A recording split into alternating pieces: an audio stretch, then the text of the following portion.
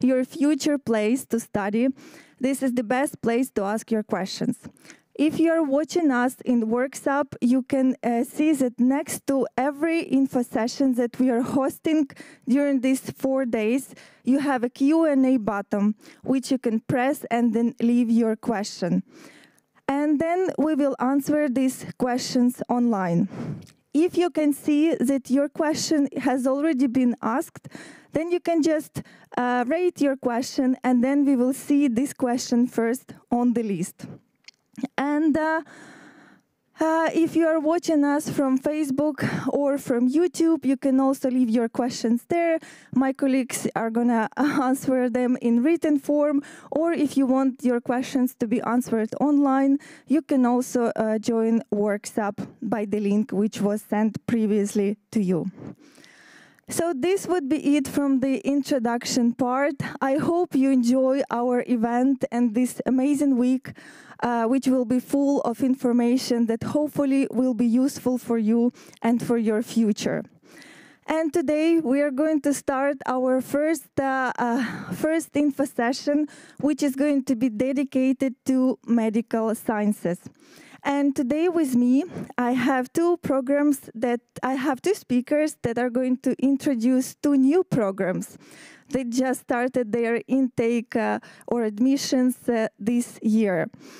Uh, so we have here uh, Alastair, Alastair Forbes, who is going to present clinical nutrition and who is joining us online all the way from the United States. And then here with me on the stage, I also have Jana Lass, who is going to talk about clinical pharmacy. Uh, so the program is going to be as follows. At first, we are going to have a presentation in clinical about clinical nutrition. Uh, then Jana will talk about the uh, clinical pharmacy, and then we are going to open Q&A session. I would kindly ask you if you have any questions, you can already start leaving them so they appear the first during the Q&A session and uh, uh, we can answer them. Uh, so I guess uh, we can start with the first uh, presentation and I will give a floor to Alastair. Thanks very much. Good morning to everyone. Or as I've learned to say in Estonia, tere hommikust. Now, as you've heard, I am in the United States. That's only because I'm here on holiday, actually, because it's half term for the schools.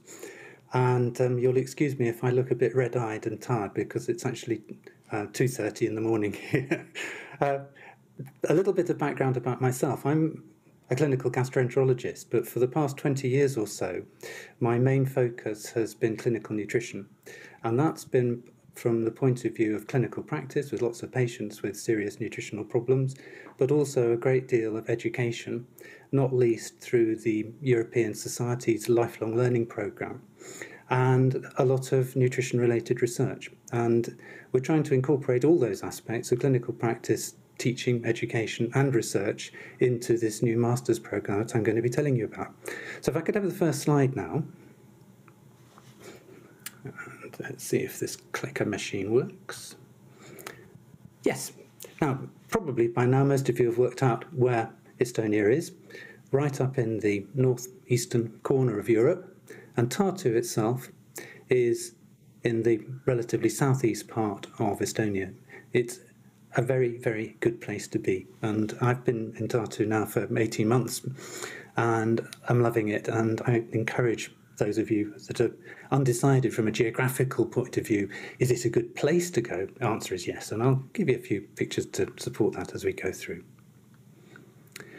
So the Masters, we are intending that this is going to be quite a demanding course. It's not going to be an easy option. It's going to be a serious program of hard work.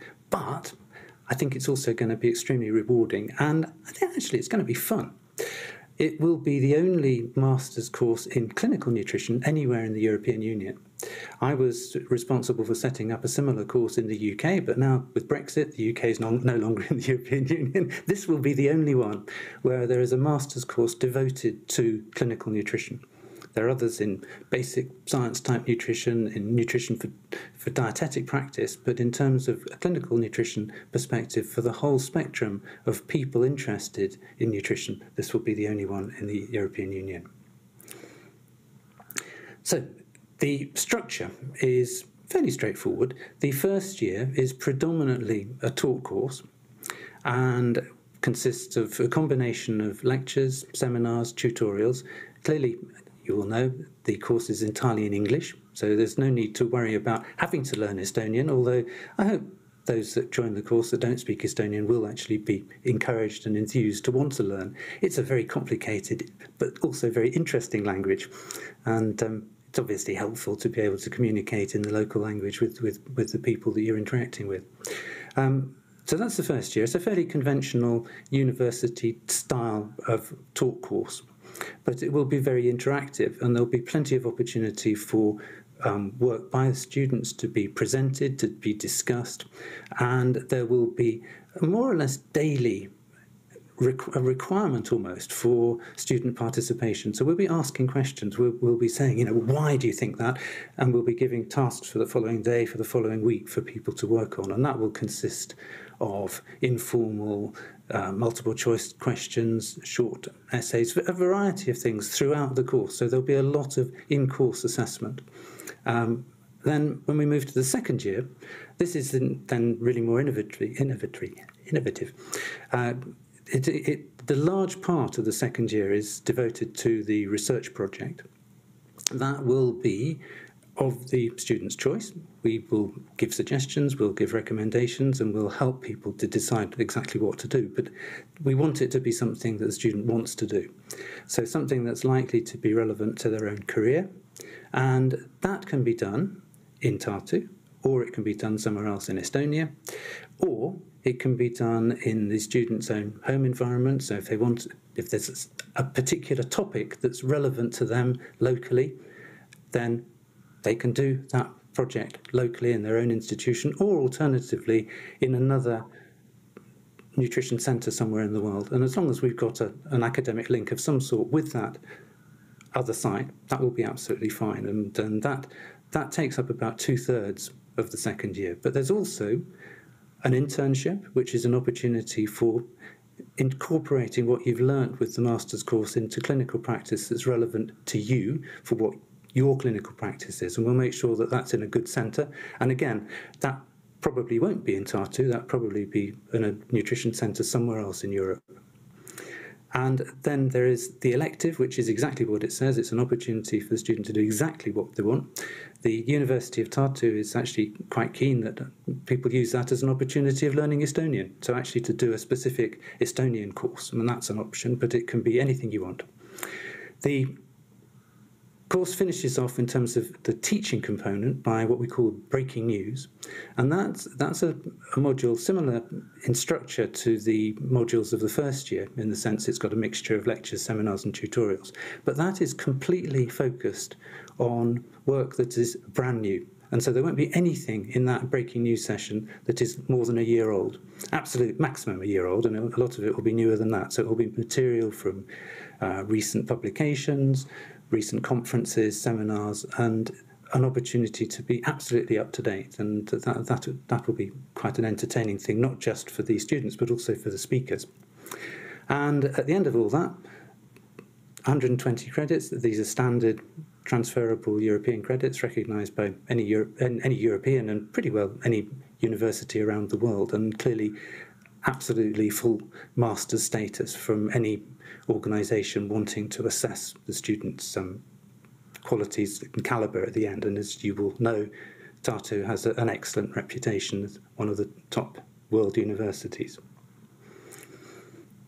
This is the main historic central building of the university, which is in the city centre. And you see that perhaps you can probably can't see in the logo of the university that the university is very very long established 1632 it's been going for a long long time it's very very well established one of the oldest universities in Europe but it's also got modern stuff this is biomedicum which is the main um, clinical sciences building the basic science sciences for medicine where some of the course will take place but we'll also use the university hospital. So this is the Clinicum. Um, that's a mostly brand new thousand bed hospital on the outskirts of the city and you get an idea of what what it's like inside. That's the main atrium of the hospital, and, and, much of the course will be based here in, in the hospital. So it's absolutely right up against where the patients are. So truly a clinical environment. As for the, we lost a slide there. Okay, so malnutrition. Why why are we thinking about a, a course in clinical nutrition? because malnutrition is so important, it is very, very common, and malnutrition adds to the severity of pretty well every form of disease. And that's true when we talk about undernutrition and loss of weight and being undernourished, but it's also true, of course, of overnutrition. And although the main focus of the, the course will be on undernutrition, it will also consider the difficulties of obesity and some of the effects that has on clinical practice.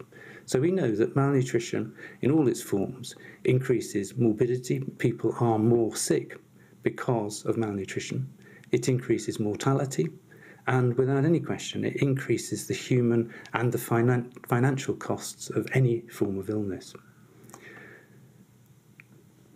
However, malnutrition is often missed. We know that around 30 to 35% of people admitted to hospital have malnutrition, but very, very often indeed that's missed. And it's missed because people are focusing on the other thing. The patients come in with a heart attack or bad pneumonia or something else. And the fact that they've got or developed malnutrition is not picked up, not thought about. That problem has largely been identified, and healthcare systems around the world are now trying to do something about this. But as they try to do something about it, they then realize that there aren't the professionals with knowledge and expertise in clinical nutrition to provide that help for the patients. So we've got a problem with malnutrition. It can be dealt with by the masters in clinical nutrition. This is an obvious solution, and it really is something that is being taken on board very seriously. This, this course is of great interest, not just to the university, but also to the hospital in Tartu, which is giving a lot of support. And you can see how it's important for, for healthcare organisations, institutions around the world. We've got a very strong local faculty as well as myself. I'm the director of the course, but there are people from all disciplines within the hospital and a university environment of, of relevance to nutrition We've got a panel of visiting international teachers, and we seem to have lost the little flags. We had little flags on that. It obviously hasn't come through on the upgraded slide, but um, a range of international teachers. These are people that I know personally. I know that they are very good teachers as well as decent people, and that's ranging from as far apart as, as France, Serbia, Denmark, even Great Britain, lots of places all, all around Europe will be contributing. And when I say they're contributing, these international speakers will not come and give one lecture and then disappear again on the next plane. That that we don't think is very useful. Each of them will spend at least three or four days in Tartu. They will give at least three or four lectures, but they will be contributing in a, in a greater way than that. They will come, they'll sit in on the sessions, they will interact with the students in much the same way that our local teachers will. So they, they really will make a, a big contribution to the course in, in, the, in, the, in the course of the two years. And the other advantage of that is that each of them represents their own specialist nutrition centre in their various different cities. And there will therefore be an additional opportunity to get to know those people and opportunities for electives and internships in all of those countries. So, you know, if you fancy going to, to Lisbon or to um, Athens or to London, that will be a possibility as well that will be aided by the, the way the course develops. So, what about Tartu? Tartu is the principal university city of Estonia. It's where the only medical school is. And the city itself will be the European City of Culture in 2024. Uh, I think something like 20% of the population of, of Tartu at any one time is students. It's very much a, a student orientated city full of museums. It's the only city I know that's got three science museums and theatres, concert halls, but it's also a great place for living and whether that's sports that you're interested in, um, plenty of restaurants, shops, bars. It, it's actually a really, really great place to live. And you might have noticed, I showed you the picture earlier of the main building of, of the Tartu University, and I said it's in the city centre. Now, you can see that same building in this picture, and yet there are all those green trees there. That is it is the city centre. That's that's maggie That's the, the hill behind the university. That is in the city centre. And everything is in walking distance. So that's the um, Platz, that's the, the main town hall square. And you can see in the summer it's full of bars, people, sunshine. And in the winter, the same place, it's turned into a Christmas market and stalls and hot drinks and really really nice time and oh, oh and the other thing there's there's a there's an ice skating rink you can't quite see it in that picture but immediately in front of the town hall for three months over the christmas period ice rink in the in the open air just outside the town hall it's it's, it's really good fun and plenty of other things. There was a, a big international professional um, cycling championship in the, in the city a, a few months ago. Uh, you can take part in rather curious historic student parades. I've absolutely no idea what this means, but there, there, there were four gangs. There were, there were these pink ones, but there were also yellow ones and blue ones. Goodness only knows. It's some historic student tradition, but quite clearly everyone had a really good time. And um, everyone in Estonia learns to ski. So this is my little boys' um, school run. They, they, everyone learns to ski, and of course you can learn to ski as well. And it's really good fun and very easy, and um, something that's quite normal. But there are, there are also more more ordinary things that happen everywhere. This is one of the bars, and just outside the city centre, there's a little restaurant area, um, little bars and, and family type restaurants just just across the main road. And um, I rather like this bar as well, which is which is right on the river, and um, you can see again everyone's out in the sunshine. Alastair, sorry, uh, you have one minute left. Sorry for interrupting. Yeah, that's okay. We've almost finished. This is the last slide. Um, so the Masters in Clinical Nutrition, very much suitable for anyone with a health science background. We, are interested in people from any discipline, um, anticipating that that will be a, a, combination of doctors, nurses, but also people with a scientific interest in nutrition. And I'm looking forward to having the opportunity to talk, talk it through more, answer any questions there might be, and um, hopefully seeing you in Tartu. Thanks very much. Thank you very much for this amazing presentation. Uh, I would like to remind you that you can leave your questions, and I can see already that you started uh, asking questions, so please leave them.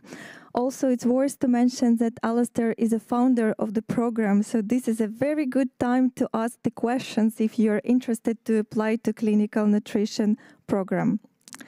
And right now, I think we are going to move to another presentation, and I will give a floor to Jana, who is going to talk about clinical pharmacy. Hello, everybody. Is it listen, can you listen? So I, I don't see yet my slides, but I will start uh, presenting who I am. So I'm a clinical pharmacist. Uh, I'm the first clinical pharmacist uh, in Estonia. Uh, I'm gradu I graduated uh, from uh, the School of Northern Ireland, Queen's University Belfast.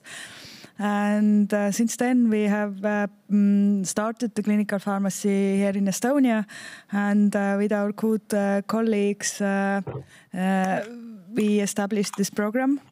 And I'm the um, coordinator of this program, but also one of the teachers there.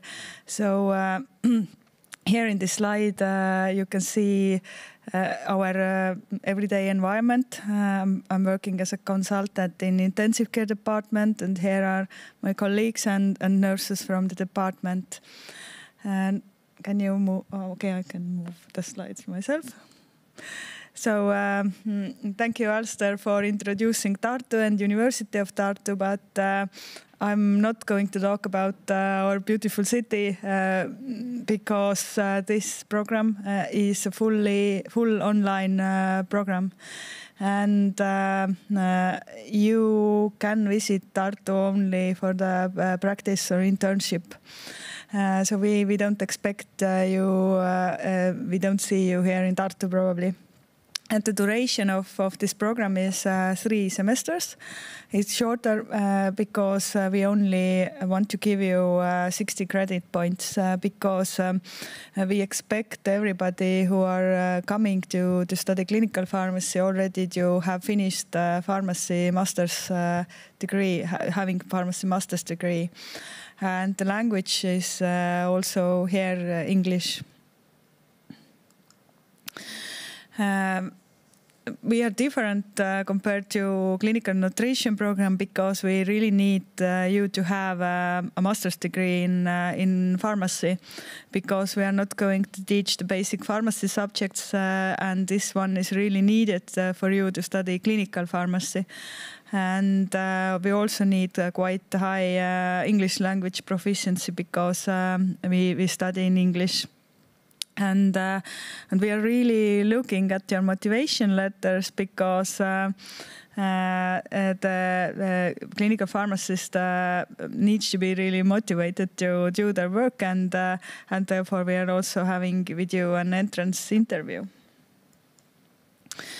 Uh, so how we are studying? If uh, if the classical pharmacy is taught like also you have lectures, you have topics, but uh, here we we mainly study uh, use a problem-based learning, uh, which mimics the real life. so mainly we have. Um, uh, different topics that we are going to cover, but uh, uh, you are going to have like a clinical case uh, and uh, you have to uh, solve the clinical case and find clinical pharmacist role.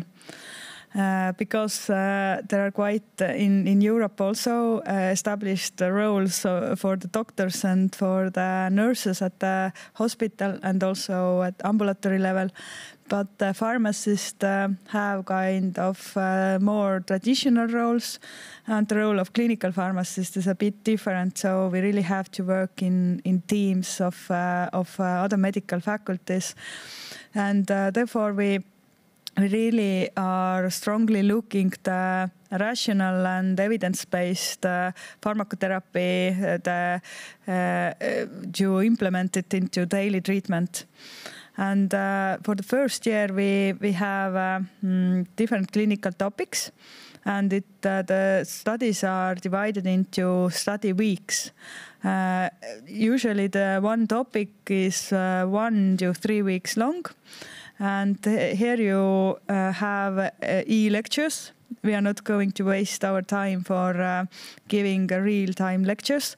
Uh, they are recorded and you can um, look at the lectures uh, the time uh, at the time which is suitable for you and uh, uh, we use different methods of learning like we have self-learning tests and and this e-lectures and additional materials and uh, mm, mainly during these lectures uh, you can gain the knowledge of these basic subjects and and uh, and uh, treatment uh, regimens for uh, specific um, diseases. And the second year is dedicated to a master's thesis and also there is a, a clinical training and uh, and the, we have, um, as I already told, over 20 different clinical topics uh, like cardiology, pediatrics, but we are not going to teach you cardiology, but uh, we are going to teach you to find the role of a clinical pharmacist inside the topic of cardiology. So. Um, Additionally, we have elective modules for those who are interested, for example, in uh, we also have a topic of clinical nutrition or uh, palliative care, which are not maybe these who you see ev every day. And, uh, and the clinical cases uh, are uh, uh, coming from real life uh, because similarly to myself, uh, all of uh, our tutors are working. Uh, most most of our tutors are working as a as a clinical pharmacist in real life, and uh, uh, you are therefore working mainly uh, alone. you are studying alone during the week, but every week we have a webinar which is online and we really expect everybody to participate. And the webinars are, are on Wednesday evenings, so you have uh, uh, time to study uh, during the weekend before the webinar. And the webinars are places where you present your homework, uh, your clinical cases, and also uh, here you can uh, discuss with tutors about the questions that are coming up uh, regarding different topics. Uh, so this is the time we can um, be together and uh, usually for every topic we have two uh, tutors uh, to to give a bit broader overview of, of the specific topic and uh, tutors are usually from different countries for, for all the uh, topics. And um, uh, in addition to this uh, open uh, online webinars, uh, we, we have forums and we are interacting inter via internet. So we also have international program uh, regarding the tutors, uh, because uh, the, in Estonia the clinical pharmacy is quite newly established, and um, the uh, other reason why we use uh, international tutors is that uh, really the clinical pharmacists who are teaching are the teacher practitioners. Uh, we are not so much involved with the universities, but we are uh, all of us are more involved with in, inside the hospitals. So I'm also working at the Tartu University Hospital, and uh, and we have we have been looking the tutors who are also our good colleagues and friends from different countries. Uh, for example, the, our Icelandic colleague is giving uh, uh, is, is is a tutor about uh, clinical oncology, and our German uh, tutor is working as a clinical pharmacist at the Hospital of uh, Psychiatry. So they are really very specialized, uh, and and I think it's the only way to teach clinical pharmacists to teach what we are doing every day and incorporate science into it. And um, uh, basically, these are the things that we are promoting and uh, and very important uh, thing is how to work multidisciplinary in in clinical environment. So it's not very uh, common to pharmacists to work in a team. We are a bit afraid of uh, sometimes afraid of doctors uh, but that's we are really supporting our role in in medical team. And um, and uh, uh, we are quite uh, focused uh, to support people from Eastern Europe because the clinical pharmacy is not established here. So I was studying in UK in uh, in, in Queen's University of Belfast, and and what I felt uh, lacking uh, most was the support uh, how to establish the practices. So that's what we are doing here. We are we know that uh, people come from countries or cities where clinical pharmacy is not uh, really available. And uh, also, uh, we we focus a lot uh, to make decisions as a pharmacist because pharmacists usually don't make many medical decisions but here we help you to start uh, uh, doing that and also the communication. And what is uh, is also very very important is uh, we we help you to develop uh, a network of colleagues internationally. Uh, you who you can rely on your professional life uh, later if you if you graduate. So we have uh, Facebook groups and and and really good supporting system. So. welcome to everybody and looking forward to your questions. Thank you. For uh, your wonderful presentation and for introducing your program. Uh, Jana is also one of the founders of the program, so it's a very nice uh, uh, opportunity to actually ask the questions from the founders of our new programs. And I guess we can uh, move to our Q&A session right now and answer the questions that we have received uh, in Worksap. I also encourage you to still ask your question. We still questions. We still have uh, half an hour or 25 minutes until the end of this uh, info session, so you will have a wonderful chance to actually get your get the answers to your questions immediately online. Uh, so the first question that was asked is uh, addressed to uh, Jana. Um, hello. I want to ask about the need to have a master's degree or equivalent qualification in pharmacy as admission requirement. Because I have a bachelor's degree of doctor of, of pharmacy, which is clinically oriented, and we have additional 56 hours on the program, more than that of the pharmacy bachelor program, all of which are clinical oriented subjects and I have more than four years of work experience in a clinical pharmacist. Will that be enough? Uh, yes, this is kind of difficult for us uh, because uh, the pharmacy um, education is really different in different countries, uh, and some are uh, like more close to United States, and in Asia we have a totally different systems. But uh, basically, for us, the bachelor degree is not enough because we need some basic subjects to to be taught at a certain level. But we already are starting to a bit uh, modify our admission uh, mm, uh, requirements regarding the information we, we received from Asia, for example. It's it's going to be like four-year studies or equivalent to master's degree. But please contact us directly so we can check your papers and, and give advice. Uh, yes, you can also see uh, in Worksup the name of the presenter, so you can also contact directly afterwards, or you can also contact our admission office by writing to admissions at .ut.e.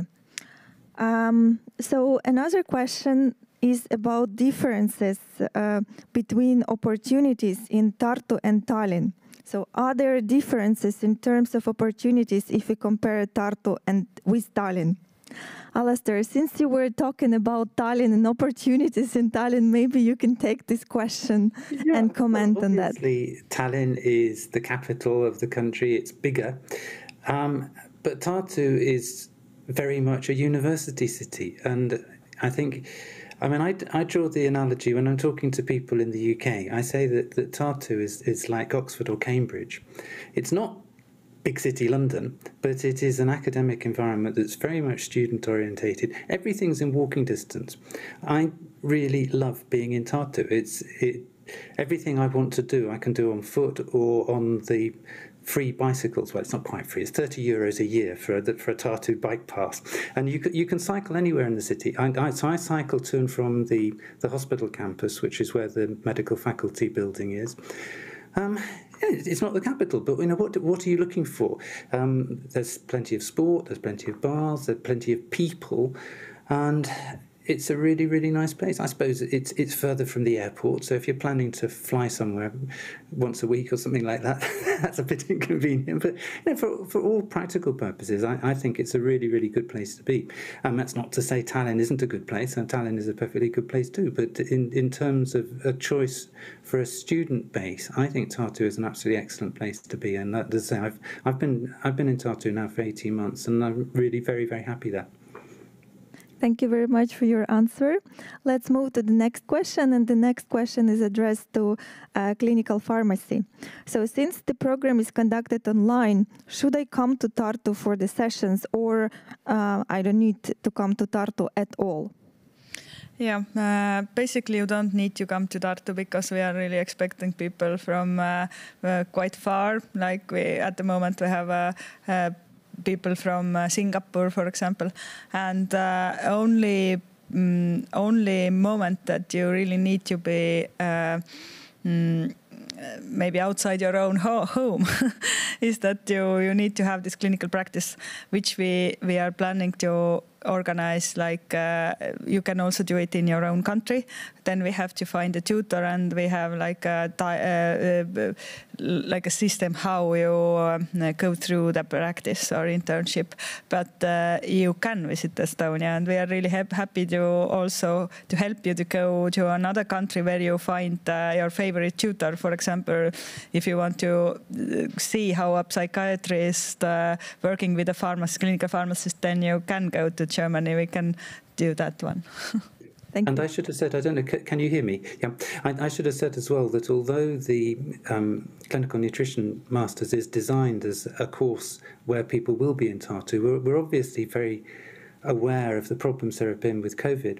And all of the first year material could be done online. There's there's nothing in that that we couldn't do online, and we, we could certainly run it as a hybrid course if the need arose. Our intention is that it's a course where we're physically with you in Tartu, but if things go otherwise that make that difficult or impossible, and I have to say, I was, I was very pleased that you'd got a Ukrainian flag on the table. And I suppose we have to recognise, you know, might, the reason for people not being able to travel easily in September might not be because of COVID, but might be because of something else horrible and serious. And and again, we we would be able to to run a large part of the masters on online if if the need arose. It's not our intention, but we've designed it in such a way that it's possible should the need arise. Thank you very much for answering these questions and also for your flexibility as well, considering current situations with COVID and political situations. Uh, so the next question is also going to be addressed to, uh, is actually also going to be addressed to clinical nutrition program. Uh, so the question is, what kind of previous experience do I need to have in order to apply uh, for clinical nutrition program? Okay, so I, I, didn't say very much about that. We're, we're expecting that everyone will have a bachelor's degree in something healthcare related, and the majority of those people will have done something that is obviously linked to nutrition in some sort of way. A medical degree, of course, someone who's qualified as a nurse or a dietitian, or, or indeed a pharmacist, although perhaps not very many pharmacists, um, but also someone who's come from a more biologically um, based background, who's become interested in the nutritional aspects of, of biology. Um, it might be someone whose interests stem from food science or from agriculture culture who's got an interest that's drawn them towards human nutrition for one reason or another.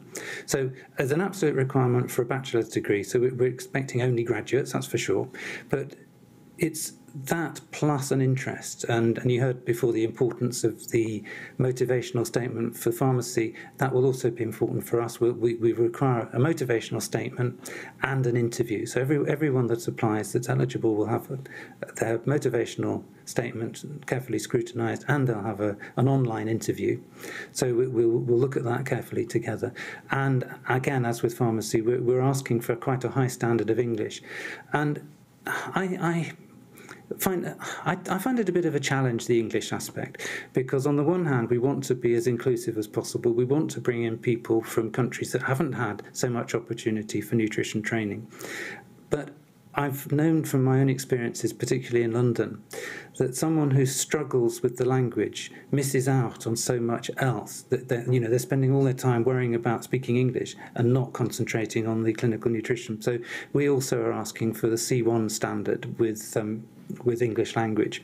And honestly, that's for the student's benefit. It, it's it's frustrating for everyone if the student is spending a lot of time worrying about their English. So we, we, want them to be good at English, good enough to be able to communicate without that being the main focus of their anxiety, so they can they really concentrate on, on the clinical nutrition.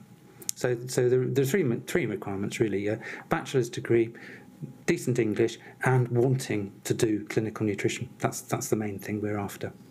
Thank you very much for so detailed answer. Uh, the next question is addressed to clinical pharmacy. So can I combine work and study uh, while studying clinical pharmacy at the same time?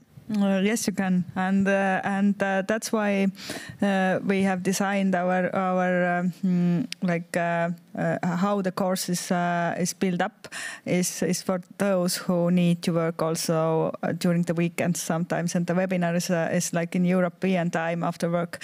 And uh, uh, before we started with the master's program we have run this course. We're currently running it as a as a just a clinical edu additional educational program.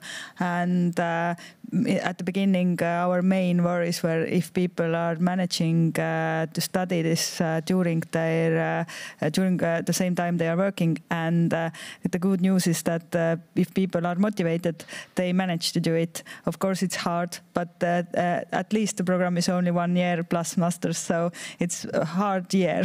but uh, uh, we we have also conducted uh, interviews with our all of our students in the middle of the year, and and the, everybody said it's so interesting that you you can learn afterwards and you can work, you can use the things you're learning during your everyday practice. So it means that it's um, it's not something very different that you do. So you can. Thank you very much for your answer. Uh, the next question we have uh, uh, to Alastair. Uh, so the question is, is there an internship uh, for clinical nutrition program? And if the university helps to find a place to conduct such an internship, if there is one? Yes. yes and yes. Uh, so there is an internship. I think it's um, ten weeks, and that that is intended to to be very specifically relevant to the clinical and career needs of, of the student. So, what what is most relevant to that student, we we will encourage, will certainly help people to find somewhere suitable if they haven't got somewhere already. And I think a lot of people will, will already have somewhere in mind in, in their own country, in their own institution, um, but if not, will certainly help. And as I said, our, our team of international um, lecturers will also help with that. So I've, I've got contacts in just about every country in Europe in terms of finding clinical placements, and although perhaps not quite so readily accessible. I've got contacts around the rest of the world as well, and certainly the Far East, Vietnam, Thailand, Singapore, um, South America, Brazil, Colombia, North America, both Canada and the United States. So there are lots and lots of places where we've got, where we've got strong strong links. Um, Africa is perhaps more of a challenge, but I think in that case we would make sure that anyone coming from Africa was found a, a suitable placement um, either in Estonia or, or elsewhere in Europe. Thank you very much. Uh, the next question we can also address to both programs, I guess. Uh, the question is, is it possible to have an exchange semester within the programs? So maybe Jana, you can start first. Uh, exchange semester is a bit diffi difficult because we have this online uh, online uh, uh, learning. So I think mm, we we we don't have that one. I think. So we basically can organize the, we can help you to find the internship and practice periods in other countries, but uh, I think uh, at the moment I, I don't know how to answer that. All right. Alastair, do you have an answer? I'm also not quite sure. I'm not 100% sure what's being asked. Um, is is this suggestion that someone would do part of their course in another university and would would swap courses? Was that was that the intention? Do you think? I guess this is related to the Erasmus Plus, uh, Erasmus exchange, yeah. or well, obviously all all of our modules are ECTS, so in that sense they are transferable. Um, I don't know. I, I, I, wouldn't encourage it because our, our course is designed as a, as a complete course. But if, let's say, someone was particularly interested in a particular type of clinical nutrition and they said look you know uh, half the things in the first year are actually irrelevant to me and i want to do more i don't know I suppose some, maybe a vet um, who is very interested in clinical nutrition but not particularly interested in the things that apply to people, but finds quite a lot in our program that would be of interest, but also wants to do a lot of stuff that's specific to animals. I suppose we, we could customize it, work, work with our own veterinary school in Tartu, and, and work out some modules that would be more suitable that would allow. So we could do it. I mean, it's it's not been set up with that intention. But if there was someone with particular needs, or someone who was already closely engaged in an academic environment somewhere else that wanted to do courses that were impossible for us to offer. Yeah, I suppose so. Uh, I mean, I think that's one of those things where you'd need to look at it individually. But my approach would always be to be very flexible, and clearly it would have to comply with the university regulations. But they are ECTs, so they are transferable by their very nature. Um, so yes, it, it's possible. It's not something we've particularly been thinking about, but if someone comes with a particular set of issues, this is important for me. I'd like to do your master's course, but that wouldn't work for me. Well, we could work on it, and we could we could sort it through with the admissions office, with the university regulations, and and whichever other institution was providing the other material. So yeah, we could we could do that. Thank you very much for your answer. As we could see, there is a lot of flexibility involved. So this is really great. Uh, the next question is addressed to clinical pharmacy. So how do courses look alike? Are your classes lecture-based or discussion-based? Yeah, like I already shortly described, it's uh, um, the structure is uh, similar for all the topics, and it's divided into study weeks. Uh, the, the, learning is divided into study weeks, and it starts for, with your own uh, homework, so you can look, uh, read materials, and and we have electronic lectures which are recorded, and and then you basically like every week you do the similar things to which support support your learning different activities.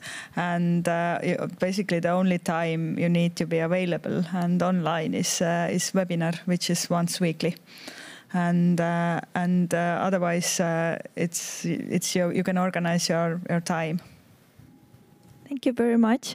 Uh, we have another question which is uh, addressed to clinical nutrition program. Uh, can I work after graduation in Estonia if I don't speak Estonian?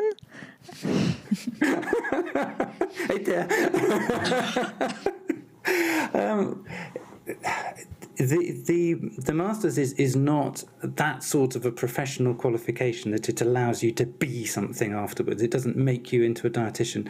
So so in in the sense of a of a degree giving a, a, a professional qualification, no, it doesn't. Um, could you work in Estonia? Yes, of course you could. And Estonia is actually a very welcoming country in that regard. It's it's a country that that's keen to have um, immigrants and particularly people who are academic, scientifically orientated. So it's a welcoming environment from that point of view. Could you do it without speaking Estonian? Well, yeah, you can. I, have been doing that myself. I'm trying very hard. I, I am learning Estonian. Um, I've given a few lectures in Estonian now, but it's jolly hard. Um, but I don't need to be able to speak Estonian to be able to do my job uh, because th- there are so many people. Um, most young people in Estonia speak very good English, and it's it's never a problem communicating. Um, and occasionally you you'll find someone that doesn't speak English, but instantly someone who does appears from around the corner. So if you speak English or Russian, being in Estonia without speaking Estonian is, is not a particularly big problem. But and I wouldn't recommend it. I mean, as I say, I'm trying very hard myself. I think you know you should always try and speak the language where, where you are. But but in order to function and in order to work, there are, there are plenty of work environments. I know through talking to the parents of of the other children in my boys' school, there there are lots of Estonians who spend their entire working life working in English. Um, one of his best friends has a German father, and uh, he he actually speaks extremely good Estonian, but his working life is not in Estonian, it's not in German, it's in English because his company has is a multinational company and he has people from all over, and and that's that's also true in the healthcare setting. It, it's obviously more of a problem if whatever you do relates to patients because you know you can expect other staff, um, other university people, they will speak English, they'll speak Russian, but you can't really expect the patients to speak another language. So, so if, if what you want to do is is patient orientated, then I think Estonian becomes very important. Thank you very much, Jana. What about your program? Our program, uh, I think uh, if you are a pharmacist who has a degree that Estonia recognizes and you have a clinical pharmacist degree, then you are welcome. again, about the language, uh, it's uh, uh, again, if you work at the community pharmacy, you have to speak Estonian, and also at the hospital, probably you have to speak Estonian. Uh, if you talk with the patients, uh, same, same probably what Professor Alastair said. Thank you. Uh, the next question is again to you. What are the admission requirements for clinical pharmacy? Yes, we have. Uh, uh, you have to have the C1 level in English You have to have a master's degree in pharmacy or equal level from from another other country or from Estonia, and you have to write a motivation letter and have an interview with us, and and that's that's all we have.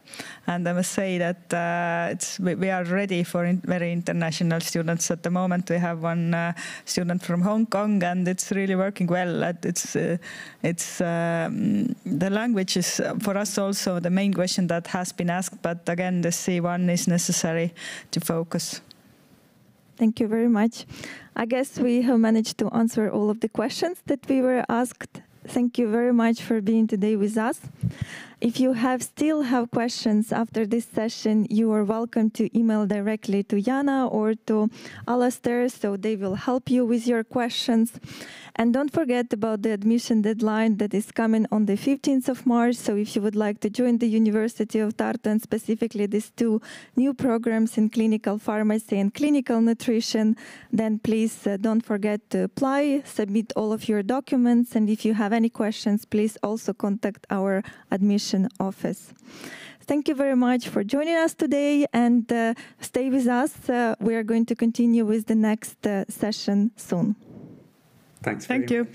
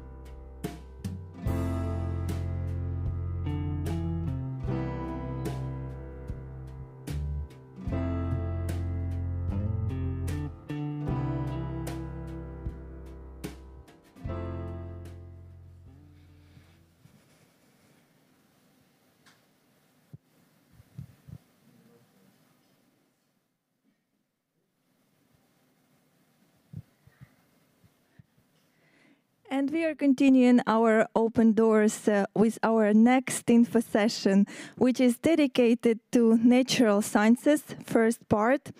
And today with me, I have uh, Anu, who is going to introduce two programs, Applied Measurement Science and Excellence in Analytical Chemistry.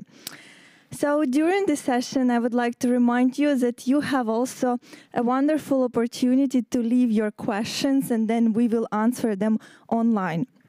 So you can see if you are joining us from Worksup, you can see that next to each info session there is a Q&A button and you can just leave your question there and then we will answer your online. And then uh, we also have a Facebook and YouTube streaming. You can also ask your questions there. But uh, if you want them to be answered live, then please join the workshop. Uh, so all in all, let's uh, maybe start with our presentations. And Anna today is going to present in two presentations in a row. Uh, so let's learn more about applied measurement science and excellence in analytical chemistry. So Anu, the floor is yours. Thank you. Hello, I am Anu, and uh, as already introduced, uh, I have two programs that are coordinated by the Institute of Chemistry under the University of Tartu. So I will start with applied measurement science, and I will first uh, explain why measurements are important. So measurement uh, results are used uh, for many critical decisions, uh, whether in economics or medical or, or social. And then roughly 40% of EU directives are involve measurements. And then the need for measurements uh, uh, and importance of measurement results is constantly increasing. So the main issues here in this area are the uh, increasing number and, uh, and variety of measurements and tests needed, and uh, at the same time, lack of skilled specialists. So the key to success is education. So we need to have some kind of uh, programs that uh, aim to qualify specialists in areas uh, related to measurement science and, and quality assurance and things like that. And the applied measurement science master program does exactly that. So it's a um, program that combines different aspects, physical measurements, uh, chemical analysis, quality management uh, and uh, metrology, and also touches on economic, legal and social aspects of these these uh, disciplines. And it's a, a two-year master program, 120 ECTS, that has courses in chemistry, physics, um, measurement science, data handling, data management, and also includes internship or practical placement. And in addition to this, it also has a, a mobility window built into it, so it the program encourages students to go abroad, study abroad for a semester. And there is also this possibility to add uh, measurement science in chemistry summer school and uh, massive open online courses uh, into the curriculum. Uh, a very important question, will you find a job after graduating the AMS uh, program? And the answer is yes.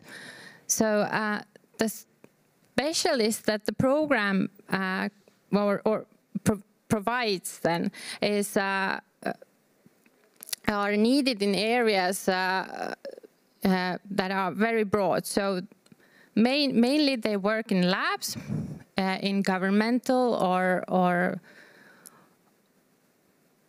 or scientific labs, and also they they work in quality assurance field and also as um, engineers. And also a very popular options option among our alumni is uh, continuing their studies in PhD level. And uh, some technicalities about the program. So the tuition fee for the program is 5,000 euros per year.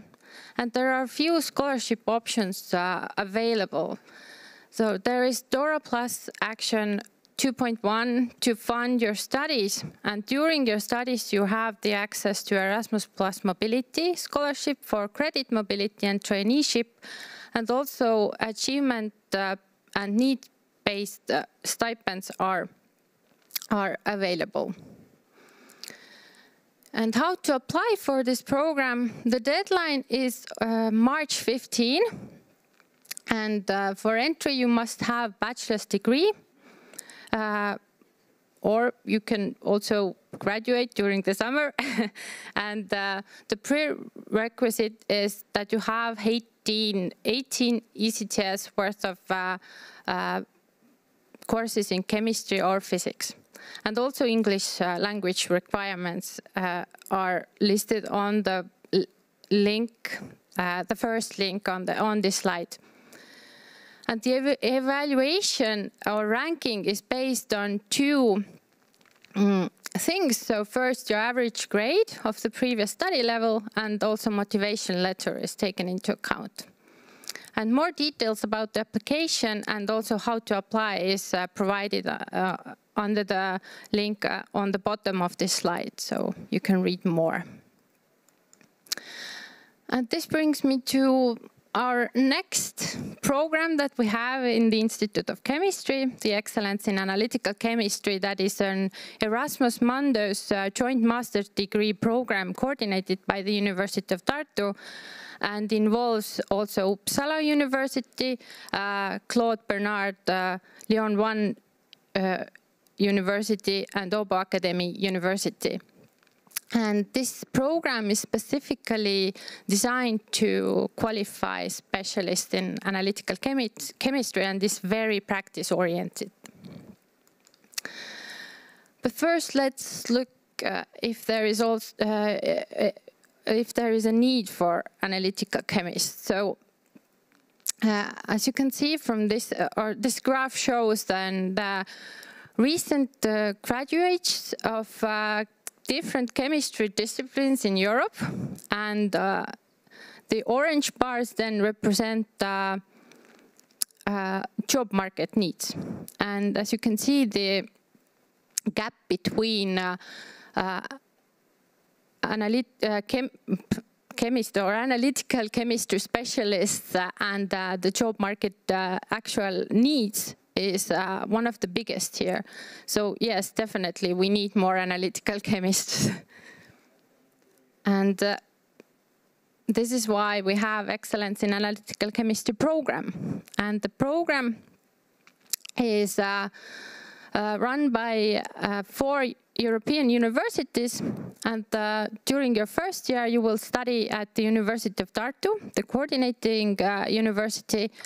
And this year is uh, aimed to give you knowledge about fundamentals in analytical chemistry, metrology and uh, quality assurance, but also in socio-economical aspects. And the first year also will prepare you for your second study year at uh, one of the three partner universities. So uh, for Uppsala University, the specialization is in organic and bioorganic chemistry, uh, in advanced separation methods and mass spectrometry. In University uh, Claude Bernard Lyon 1, you will uh, uh, specialize in, in industrial analysis, process control and monitoring. And in Åbo Akademi University, uh, you will specialize in advanced uh, analytical devices, sensors and miniaturization. A very important part of the EACH program is uh, selection for the study tracks or assignment for your second study year. And this is done at the end of uh, first semester. And uh, uh the first thing that uh, counts is the student's uh, preference. And if needed, also their GPA of the obligatory courses from the first semester is taken into account. And the final decision is made during the winter school at the end of semester one. So by the second semester, you will already know where you will study during your second study year. So other activities uh, like the AMS program, uh, the, EACH program also contains different types of courses. So uh, in addition to normal courses, you also have the practical placement or internship that is usually done be uh, between year one and two during the summer. And uh, also a compulsory part of the EACH program is the winter school that takes place uh, at the end of uh, January uh, um, in year one and also in year two. And as for the AMS program, you can also include uh, the MAS, MSc summer school or MOOCs into your curriculum. Uh, again, will you find a job after graduating? Yes. Uh, so uh, the success story of EACH program is uh, uh, quite quite good.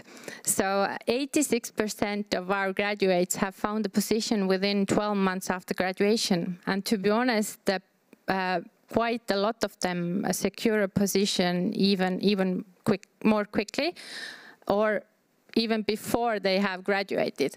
And the examples where they work uh, as what kind of uh, position they get and then also lo the location where they work, work is quite impressive. So the, the our, our graduates are all over the world now. So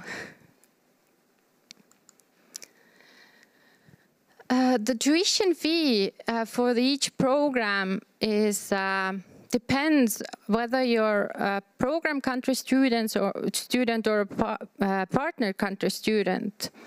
But the details are quite difficult and so I suggest that you read more about those on the link that is provided on the slide. Uh, the program, as it is an Erasmus Mundus program, offers scholarships that cover your tuition fee. Uh, and the tuition fee also includes full insurance and also have uh, monthly allowances for up to 24 months, uh, travel allowance twice per year, uh, twice per program, sorry, and then uh, if applicable also installation allowance uh, once per program. And the program also offers tuition waiver scholarship that cover only tuition fee. Uh, how to apply for this program? Well, uh, for this year, the application round has already finished. Uh, so uh, uh, the next round uh, for intake 2023 then will open in the first half of November. And for admission, you will need a bachelor's degree with at least 60 CTS in chemistry and uh, or, or, or chemical engineering, and also 20 ECTS in mathematics and or physics. And also English is required. But the list of requirements is quite long, so I, I suggest that you have a look at the link that is provided on this slide. And the ranking is uh, based on three elements. So the average grade of the previous study level is taken into account, the motivation letter, and also we have an uh, online test for uh, of uh, some chemical problems that you have to solve. And uh, uh, currently the admission information applies for intake 2022. We will update the web page uh, somewhere in September or early October, but overall the, the, the admission requirements will remain similar to the ones that are presented at, uh, at the web page at the moment. And finally, I will just uh, briefly show you the study locations and also uh, um, show you the people you can contact. So the home uh, for these two programs is the Institute of Chemistry and the University of Tartu or Chemicum. It's a rather new building. It opened in 2009. It provides uh, students with modern lecture rooms and uh, very nicely equipped labs. And next to it, we have Physicum, the Institute of Physics under the University of Tartu, that is even uh, a newer building. It uh, opened in 2014. So, so the teaching facilities are among the top in Europe. The academic coordinator of those programs is Professor Ivo Leito, and uh, he is most knowledgeable in all the academic questions. So if you have questions about the curriculum, the courses, uh, the internship, uh, and stuff like that, then you can turn to him. He's, he's very responsive. I am the administrative coordinator of those programs, and I you can turn to me when you have questions about uh, scholarships or insurance or Erasmus Plus uh, mobility so just send me an email. and lastly, our colleagues at Study Abroad Center are always very happy to answer your question up, questions about visas, resident permits, travel to Estonia, dormitory, and so on. So thank you, and I hope to meet you all in Tartu very soon.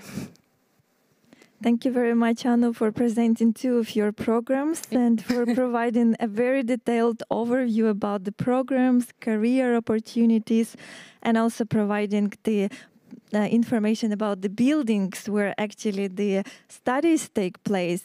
And I also would like to point out that on Wednesday we are going to have online tours in this building. So those people who are interested to see how these buildings look like inside, I welcome you to join us on Wednesday and to see uh, them inside as well. Very nice. So right now, I guess uh, we can open our Q&A session, and we have quite some questions that arrived. Aha, so uh, let's start then from the first one. Uh, thanks for the session. Could you give us an idea about the process of completing a year or a semester abroad after joining Tartu University? Is that case, do we need to pay the tuition fees in Tartu or just at the hosting university? Thank you. Mm, so you will be a student of University of Tartu for the whole study time. So regardless where you actually study, you will be a student of University of Tartu and yes, you have to pay the fees to the University of Tartu then. So uh, yeah, you will not be, in case of AMS, you will count as uh, exchange student for the other university. In case of EACH, it's a bit different, but uh, basically on the on the second study year you will be on the two universities then. You will be also accepted to the second year university. It's a bit different so. Yeah it's a little bit different but still university of tartu is the one who will get then the tuition fee and then then we will provide the partner Yeah, definitely, it's going to be a little bit different from for excellence and analytic yes. in, in, chemistry because uh, uh, the second year students supposed to stay abroad. Yes. So uh, probably I don't know if you would recommend to actually take an exchange year during the first year. Uh, no, uh, it's a very specific program, and the first year is uh, meant to kind of prepare you for your second uh, year for your specialization. So uh, you you will get your mobility already. So. Uh, it's yeah, nice to have yeah, some time it, in Tartu as yeah, well. Yeah. yeah, and this is something that I, uh, that our uh, EACH alumni also point out that uh, during the first year they didn't think of traveling in Estonia, and that is the I think one thing that they regret the most because they come here to study and then focus and during the second year they then discover that oh we can travel. So yeah enjoy Tartu as well Yes, our next session is also dedicated to student experience, and we have uh, students from both of the programs. So you can also stay with us, and they will tell you more how mm -hmm. their studies are conducted and how much travel they can do, or if they are forgetting to travel and then regretting once they are moving to another country. Uh, so Anna, I know that you have been uh, talking already about career opportunities, but there is a question: Where can I work after graduating applied measurement science? So we, we unfortunately we do not have a very nice uh, statistic about the plate, applied measurement science as we do for EACH program, but uh, many of our graduates have uh, found a job uh, here in Estonia. So they're working in different labs here or also under the government as um, uh, in some legal offices and advisors uh, for European Commission or something. So it's quite broad. Um, or, or the field where you can work is quite broad, but but yeah, it's I'd say it's roughly 50-50. So uh, a lot of them continue in PhD, a lot of them continue here at the University of Tartu or or choose another university in Estonia. Uh, but also a lot of them, yeah, have found uh, jobs in in various labs in Estonia. So most of the graduates are staying in Estonia or? Uh, I would say yes, that uh, in recent years maybe they have uh, our our locations uh, have also broadened, but uh, but up to now, yes, a lot of them remained in Estonia as well. That's great. Yeah. Um, then we have a question about internship. So I assume that there is a lot of practical trainings within both of the programs. So the question is, is the internship compulsory? Does the university help to find a place to conduct an internship?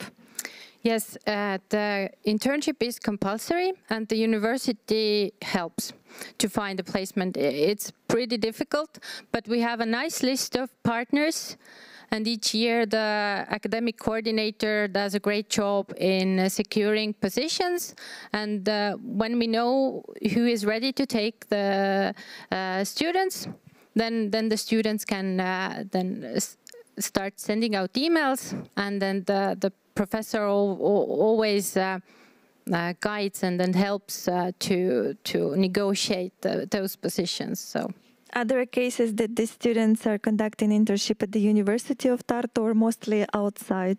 Uh, we prefer them going outside. Mm -hmm. And of course, it's uh, possible if you find a placement for yourself, it's okay to do, but uh, we know it's difficult to find. So, and it doesn't have to be in Estonia, it can be outside of Estonia. So uh, we also we also it's very popular to go outside during the summer.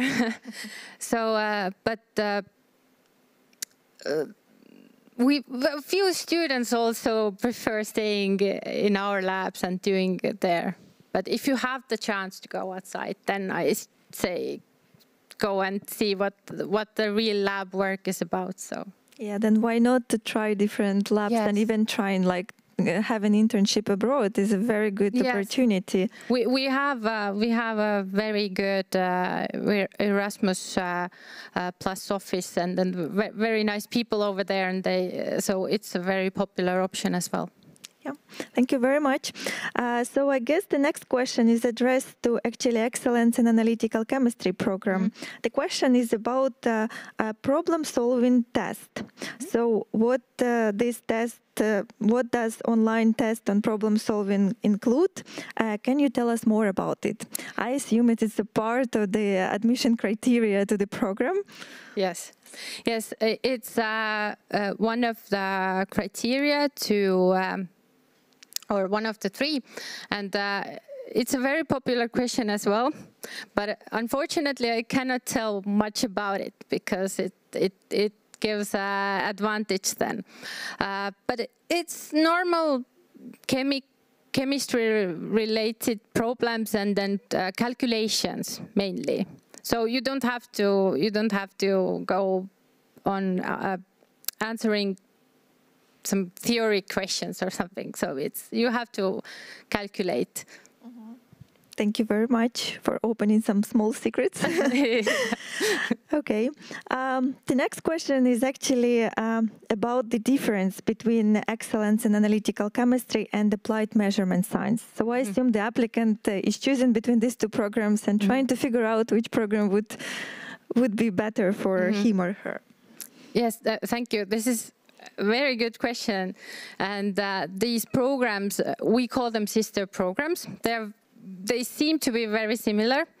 But uh, the main difference is that analytical excellence in analytical chemistry is uh, uh, totally um, or aimed at uh, qualifying only analytical chemists.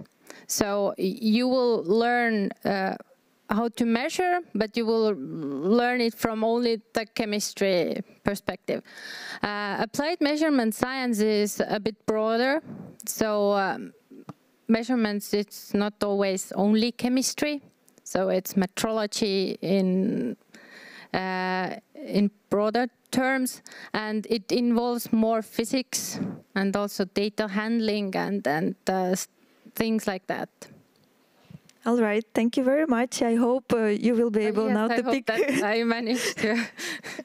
between two programs. Uh, so the next question is: It seems that the application deadline for excellence in analytical analytical chemistry is over. Mm-hmm. Does it mean that I cannot apply for the next academic year? And when can I apply? Mm, Yes, the uh, the admission for the EACH program runs uh, on different times uh, as the AMS program because it's an Erasmus Mundus program and it has a lot more steps compared to our own programs. Uh, so uh, the deadline passed uh, at January 11, 11 so yes, for this year the there is no way we can include any any applicants anymore. But um, the next uh, application round will open in uh, November 2022, and then you're all welcome to apply for it. Thank you very much. Maybe it also will help to the applicant who is choosing between two programs. So if the applicant would like to join like from next academic year, then uh, Mhm. maybe applied measurement science uh, would be would be closer than. Yeah, Yeah. it could be. And if any questions remain, then Yeah. our academic coordinator and I, you can email or send us messages, and then we will reply gladly. We have another question regarding admission process. So uh, applicants are asking, is there admission interview? If yes, then what questions should we expect? No, we don't have the admission interview. So for the AMS program, we only have the motivation letter and then the GPA from the previous study level. And for the for the EACH program, it also has the problem solving test. then. but yeah, we don't do interviews. Okay, uh, thank you very much. Uh, so, how do courses look alike? Are your courses more lecture based or discussion based? Uh, how much uh, theoretical and practical knowledge uh, um, students get? It depends very much on the lecturer, but I, I would say that our lectures usually are more discussion based. So the, the teachers uh, like to reflect on the classroom and then uh, use different type of uh, teaching methods. And also group works are very, very um, popular among the teachers and uh, and as far as I know, our teachers are very encouraging in uh, getting the students to discuss about problems. Which is really very, very accommodating to questions. So. I have another question about admissions. What average GPA should GPA should I have in order to apply? Didn't specify the program, so maybe we can uh, uh, we can take two both programs. Yeah, I would say the higher the better. so uh, one thing that you have to note is that uh, the EACH program usually uh, has a very tough competition for obvious reasons. So the scholarships are uh, very, uh, how to say, the, Hi. yeah, high demand, and then we we get very very good applications each year. Uh, what you need to note is that uh, in order to be eligible for the EU scholarship or the Erasmus Mundus scholarship, you you need to have at least 75% of the final score from uh, 100. So. Uh, and and your general GPA will give you 40% maximum from this score. So uh, the yeah, I would say the higher the better, because it's uh, it's one of the bigger elements in your final score. So, and uh, for AMS program, uh, I think it was 66% uh, of the final score was was uh, needed to uh, get admission at least. Mm -hmm. So it's it's dif different. Yeah. yeah, the higher the better. So yes. let's sum up. I would say yes. yes. Uh, so we have another question about the uh, uh, admission to excellence in analytical chemistry. Mm -hmm. so the question is, uh, uh, I am from non-European Union country. Mm -hmm. How can I get a scholarship? So the Erasmus Mundus program will provide 75% scholarships to non-EU mm -hmm. students and then 25% will go to EU students or program students, sorry.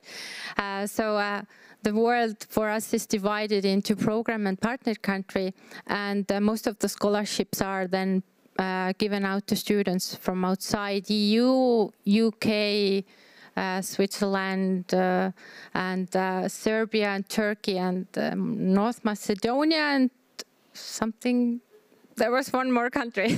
so basically, uh, uh, uh, the partner country uh, students will get more scholarships or, or, we have more scholarships for them and um, yeah you just have to apply for the program and we provide us with information where you're from and then we we will already divide you into two groups and then yeah, and also probably pay attention on the academic background and all of, all of the documents the, that should be the, required.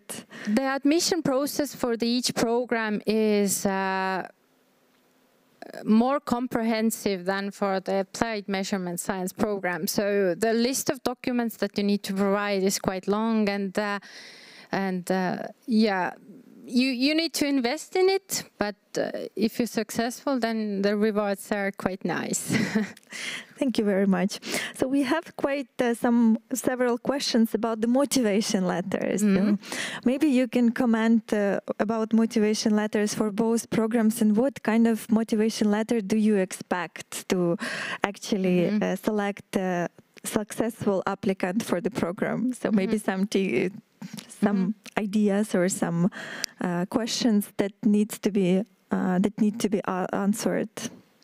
So um, for both programs, we have a short um, overview what we expect from the motivation letter, and uh, uh, for the applied measurement science program, it's a bit I, I, don't want to say easier, but uh, more straightforward. You you need to just show your willingness to or or your interest in studying is in this field so you kind of just need to show this but for the EACH program there are uh, five different uh, uh, subcategories that we that we want to see. Uh, one of them being uh, your study track preferences.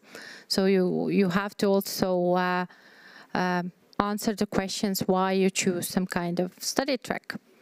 So uh, maybe maybe uh, the best advice is to just go to the uh, both of those web pages and then just see what we are looking for. But uh, what I have seen so far is that uh, the motivation letter uh, usually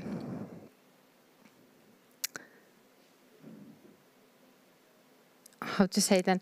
It, you if you get the idea of the program the, then the motivation is also there Yes, thank you very much for commenting on that because many people, of course, uh, Yes, would like to produce a very good motivation letter Yes. to be on the top ranking. So these Mhm. tips are very useful. Yeah, yes. Again, it's a bigger part of uh, of the Admission criteria, Yes. of course, So- because if there is no interview, so basically your motivation yeah. letter. That, this has to be your interview. Then. Yes. So try to So- think that uh, how how you can show that you're very very interested in this program. Yeah. So uh, thank you. Our next question: uh, What is the acceptance rate for individuals applying for uh, both programs?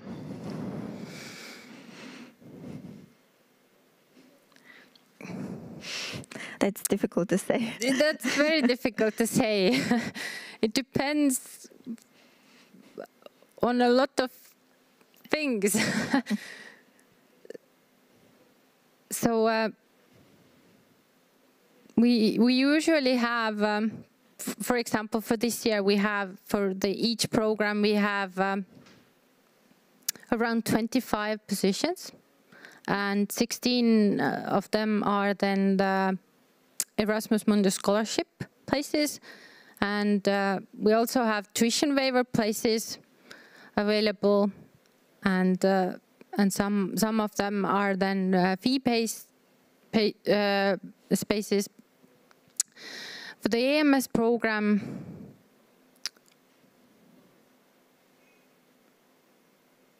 I think it was ten. I, uh, it's too many numbers. I'm so sorry. Uh, but it's also possible to check it on the website because Yes, on our program uh, pages we have the number of Yeah, places for is- each program. this is available, and uh, usually, um, I don't want to say that we don't have that many applications, but uh, as the criteria are quite uh, specific, then uh, yes, the let's say the competition for for one place isn't that high. Mm-hmm. May- Maybe this is then Will help. encourage you to apply still.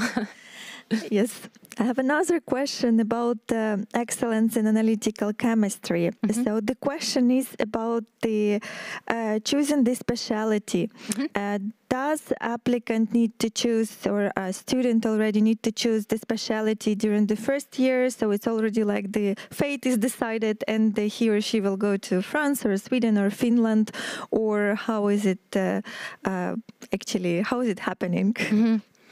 So for the second study year, you have to go abroad. So this is how the program works. So first year is done at Tartu, and then the second year you will do your specialization and thesis work at the second location.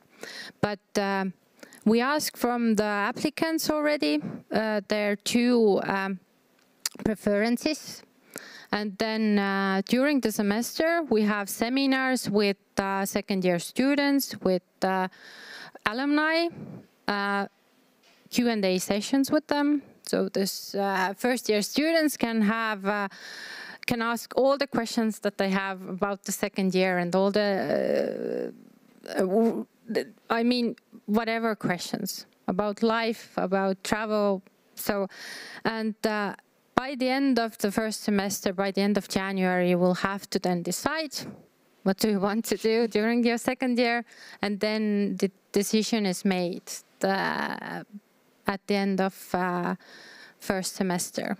And during the second semester, you can already uh, start uh, focusing on uh, going abroad. So there are special courses for each study track at Tartu as well, so you can prepare in advance. so, but but yeah, there there is no option to delay it more.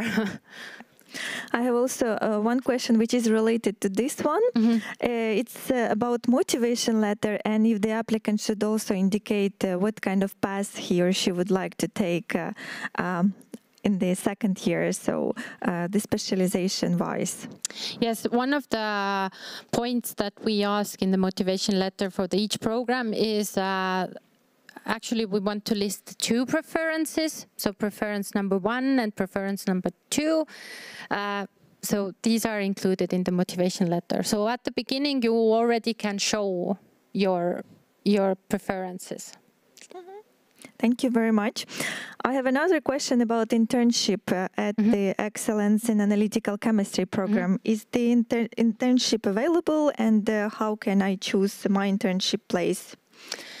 So from um, right after the winter school in year one, uh, at the beginning of the second semester, our professor starts sending out emails to companies, to labor- laboratories, and other facilities uh, about uh, internship options. And then uh, uh, I think around March, the students then can start sending uh, emails to the available places. But um, I, will just mention one uh, option for the, EACH program as well. So students going to Lyon uh, will have a final semester at the industry. So this will count as internship for them. So if if needed, then uh, the students uh, assigned to Lyon study track uh, do not have to do the uh, internship during the summer. They can skip it and then do it during the last semester as their as their master thesis work. Thank you very much. I have another question about master's theses at Applied Measurement Science. Mhm. Uh, maybe you could name some of the um, um, examples of uh, master theses uh, which are usually students uh, writing at the department. Maybe it will give a better overview, so what uh, a student can write about, or maybe you can direct to the website where it is. Uh, uh, they can find this information as well. Yeah, um, I can't name any specific topics. I'm very sorry, uh, because there's a lot of topics each year uh, for me. Uh, but uh, yes, the web page has some overview about uh, topics or areas that the uh, students have done their thesis work, and I know that our students have. Dealt with different problems. So there was one student who analyzed honey, and and then there there are other students that uh, analyze some biological. Uh, uh, organic matter in in soil and then the, the topics vary so Thank you very much. Yes, and please turn to the website, and there you will find the information as well. Or stay with us uh, Mhm. uh, for the next session, and we will have students. Maybe also Yeah, they have some ideas what they're going to write about because Yes. they're already studying. yeah they are already they are already doing their master's thesis at least uh, one of them should be Yes, I have one more uh, admission related uh, Mhm. question. So, are there any prerequisite courses uh, from the bachelor's degree to apply to applied measurement science? Uh, you only need to have uh, at least uh, 20 ECTS of uh, chemistry or physics courses. So this is the only prerequisite for, for applying for this program. So if you, uh, the, the courses will, or your, how to say, your uh, transcript will be evaluated for, the, the, the admission office will count if you have enough chemistry or physics. But uh, if you are in doubt, then you can already send an email to our academic coordinator, Professor Leito, and uh, he can give you not the official opinion. The official opinion will be given after after submitting your documents uh, for the admission, but uh, he he will provide some some insight to it already. Another question regarding scholarships. So, Mhm. are there a scholarship for applied measurement science?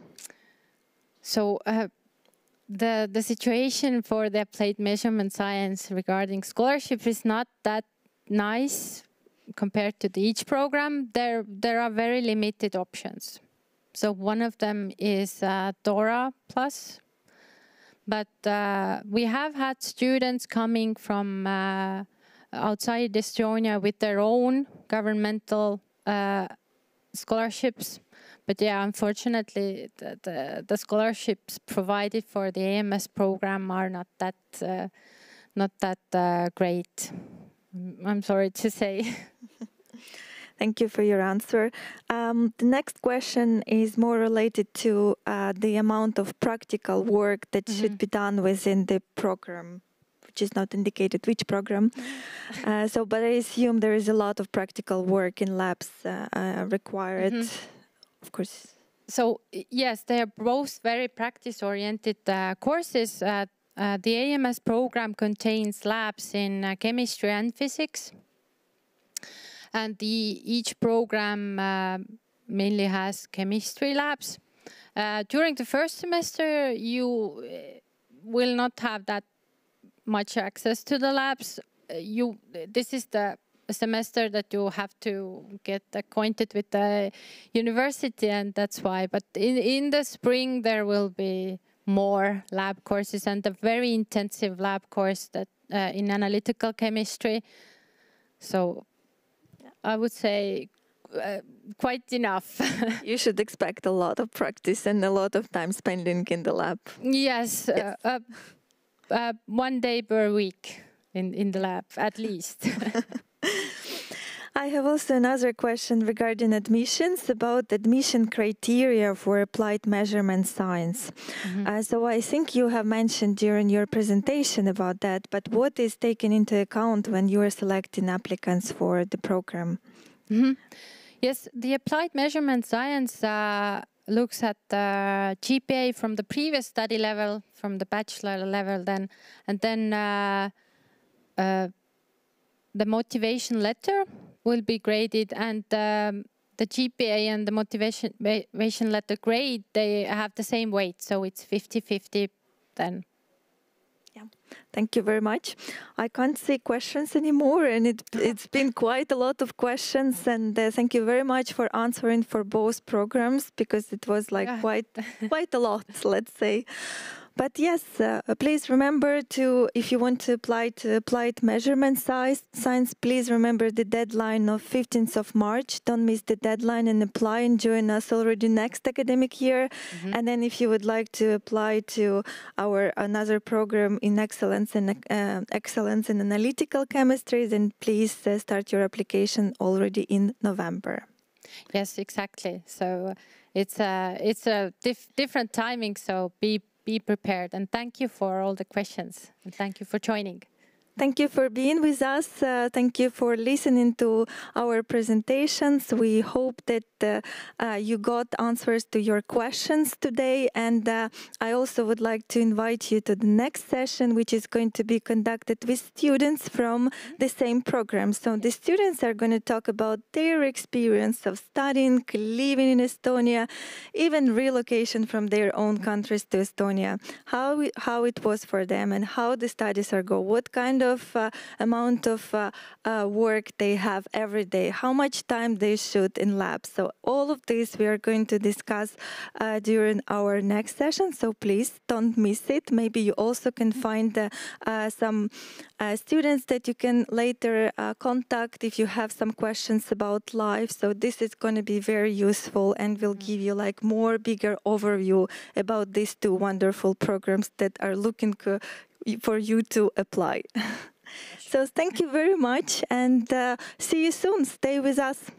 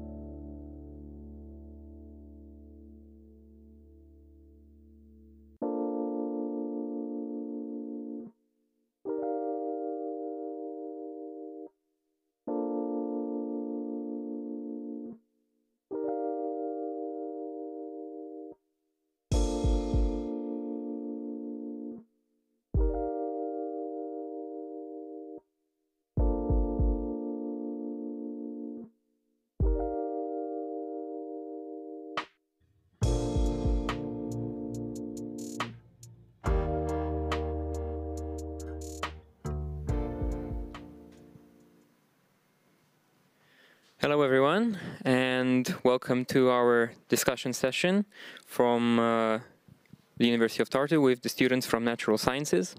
My name is uh, Liviu. I am an international student ambassador at the University of Tartu. And today we're going to have a very fruitful discussion with three of our students. Um, and before um, going further, I would like to announce you that you may leave your questions uh, in the Workshop platform. Uh, you may find a Q&A button to each and to each separate um, session. So uh, if you have any question, please uh, ask it uh, on this space. And if you see a question that uh, has already been uh, asked, please rate it so it will come up and it will be here to, to be addressed. So without any further ado, I would like to present my guests, Hazar, Zainab, and Faisal, all students from natural sciences. So um, first of all, Hazar, could you tell a little bit about yourself? Uh, yeah. um, okay, so my name is Hazar, but people here in uh, Tartu call me Hazi. I'm a master's student of um, excellence in analytical chemistry. Um, currently, I'm in my second semester here in Tartu. Yeah, and also I'm from the Philippines. Yes, very, very far. Cool, thank you. Uh, Zainab? Um, hello, uh, I'm Zainab, and uh, I'm master student, uh, first year and second semester, and uh, I'm studying applied measurement science, and I come from IRA. Cool, and uh, Faisal? Hello, I'm Faisal. I'm actually from Bangladesh, and I am doing here my master's in second years, and I'm also from the same program, Applied Measurement Science. Mm -hmm. Cool. Thank you so much for for coming. Um, now, the first thing that I think is on the uh, minds of everyone is, what do you like the most about the University of Tartu from your experience so far, uh, Faisal? If you ask me about uh, what I like, first of all, I will say that like when I choose my curriculum, then I go through the programs and the subjects which I actually like the most. And secondly, when I joined the program and I started learning here, so I get like so many knowledge in my practical life.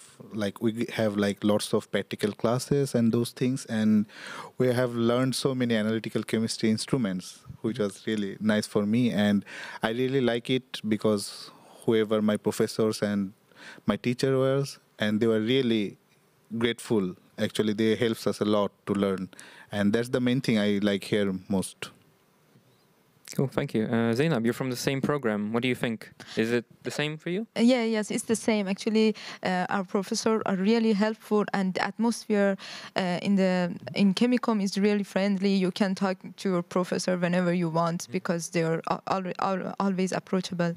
And yeah, I, I, I agree with him. Mm -hmm. Okay, thank you. And Hazar, what do you can you say about your program and your experience?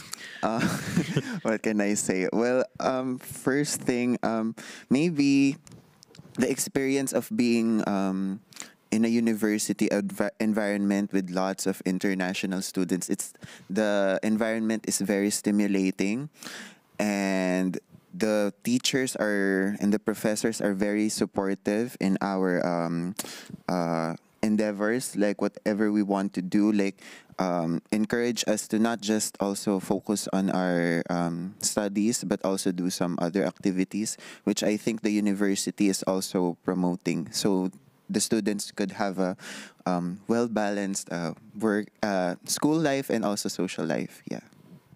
Cool. So balance is the key word here. Yes. Uh, so, um, was there anything that you didn't expect when you first came to Estonia and well, we first came to University of Tartu. If you can name one thing that you didn't expect, uh, Hazar. The weather, I would say. first off, I, I remember like because coming from a really tropical country, like I was kind of thinking I had this a different impression of what could the autumn semester would look like. And the first thing when I came out of the airport was the first thing I said is like, "Ooh, it's free- it's freezing," and yeah, and so I mean, it's good. It's a good. It's just unusual for us, and it took us some time, I guess, to get used to it. And now, yeah. So been was the same for you, Faisal?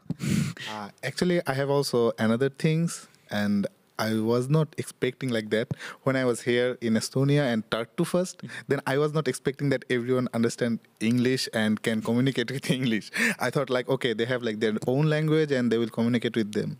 But anyhow, like whenever I go for like super shops and anywhere, and I communicate with the people and they speak English to me. So that was unexpected for me actually. Good. And what about you, Zainab? Uh, about uh, since uh, Estonia is a cold country, uh, everybody told me that um, the people there they are not warm and friendly and like that. And but people in Estonia they are really nice and they really like to um, communicate with even international students and foreigners. Yeah. Yes.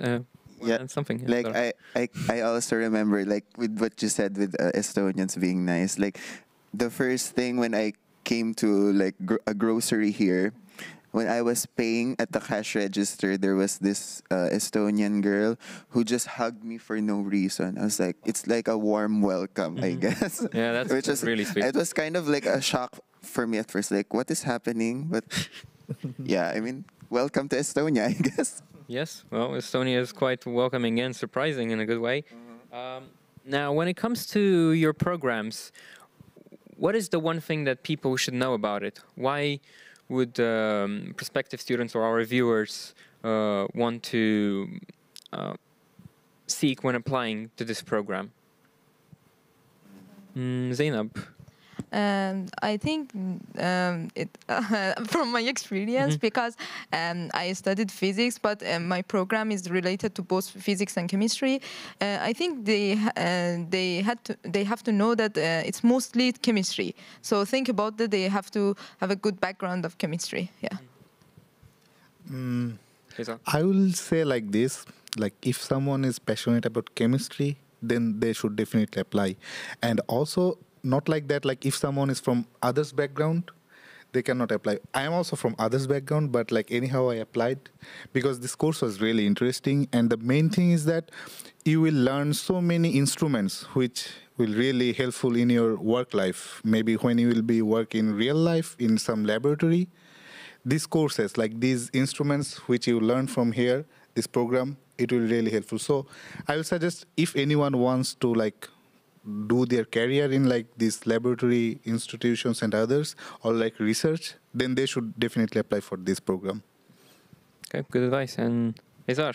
Yeah, um, I would say with our the EACH program, it's very uh, intensive when it comes to analytical chemistry, and if you uh, if students would like to get immersed in this environment where you do a lot lots of experiments, lots of chemical analysis in the laboratory, and if you would have to experience, you would want to experience like operating different instruments for, like mass spectrometers and um, chromatographs, like the ones that you use typically for um, chemical analysis.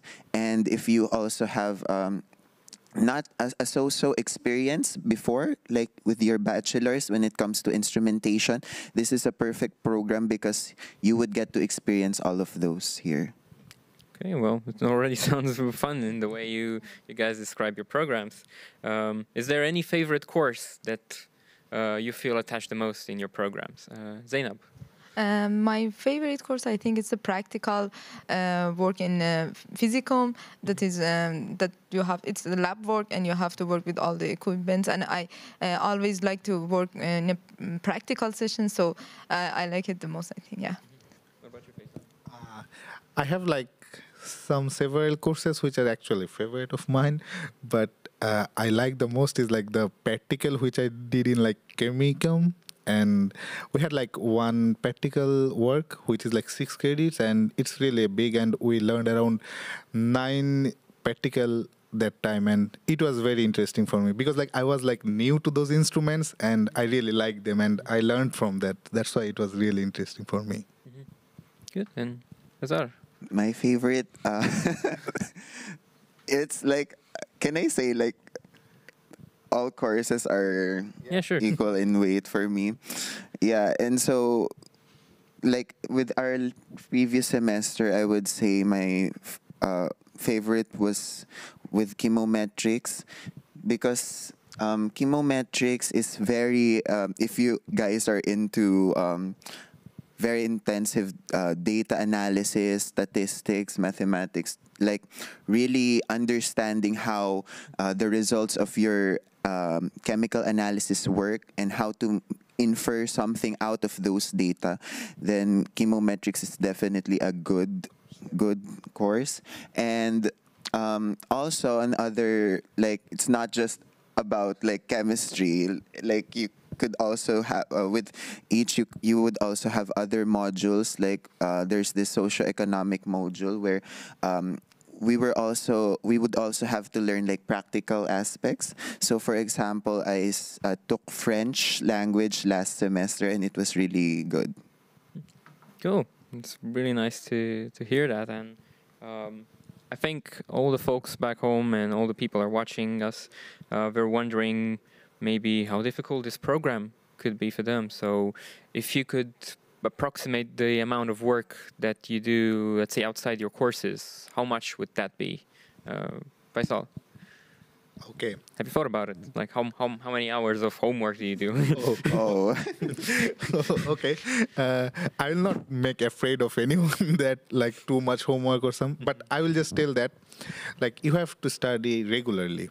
So if you study regularly here, then you can survive anything and you can complete all of your courses on time. So I will not tell that intensive pressure for the courses or homework, but I will tell that okay, you have to study regularly. That's from my side. okay, good advice. Uh, what about you, Zainab? Mm, uh, for the first semester, uh, because um, uh, I was new to this course, um, I think I studied seven days a week. For me, it was like the seven days a week, every day at the library. But uh, this semester, I can manage somehow, uh, and I think six days a week, from ten to six, seven is fine. If you if if you start from the early semester, yeah, from the first of the semester. You know, it's already sounds it's- quite intensive. yes, it's intensive. But what about you, Hazar? Is it similar? um, for, for my personal experience, I would say it's kind of the same, but I would uh, just to not scare like the students, I would um, give like firsthand like you could.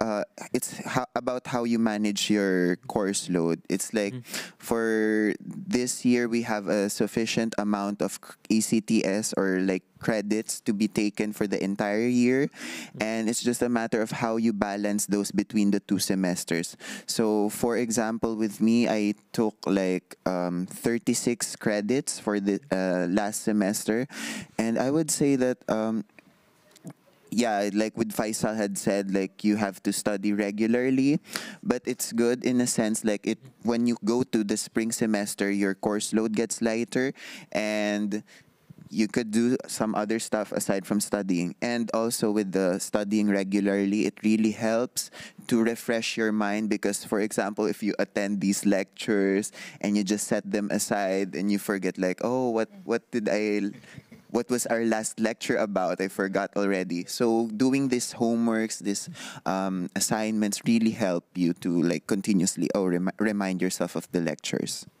I think this is um, advice for that applies for any program Yes. as well, not just for these programs. Um, but when it comes to applying for these uh, programs, well, you applied and you're here today thanks to your good application.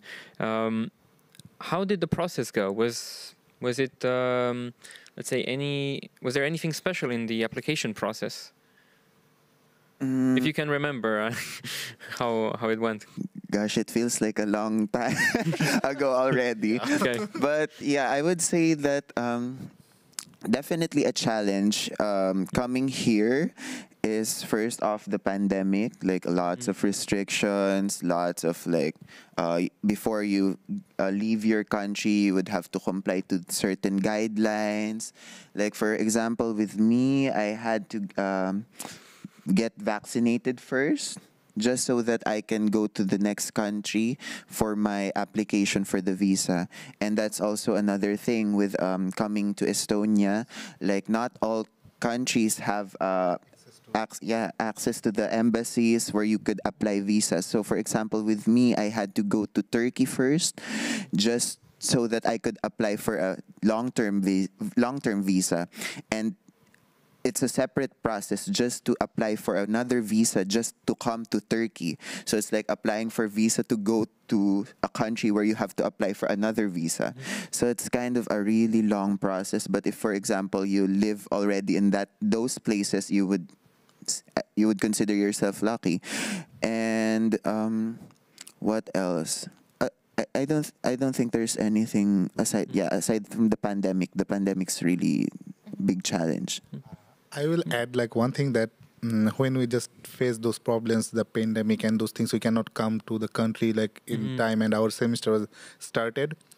Uh, we get like really good support from our academic process because like they always help us like okay you can do this one. Maybe this can help you to go there and you can do even like i remember that uh, we have one course and our program director and he always asked who got this visa to go to the other countries? And what is the update of your visa? So they were always concerned about it. And that was really special for us because as students as as a teacher they are always caring about us. So i like that one. And even like when we applied for this program whatever questions we have we just mail them and we get the reply within like short one or two days. So we don't need to wait for a long time that okay i applied and i am not getting any reply from them. Mm-hmm. So they always make us like okay we are always with you. So that was the special things if i say mm-hmm. about the applications our time And if I want to add something Sure. Want, uh, about the supporting, uh, the, um, uh, because uh, every courses are uh,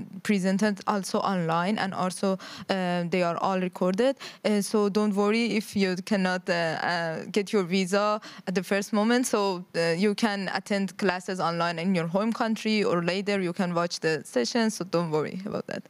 Okay, good. Thank you for all this helpful information. Uh, now, I think maybe a lot of people are curious, and I'm also curious about it. Uh, have you tried learning Estonian?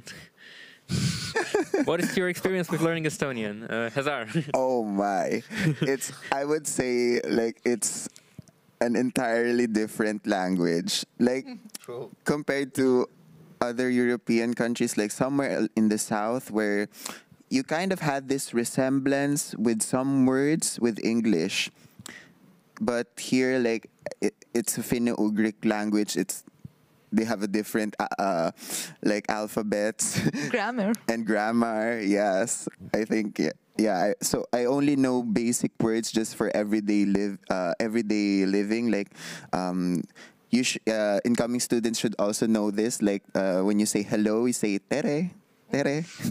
And you have to like be smiling all about when you do that. And aita Yeah. which means thank you yeah what about you, Zainab? Uh, actually, I took a course, uh, but um, and also it was I think really really complete because uh, after uh, passing that course, I can communicate with Estonian in stores and uh, not uh, professional, but uh, a little bit. I can hold the conversation a little bit. Yeah, I think. Yeah. That's great to hear. uh, What about you, Faith? For me, like, yeah, I actually took that one course. Like, uh, it was maybe A1, the beginner level. And it helped me with, because, like, it was really difficult because, like, if we learn any new language, it's actually difficult. But uh, it helps me like this. I can communicate with some people whenever like those necessary things.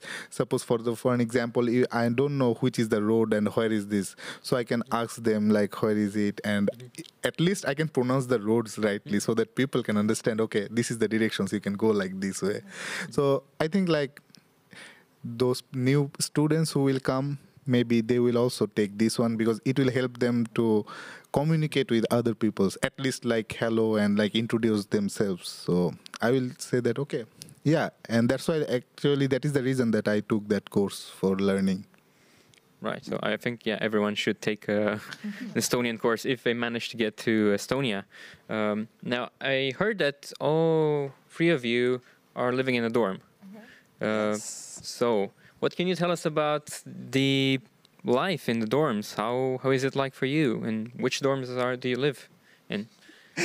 I think we all live at the same, A same one. Yeah. yeah, the same dormitory. So uh, it's Raatuse 22. So it also goes with the name of the the uh, down yeah student the student hostel I th- I think.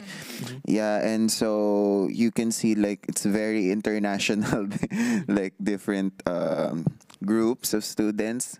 Like you could do a lot of stuff. This uh, it's very spacious and you would get access to different uh, amenities. Like there's also like if you want to do ping pong you could do ping uh, there are tables there for table tennis. If you want to have some coffee like vending there's vending machines um, laundromats and also like there's an access if you want to print some documents.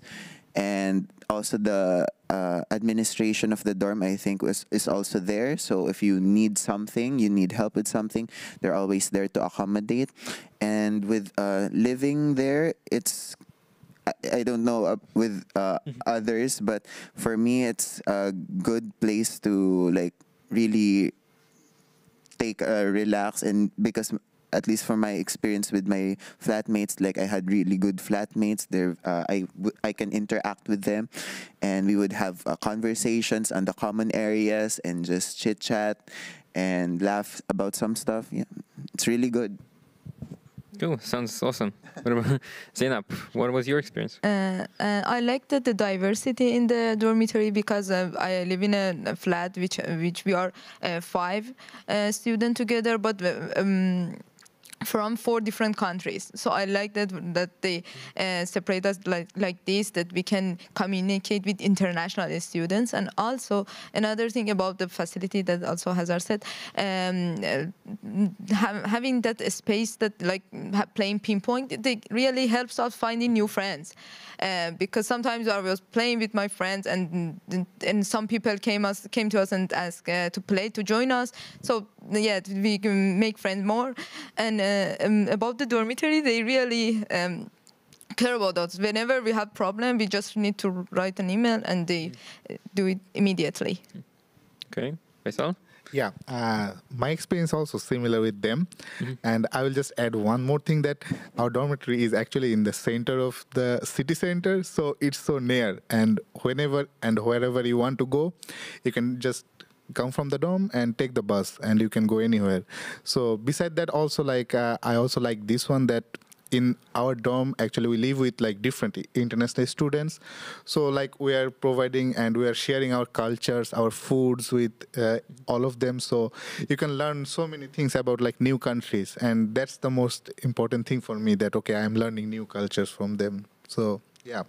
Okay, well, thank you. And uh, well, it seems our discussion is uh, running out of time. And I would like to thank again Hazar, Zainab, and Faisal for this uh, really productive and fun discussion about their programs and their experience in Tartu. Uh, please stay tuned for uh, of the upcoming discussions, and we will see you later. Thank you.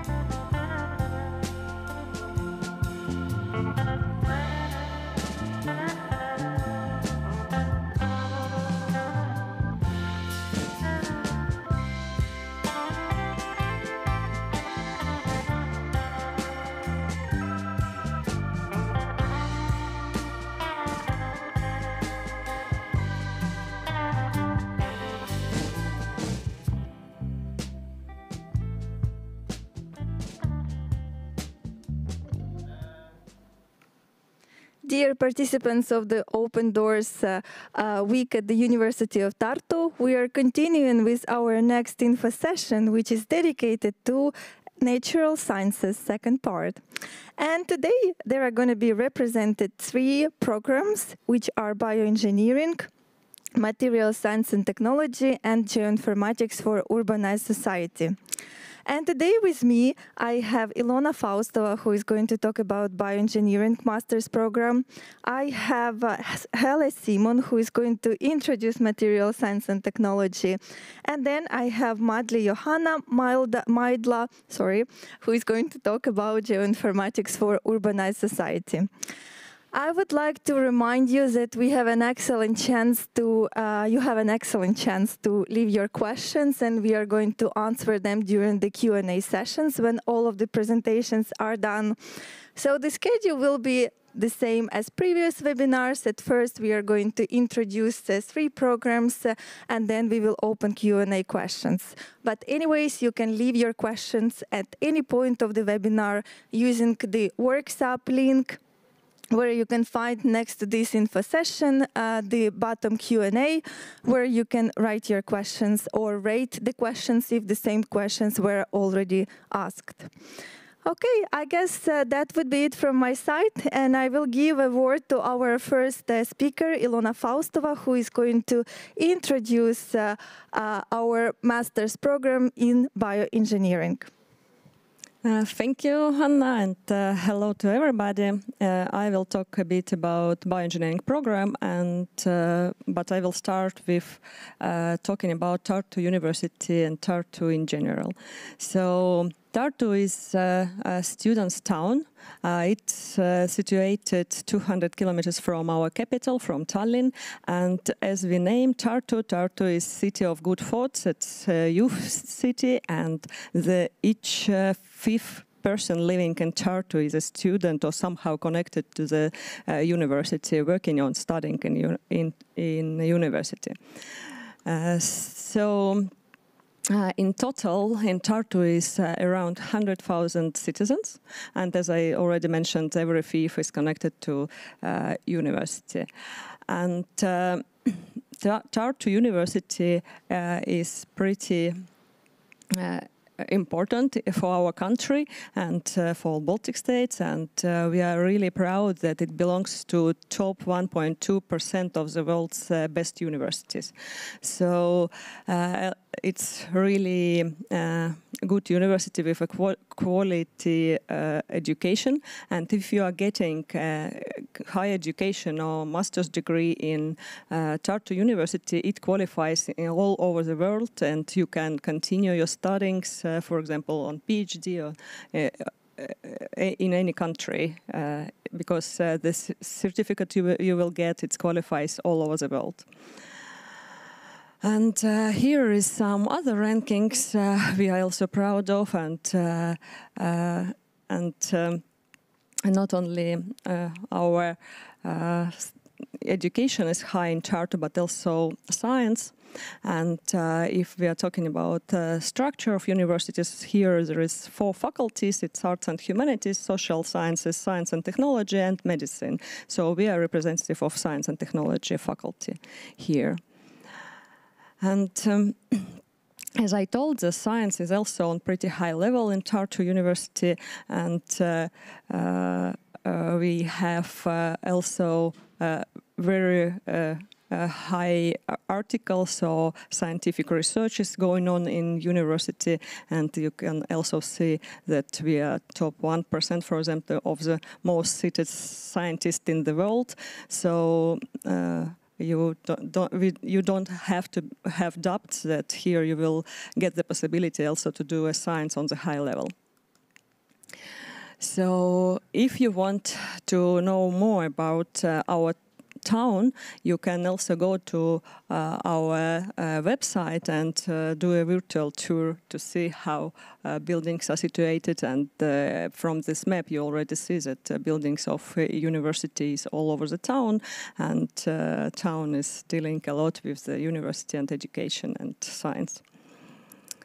So now we'll talk more about uh, program, but first uh, we will show you a little uh, video about bioengineering master's program. What if I tell you that it is possible to redesign your gut bacteria to treat an ongoing condition? What if I tell you that we can cut down our dependency on fossil fuels by creating biofuels from genetically engineered microorganisms? What if I tell you that you can design life? Bioengineering Master's Program at the University of Tartu gives you a broad understanding and practical skills in the innovative world of biotechnology. Our students gain the knowledge in the applied biotechnology, synthetic biology, engineering, and IT. They're trained to do research, to invent, and to operate in the labs with cutting edge equipment. Bioengineering Master's Program is very flexible as it allows students to design their own study plans to meet their individual goals. Our students have numerous internship possibilities in the best companies in Estonia they can also join the most innovative research groups to contribute to the biosustainability of our planet. Treating serious diseases, creating cell factories, synthesizing chemicals, or producing biofuels. These are just some of everyday applications of bioengineering. So don't wait too much. Design your future today and apply now. We're waiting for you.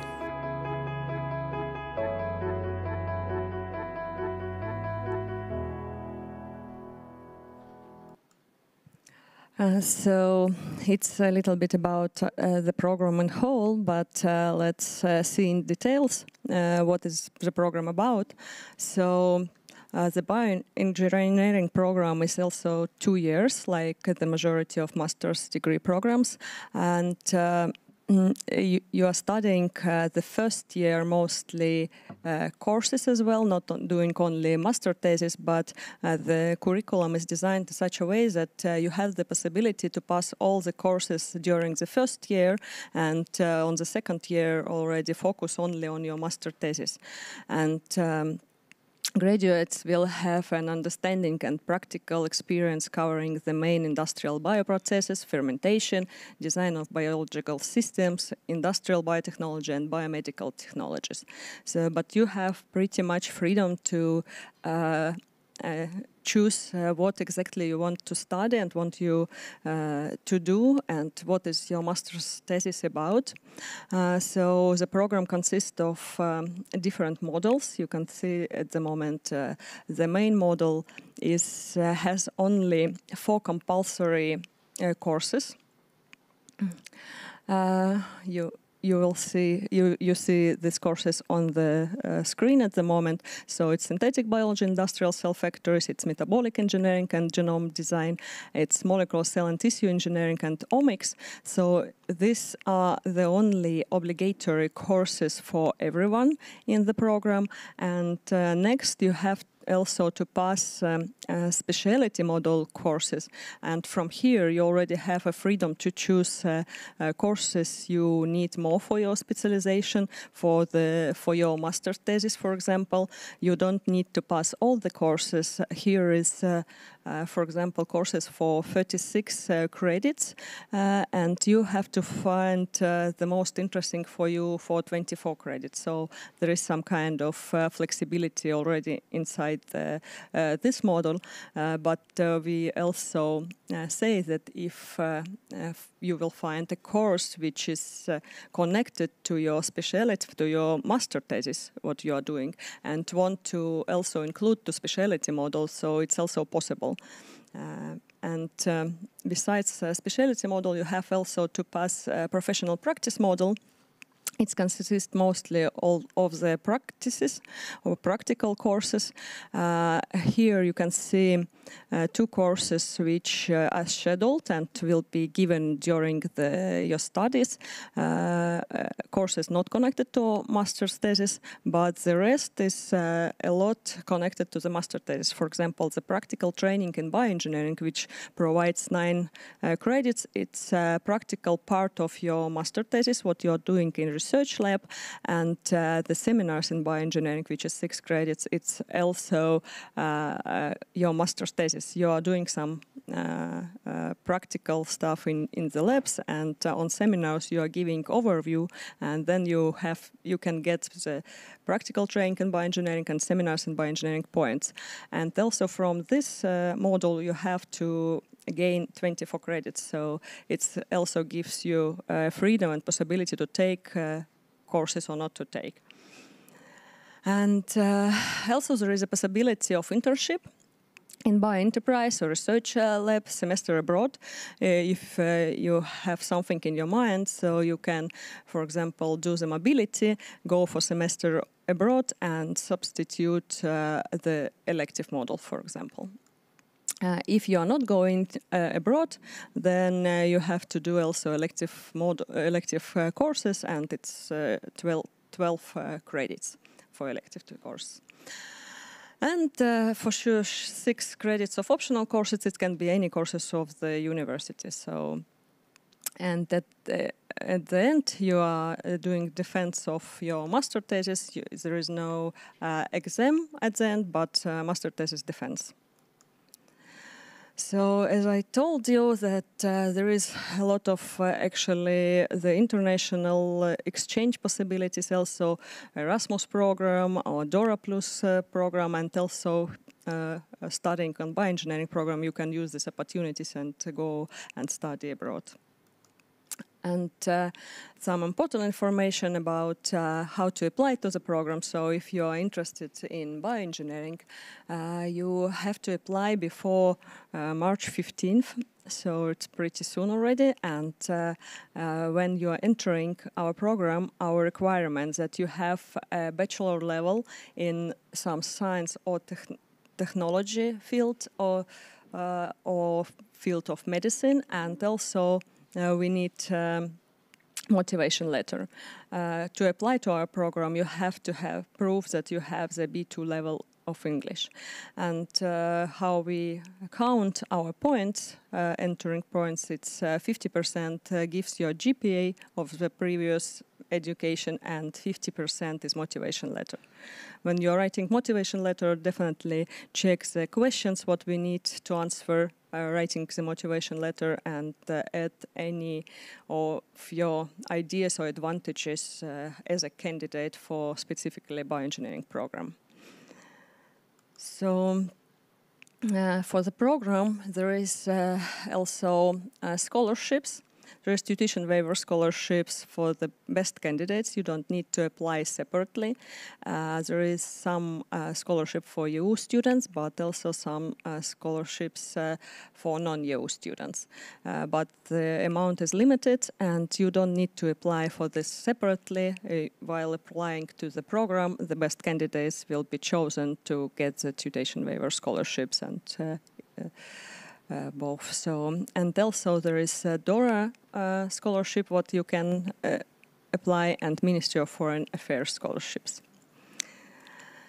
So the important dates for you is uh, 15th of March, so you have to do the application before 15th of March. The later applications, uh, unfortunately, will be not uh, uh, taken into account. And uh, just a bit about living in Estonia, that uh, uh, the accommodation in Estonia is possible in dormitories, for example, and uh, the rent is um, around 150 euro per month. I am not sure if it's just now uh, went a little bit higher, but in average, I think it's uh, still 150 euro per month. And the costs of living, it depends uh, on the people, on the how much everyone needs uh, a different amount of money to live in Estonia, but in average it's around 450 euros per month. But you always can also contact our uh, ambassadors and uh, our marketing specialists if you have some additional questions about living in Estonia or how to uh, apply to program or any, any questions what you have. And like that, uh, you can see the uh, it's one of the dormitories where the majority of our program students lives. So it's pretty uh, good uh, conditions for living actually there. And just a little bit about life uh, in Tartu as well. We have not uh, only studies, we are not only studying, but we have different entertainments. And uh, uh for example, we have the Students' Days, while you can see different competitions going on, different uh, interesting events. Also, we have different uh, clubs, uh, different uh, uh, units of students. So it will be not uh, definitely boring here, and uh, you will not only study, but you will have also the social part of life. So it's just some of the pictures. So if you liked the program and if you have the interest to towards the bioengineering program you can but you still have questions even after our webinar will be over you can ask questions today during the webinar but also you can write uh, straight to me or to our ambassadors and we will wait for you in estonia Thank you very much, Ilona, for your presentation and also for providing the overview not only about your program and curriculum, but also about the University of Tartu and life in Estonia in general. Uh, I would also remind you that after this session, we will also have a student discussion session where we also will have representatives from all of the programs, uh, basically students who are currently enrolled to these programs, and they're also going to discuss uh, their experience from their perspective. And also, if you would like to see, for example, how the dormitory looks inside or how the Institute of uh, uh, Science looks inside of or any other of scientific buildings, then we are uh, welcoming you to join us on Wednesday when we are going to have our online tours. And now I'm going to uh, encourage you as well to leave your questions. Uh, so please leave your questions, write them down to Worksup, and then during the Q&A session, we are going to answer them.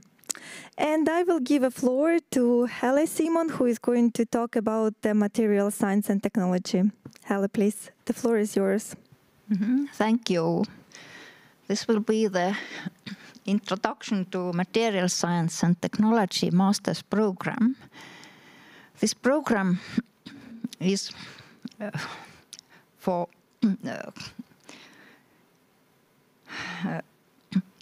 for pre preparing specialists uh, for manufacturing enterprises and uh, research institutions, specialists who understand uh, relations between material science and science and technologies, and on the other hand, the businesses and economy. Our graduates are able to continue at doctoral level and the degree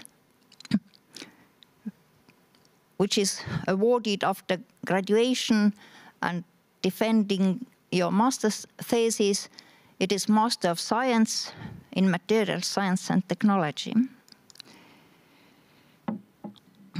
Our program is concentrated on science, on material science, the properties of materials and technologies of materials, and the aim is to develop the materials. And people who apply the scientific knowledge of material science, they must know relations between uh, the science and and uh, businesses and economy and therefore basics of entrepreneurship is also included in our program. As Ilona already told, there are four faculties in the University of Tartu and all our programs uh, in this webinar, they are from the Faculty of Science and Technology. In our faculty, there are nine institutes. These are research institutes. And students uh, who study material science and technology and also research in material science. It, it's done mainly in three institutes. Uh, these are Institute of Physics, Institute of Chemistry, and Institute of Technology. On the picture, uh, there is a first uh, day of a study uh, in front of Physicum, the main building of the Institute of Physics. We hope very much that corona restrictions are over and next autumn the students can gather in front of the building and get together again. Uh, these institutes are all research institutes and our students are involved into research work, not only in, in their studies. In our program, every student uh, joins one uh, research lab of some institute already during the first uh, semester when he has come here to study.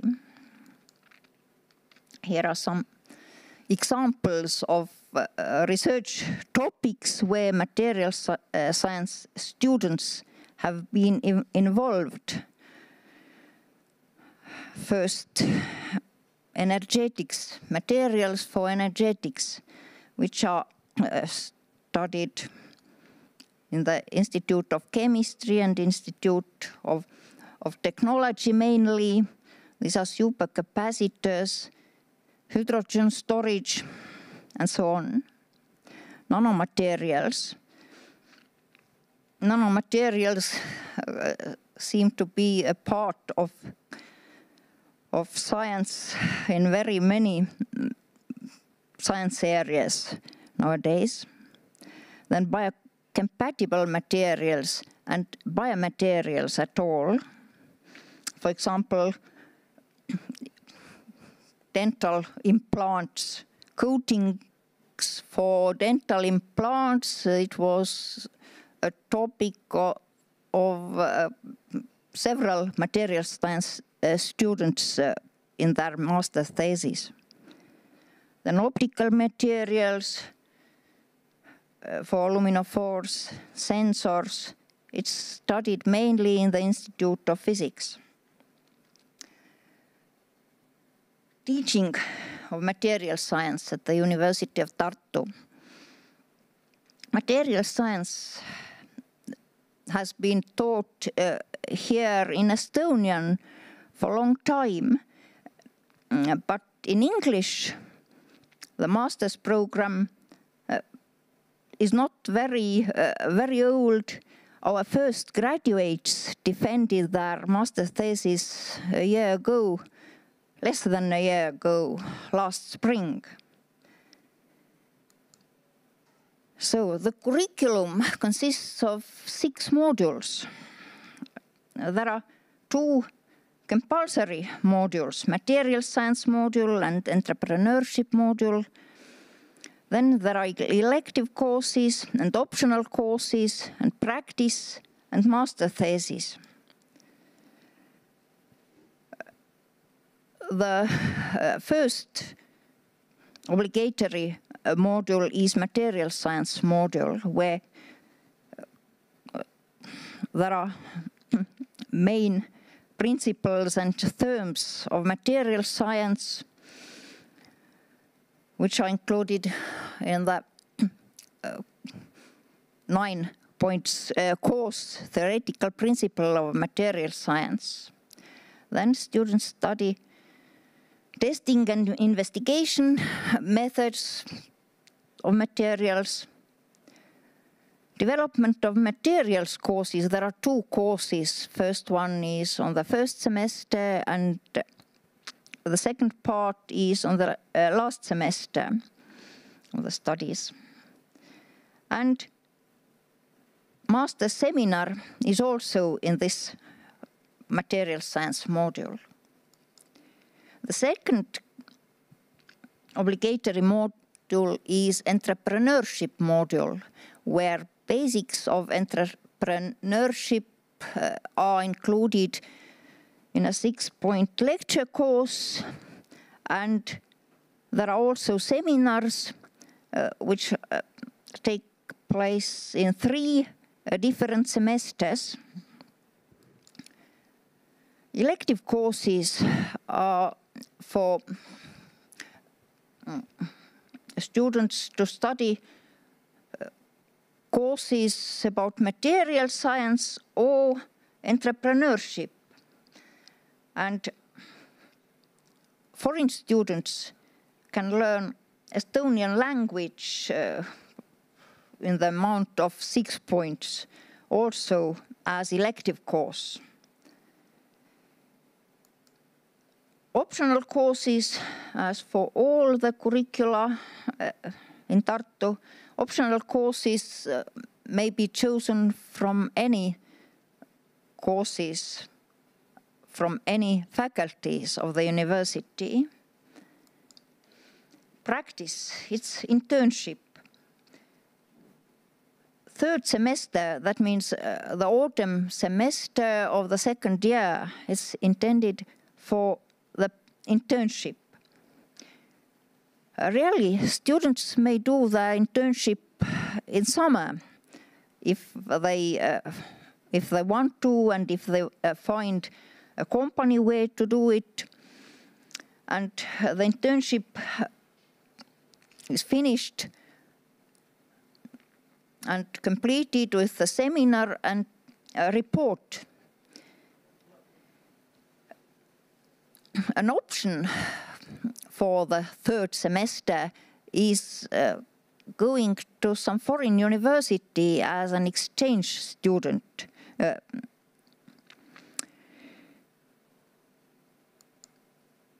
so the last part of the curriculum is master thesis. Students are allowed uh, to defend their master's thesis if they are completed all the other courses and modules. However, they begin the uh, work uh, of the master thesis already on the first semester uh, when they search the lab where to do it, where to do uh, the experimental part of the thesis and to find the supervisor. Why to study material science? Development of products includes development of materials and advancement uh, of materials, new and better materials. And really, advancements in material science are the basis for the advancements in all the society as well. So why to study in Tartu? Hmm, I think our students are, it's a good company. And also my colleagues, that's also a good company. There are many events arranged for, students in Tartu and material science students can take part of all uh, of them. And there are several student organizations and uh, there material science students also can join the student organizations. So you are welcome.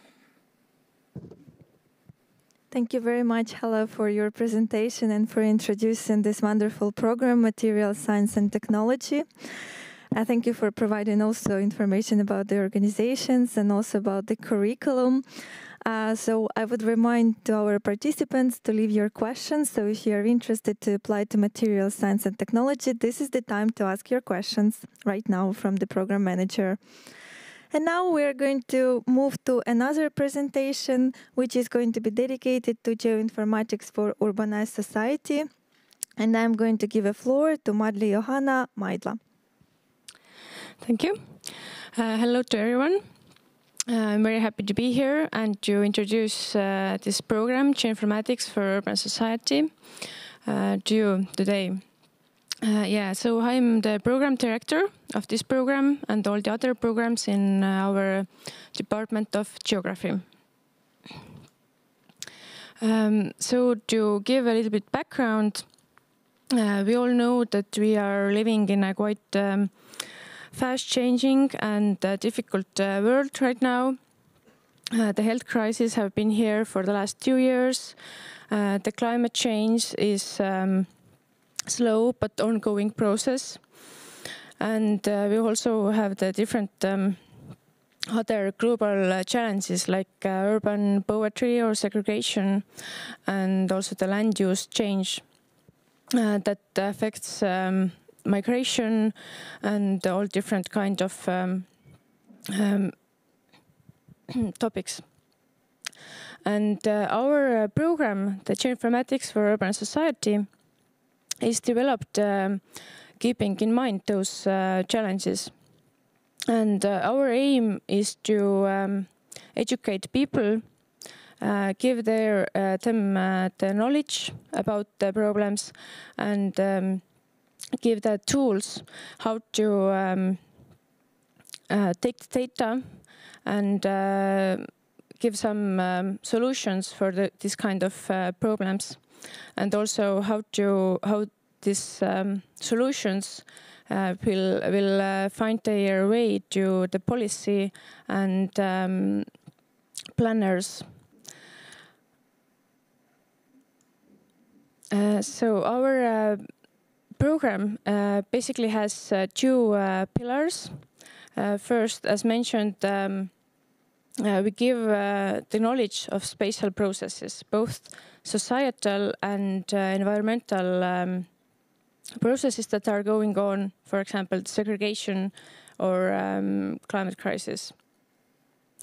And on the other hand, um, we teach you the skills of data processing, uh, both um, geographic uh, information systems uh, and other uh, methods and programming languages from IT.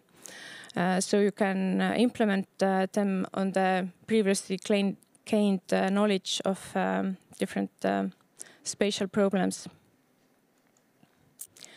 Um, as already mentioned before by the other speakers, um, we also have um, research-based studies so we have different uh, labs and uh, research teams uh, in our um, department that have developed those courses that you are going to be studying.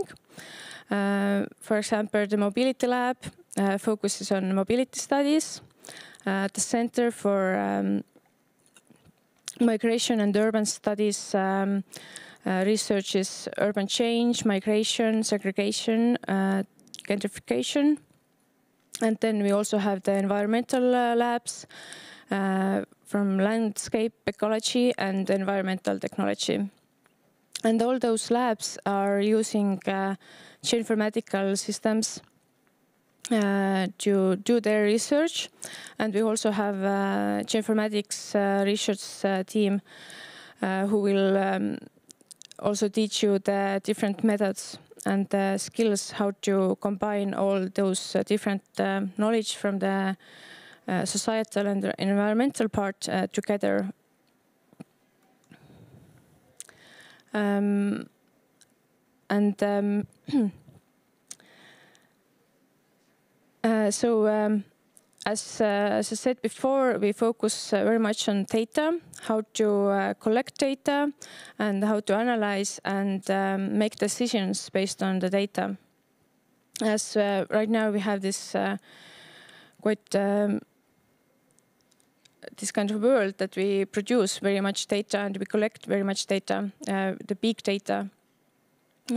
so it's very useful to know how to process it and how to gain the best of it, the most of it, and and also how to um, uh, process, analyze, and also visualize data because uh, um, if the scientists scientists get um, uh, the raw data, um, it doesn't. It, it's not useful for the decision makers. But when we analyze it and when we make it visual, uh, as geographers use a lot of uh, maps, for example, and the graphs, um, then it's, it's also useful for the decision makers and it uh, really has an emphasis on the real life.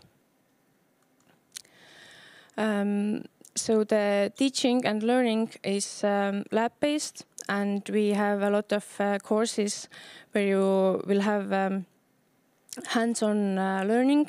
So you have real problems to solve and real data to do it.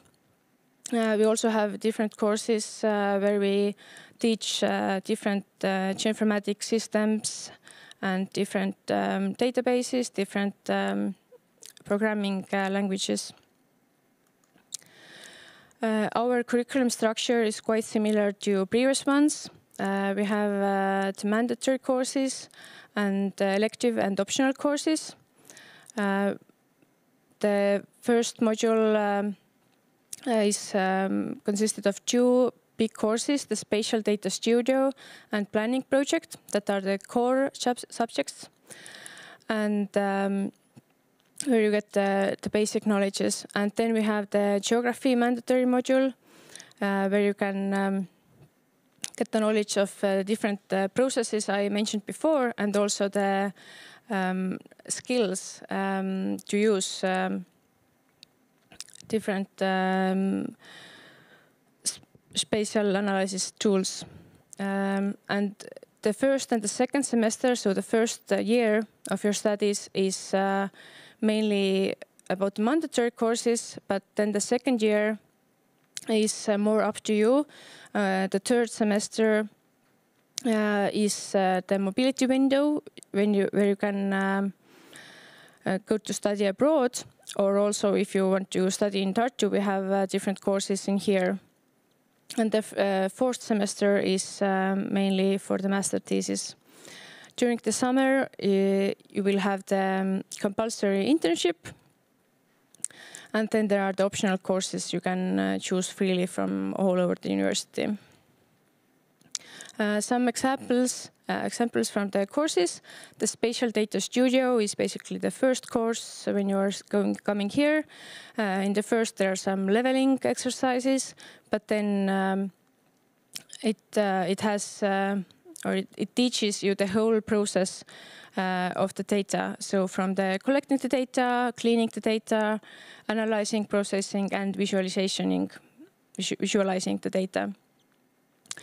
Uh, and on the second semester, you, after you have um, gained all this visualization and analysis uh, skills, you will have a real planning project uh, for example, in a couple of years ago, the students analyzed where to put uh, the new um, bike sharing stations for the Tartu bike share we have in here.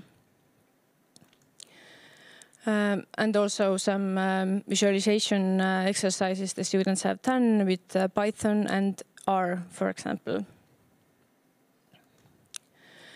Um, there are um, a lot of uh, professors and uh, top level lecturers you will meet uh, during the studies. All our um, professors uh, of our department is going to study, uh, teach you. Uh, we also have quite a lot of visiting professors from, for example, Belgium, Germany, or USA that give um, some elective courses in our um, program. Uh, a little bit more about the academic mobility and the semester abroad. Uh, so it takes place usually during the third semester. Most of the students so far have used Erasmus uh, Plus uh, partnership. Uh, and uh, those are, this is the list of the universities our students have gone to to study. but we also have um, approximately 30 different universities that we have agreements with. So the option is uh, quite big. And we really uh, encourage students to do it. And also this Corona crisis and traveling restrictions haven't um, affected the students uh, that much. We, we still have students who go to abroad and they really enjoy it. Um, so uh, the internship is um, the compulsory part of the program. It takes place during the summer between the first and second study year. Uh, there is also opportunity to use the Erasmus Plus um, trainee traineeship uh, program to uh, do their um, in internship in other uh, European uh, countries. So if you are, for example, from Europe, you can do it in your home country. But we also have quite many organizations in Estonia that we have um, good relations with, and there are some of them are located here in Tartu, some of here, some of them in the capital of Tallinn. So there's um, big uh, variety and selection. Uh, just some examples of the master thesis that our students have um, written. Uh, the fact that you are going to be studying in Estonia doesn't matter that you have to do your master thesis about Estonia or Tartu. We have had the master thesis about Ghana, Italy, Malaysia, and um, basically sky is the limit. If you have the data and it's the uh, spatial um, spatial problem that you want to solve, this uh, probably is geography. But mainly um, in this um, yellow box, there are the main um, themes or topics that uh, we are uh, researching uh, in our department. And um, all, uh, most of the master theses are done on those topics. A little bit uh, our alumni and uh, what is waiting for, for you after you graduate. the last graduates on this top row, Ivan and Olga, just graduated a year ago and they both are now working in Estonia. Uh, Ivan is working in Positium, where he actually also uh, did uh, his internship. Uh, and uh, Olga is in Capaceta, that is um, a remote sensing uh, company. And we also have um, some students who have um, um, doing their PhD, some in our university, in our department, but some also in other European universities. Um, and just a little bit uh, more about uh, community and student life. Um, uh, this is uh, the, on the picture is our main uh, building. It's in uh, city center, in, in his historical building, and it's um, I would say it's really good place because Tartu is quite small and you can walk to everywhere. Uh, I think the main uh, dormitories are 20 minutes walk from our building and the city center is like 10, 15 minutes. Uh, we also have different events and activities for the students and for the whole department.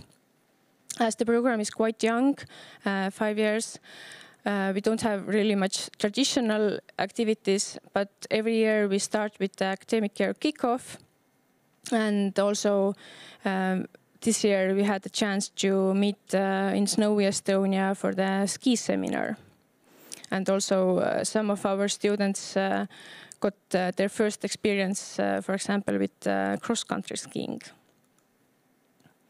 and the studies um, are done both in indoor labs and outdoor labs.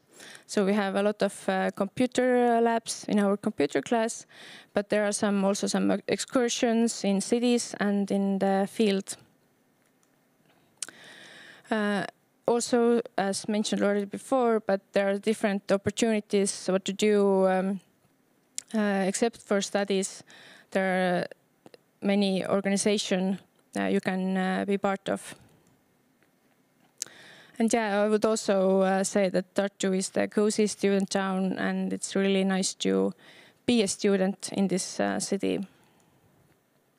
And if you want uh, more information, uh, just visit our website. There is uh, a lot of more information and also our Facebook page. And you can also write um, to us there the messages and we will answer them. So I hope you all um, got the information and are applying to our university. Thank you very much, Madle Johanna, for your presentation and for introducing not only the program, but also internships, career opportunities, and also the social scene of Tartu itself. Thank you very much for it. And right now, I think we will going to continue with our Q&A session. We have received quite some questions. Uh, so let's start with the first one. Uh, it is addressed to the uh, to bioengineering program. Uh, any graduate student from medicine requires some extra knowledge regarding engineering to apply to this master program. Uh, no, you don't need uh, uh, some engineering uh, studies if you have medicine uh, education, but we always mention that uh, as a lot of students come in like with very broad uh, backgrounds. So everyone has a possibility uh, when they arrive already to uh, our program to Tartu to to take elective uh, courses which will help to fill the gaps you are having in one or other discipline. So for example, we need uh, the knowledge of biology definitely, but if you have not had enough, then you have the possibility to take biology and you have to take and to study the biology as well. The same with programming or engineering stuff. So but to but you can apply with uh, medical education, yeah. medical Thank you degree. Very much. Thank you very much. Uh, the next program, uh, the next program, the next question is going to be addressed to Helle. Uh, so this is about career opportunities after the graduation, material science and technology. So where can I work after graduation? And maybe you have some uh, already alumni that are working somewhere, so you can also provide some examples.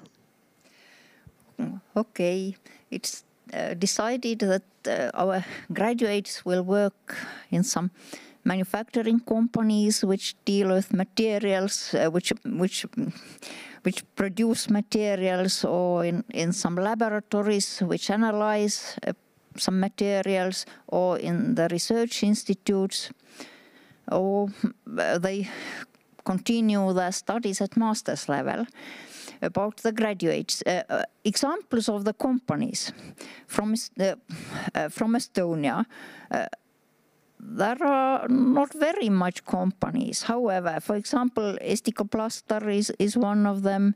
Then in Sillamäe, uh, there is a company, there are uh, several companies uh, which produce metals. And our our students have made their internship, for example, in, in Pärnu or in uh, in Elva, where is an electronic uh, company.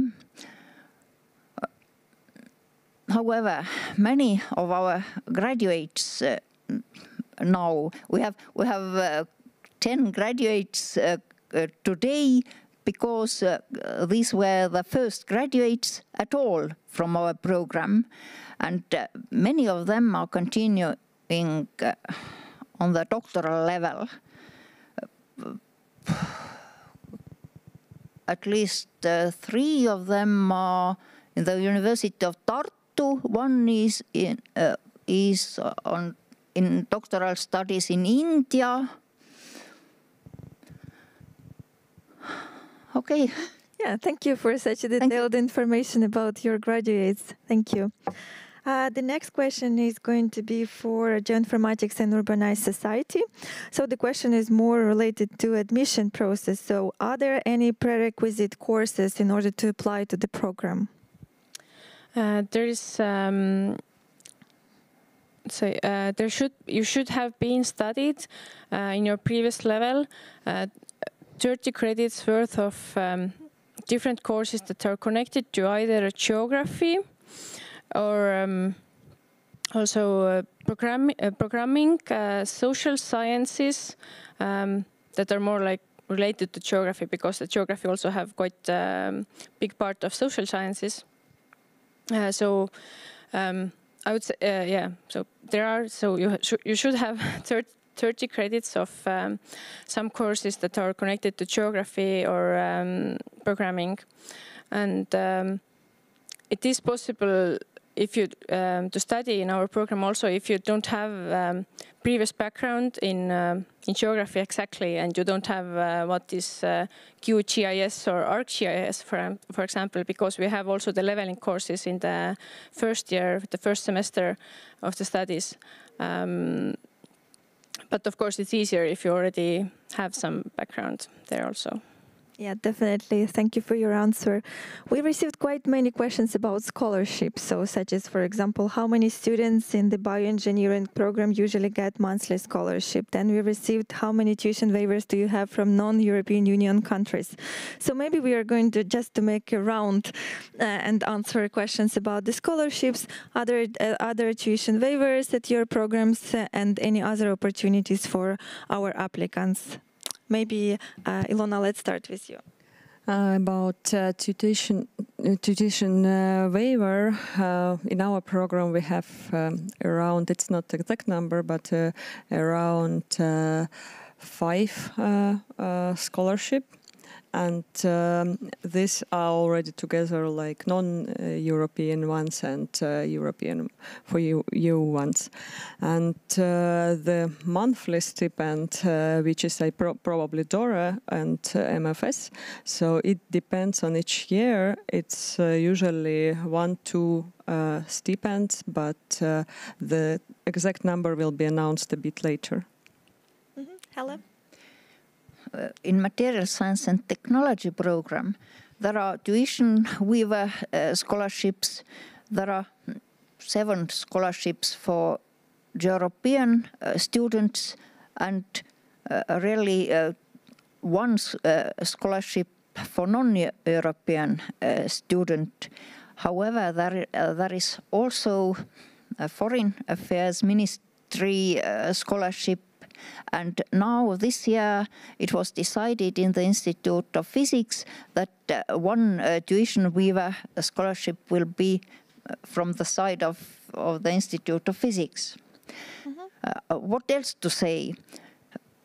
Most of our students have joined uh, some research lab at the beginning of, of their studies and almost all of them uh, get uh, some scholarships uh, which is organized by uh, by their supervisors from from this research lab. of course, they do research work there. Mm -hmm. Thank you very much. then let's continue with Madle Johanna. How is about your program? Yeah, in uh, geoinformatics for urban society, I would say it's quite uh, the same as Ilona said about uh, bioengineering. So for the next year, we have uh, four uh, tuition waivers for um, non-European countries and one for European country, countries. And also there is the chance for DORA and uh, Ministry of uh, Foreign Affairs. Mm -hmm. Thank you very much. Uh, the next question is addressed to Ilona. Is it possible to get a job at the Research Institute for Biotech Company while studying bioengineering? Um, it it is possible to get a job uh, in some research uh, lab, as already Helle also told that uh, there are some uh, research labs which hire and uh, uh, pay stipend to the student, and also there is a possibility to start working in bioenterprises. But I think in bioenterprises it's a bit more complicated as it will interrupt your studies because you still, as bioengineering program is really a lot connected to practical experience, to practical studies, then uh, we have uh, uh, a lot of courses, practical courses you have to visit.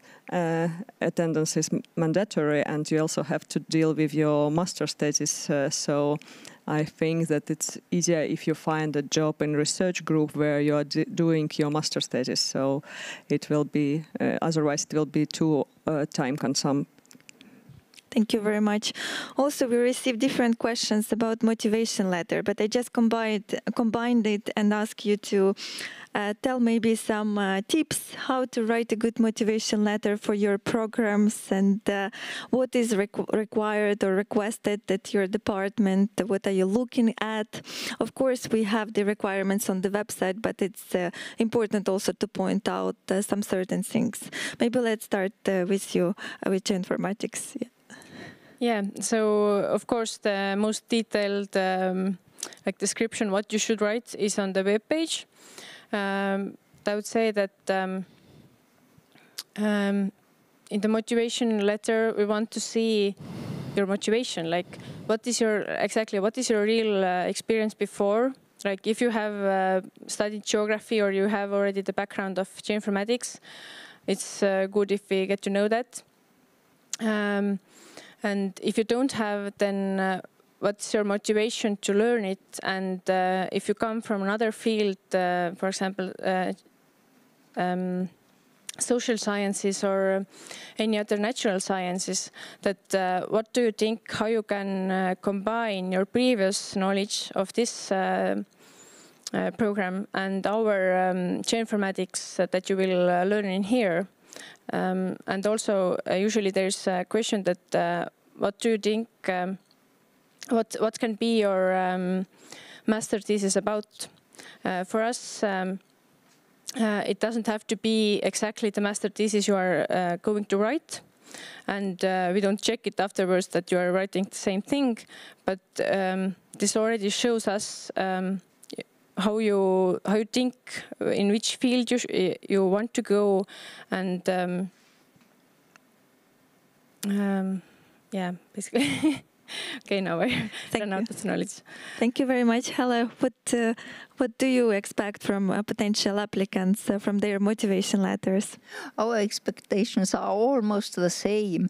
Uh, in in your motivational letter please write about yourself your previous studies and your work experience and how it is connected with material science and uh, try to explain why and how your uh, your previous experience uh, fits to material science and how and, and why uh, you uh, you need and want to study material science but motivation letter is only one thing, uh, only one, uh, uh one part.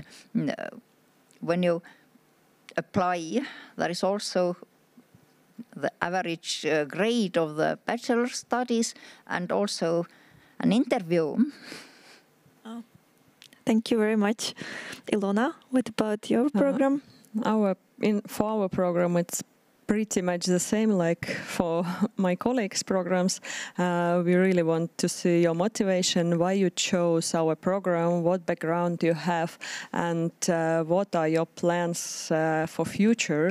Have you thought through or not uh, uh, how you will apply a future degree in life, in science? What uh, what are your future plans as well? because actually, when you are reading the motivation letter, you you see if the person just applying for different programs, like in different institutes, and it's uh, just on uh, one of the programs he is applying or she is applying, or a person really uh, motivated to study, in our case, bioengineering, thought through uh, what uh, or how he will need the bioengineering knowledge in uh, future or what he will do in his life in future. And we mm, always appreciate if, for example, example, you are switching background. It was a bit similar what my colleagues were telling that also to explain why you are uh, switching the background uh, or how you will apply the previous knowledge in the uh, in our program in your future program. Thank you very much, Ilona. Also, Helle touched two topics that we have questions about. First of all, the GPA. So what is the average GPA should I have in order to apply? And the second one, is there an entrance interview? And if yes, then uh, what kind of questions should I expect? So maybe, Helle, let's start with you because you have already mentioned about that, and then we can continue with other programs. The GPA, I think it's uh, uh it's uh, 60% uh, from the uh, maximum ma maximum grade. And I think uh, it's uh, similar for other programs also. And about the, the interview, the interview, it will I shall send letters and invite to the uh, and we, we shall invite to the interview uh, the candidates uh, the best candidates uh, by the motivation letters and and the average grade and uh, speak about the, the interview there there is a commission who listens to you. The interview is arranged uh, via internet. We have made it in uh, Teams uh, during uh, the previous years, and uh, the candidate uh, it lasts 10 minutes only, and these 10 minutes the the main speech is by the candidate who speaks about himself. And uh, also the topics are similar, or almost the same as in the motivation letter. And uh, then uh, some questions about material science or about mathematics are asked. So we, we expect that uh, you are you you know the the topics and the materials you have studied before. If you, if you have studied, uh, for example, chemistry, then uh, the question will be from chemistry. If you have studied maybe materials, uh, material science, then uh, there. Uh, it's because our candidates uh, are from different different areas of science, they must have the, the degree, uh, bachelor's degree or equivalent education uh, from science and technology. And it's a very wide area. Yeah. Thank you very much for so detailed answer. I will ask the same question from Madli Johanna. If you have an entrance interview to your program and if you have any requirements for the average grades of our applicants. Um, uh, I think until now, um, the previous, I'm uh, quite new program director, so I haven't made any interviews myself uh, yet. and previously also we have, I think, made really like few interviews, only with those people who we can't see exactly based on the motivation letter, we are not uh, sure that if this person fits in our uh, curriculum or not. So um, I think most of all, with most people, we don't make uh, the interviews. Um, and um, and the and the average grade, uh, I think it's the same uh, the, same standard for all uh, programs. Um. Thank you very much, Ilona. What about you? Uh, very similar about GPA. It's uh, over 50%, but uh, in our program, together with motivation letter, you have to get at least 66%. Uh, so, but it's uh, the overall uh, regulation for all programs. And about interviews, we are doing sometimes interviews. Interview is not compulsory, but you can get the invitation for interview if you don't mind, and then uh, it's uh, very similar uh, for motiva with motivation letter. Then uh, we are asking your motivation uh, about your motivation to come here, about your background, maybe more in details, and uh, if we have some questions about knowledge in some specific mm, courses, do you have it or not? So, but it's mostly for understanding uh, is the motivation to come to our program right? And if we suit to to you so that you will get uh, the required knowledge from our program. Uh, so, but yeah, but it's not compulsory one. Okay, thank you. Uh, the next question is also addressed to Ilona. So, what are the examples of master theses at the bioengineering program? Maybe if you have uh, something in mind, or maybe you can direct people where they can find uh, the list of the master's programs on the website. Actually, yes, uh, I can forward later a link uh, where you can find uh, differ- different master's theses. because yes, I have some in mind, but it's so broad area.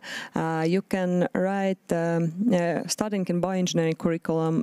It's uh, bioengineering is so broad. You can specialize or write the master's thesis even in Institute of Chemistry or Institute of Technology or Institute of Physics. So it's pretty broad, and you can do a lot of different scientific projects in it.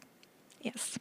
Uh, so our next question is about the language requirements, so English language requirements, and they're required to all of the programs that we have on the stage. And I guess the requirement is the same. So basically, what kind of level of IELTS uh, do you require? If maybe. Uh, if someone knows, you can uh, just. Uh, yeah. Uh, the question was about IELTS. IELTS. IELTS. So it's 6.0 uh, the and no one part can be less than 5.5. So it's important because sometimes you have the overall score 6.0, but if some part will be uh, less than 5.5, then unfortunately you cannot apply to our programs. And it, the, the regulation is the same for all programs. Mm-hmm. Thank you very much. And you can also visit our website, and we have our English uh, requirements on the website. So we do, we accept many tests. We accept also Cambridge test and TOEFL test. So you can check out which test you would prefer to take as well, and the requirement from our side. Uh, so the next uh, question is to geoinformatics and urbanized society. Uh, what is the admission criteria for the program? Um, so as it already been has been here in in this topic, um, it's also the 50 um, um, 50% of the uh, is the GPA, GPA, mm -hmm. and 50% is the motivation letter. And also, if you get, uh, we create them, uh, the motivation letters, and the total score or like the minimum score is uh, 66 uh, points, uh, and the top level is 100 points. Thank you very much. Uh, the next questions that we have about internships, because uh, all the programs require internships according to the uh, presentations that we have just seen. And the question is, uh, how can I choose my internship and if the university is helping somehow with internship? Maybe, Ilona, you can start. Um, in yeah in our program we have this mobility and you can do internships and um, it's uh, not compulsory in our program but uh, it's uh, the way you can uh, substitute for example elective model. And um, uh, usually our students find uh, the internship by themselves uh, with the help maybe with of a research group where they are doing the master's thesis because it's good if you are going to do something connected to your thesis. But if you wish you can find completely separate project and separate uh, uh, uh, topic for your internship and also you can go then to the to internship abroad for the semester. But uh, usually we we are advising to connect it with your master thesis, uh, not just uh, not. Um, to lose time and graduate in two years, and also in this case, uh, the, your research lab can be helpful with finding the internship. Thank you very much. Helle, would you like to continue? In the material science, the students also must find their internship place themselves, and uh, usually they do it. And the places have been in Estonia, but uh, I know one student who has been in uh, Korea also uh, uh, there were relations uh, between the lab where the student worked during the studies and the lab where where she worked recommended her, her there to do uh, her internship there. However, many of our students have made uh, their internship in the research labs in the University of Tartu, it was mm, one reason of it uh, have been the corona. Because of restrictions, uh, it has been uh, hard to find uh, a place in a company. Yeah, that's understandable. Mm -hmm. Thank so, you. So you, you may find your internship place also in the university research lab. Mm -hmm. Thank you. Madli Johanna? Mm -hmm. And as I a little bit already explained it in my presentation, but um, we have quite good cooperation with different um, companies in Estonia.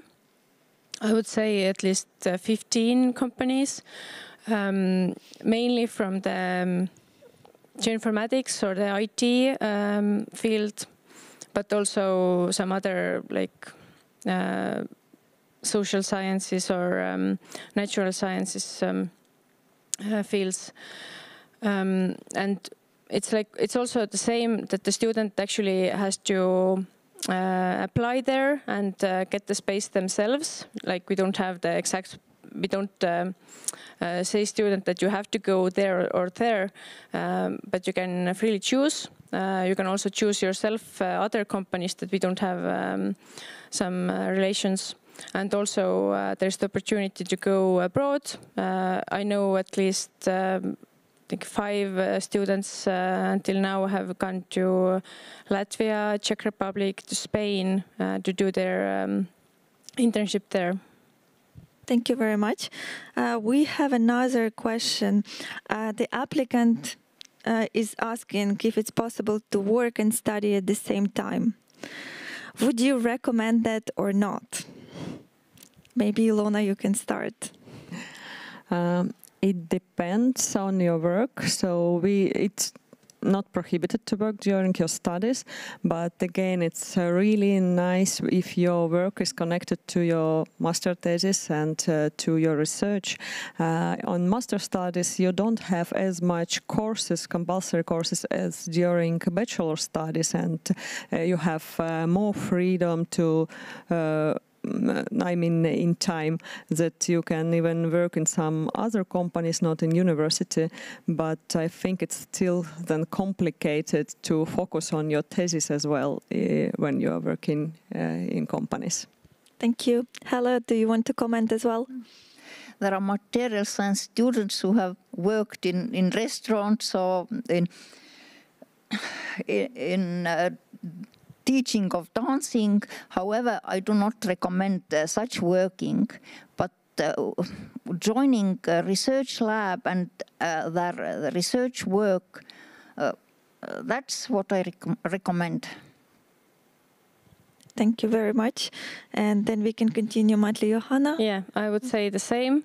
Uh, of course, it also depends on the workload. If you're working uh, part-time or full-time job. Of course, full-time job and full-time studying, it's really difficult and really hard. And only the best of the students can actually do it.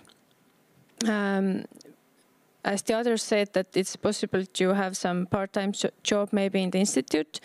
In our geog uh, geography department, it's um, we don't have many of this kind of jobs, but we have some students who have um, um, if you do the internship in the first summer, uh, the summer the first after the first uh, study year, uh, they have uh, had a chance to do the part-time job in the same company. So it's also again the same. It's the it's the program related, the geography related job that, uh, that I would say it's a good opportunity to use. Thank you very much. Uh, we have two questions to bioengineering program. Uh, first of all, is it common for bioengineering student to transition to PhD or are they mostly into building a career in the industry? Um, actually, uh, we have uh, both uh, graduates uh, studying in uh, uh, PhD studies and also working in bioenterprises nowadays after graduating from bioengineering. it's probably a bit more about still science, but it's not it's not compulsory. But yeah, a part of students are going to bioenterprises uh, after getting master's thesis or master's degree, and part continues in PhD studies. Mm -hmm. so. Thank you very much. Uh, we have the follow-up question from the same student in medicine. Does work and experience in medicine counts towards the application criteria for bioengineering? Uh, it's uh, it doesn't count, unfortunately, but uh, you still can mention it in motivation letters, so it uh, will give us a better uh, overview about your skills, about your background, and uh, maybe in motivation letter, depending on your experience, working experience, maybe it will give uh, additional points uh, to motivation letter. Thank you very much. We have another question about the courses. So how do courses look like? Are, are your classes lecture-based or discussion-based? How much theoretical and practical uh, practice we will gain?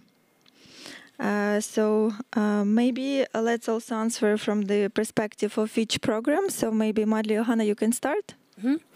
um, I would say there's everything, or like all the all the aspects you mentioned. Um, I think all the courses have some proportion of lectures, but um, if I think really quickly, quickly, I think we don't have any courses that are only lecture-based. So there definitely are some seminars, some practicals, practicums, uh, as we have a lot of um, this programming and uh, GIS uh, courses, like th those are very practical. You really have to try those uh, analyses yourself. Uh, you will have the data, either our um, lecturers will give the data to you or you will have to search the data for yourself. Um, so I would say it's uh, really practical. Of course, there are some uh, theoretical uh, lectures, but most of all it's practical. Thank you very much. Helle, how is it with your program? In the program of, of material science and technology, among the uh, compulsory courses, there are courses of lectures and seminars as uh, it is uh, the theoretical principles of material science, then development of materials course, uh, it's uh, 12 points. It includes uh, lectures, but more seminars and some practical training also. And then there is uh, master seminars uh, where all students make their presentations. And uh, then uh, uh, the testing and investigation methods of materials are included there. Uh, and this is totally experimental course and, and students first study the, the principles of the investigation method and then work in the laboratory.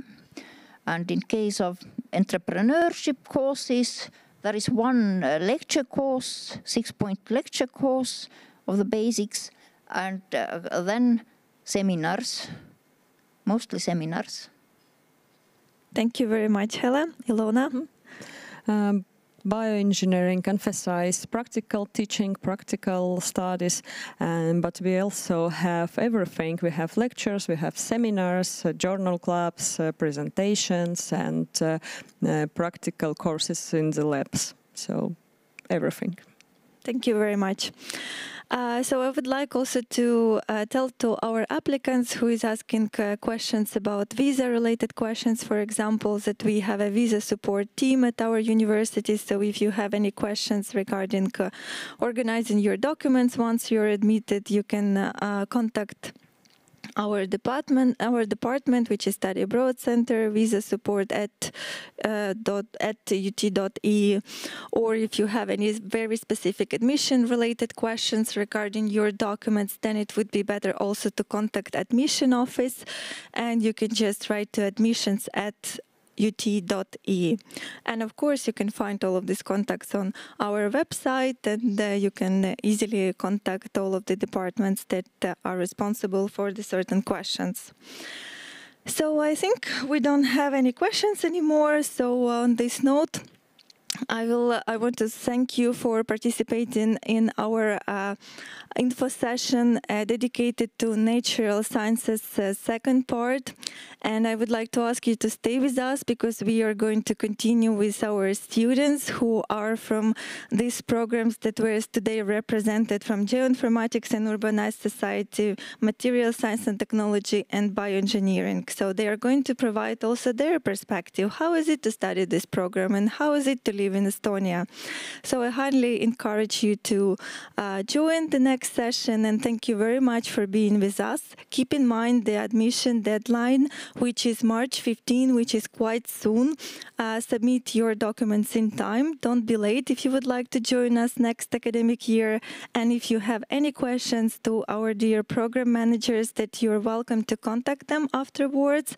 We will also send you the presentation as a follow-up email so you will get the contacts as well and the slides as well. Thank you very much for being with us and uh, see you very soon.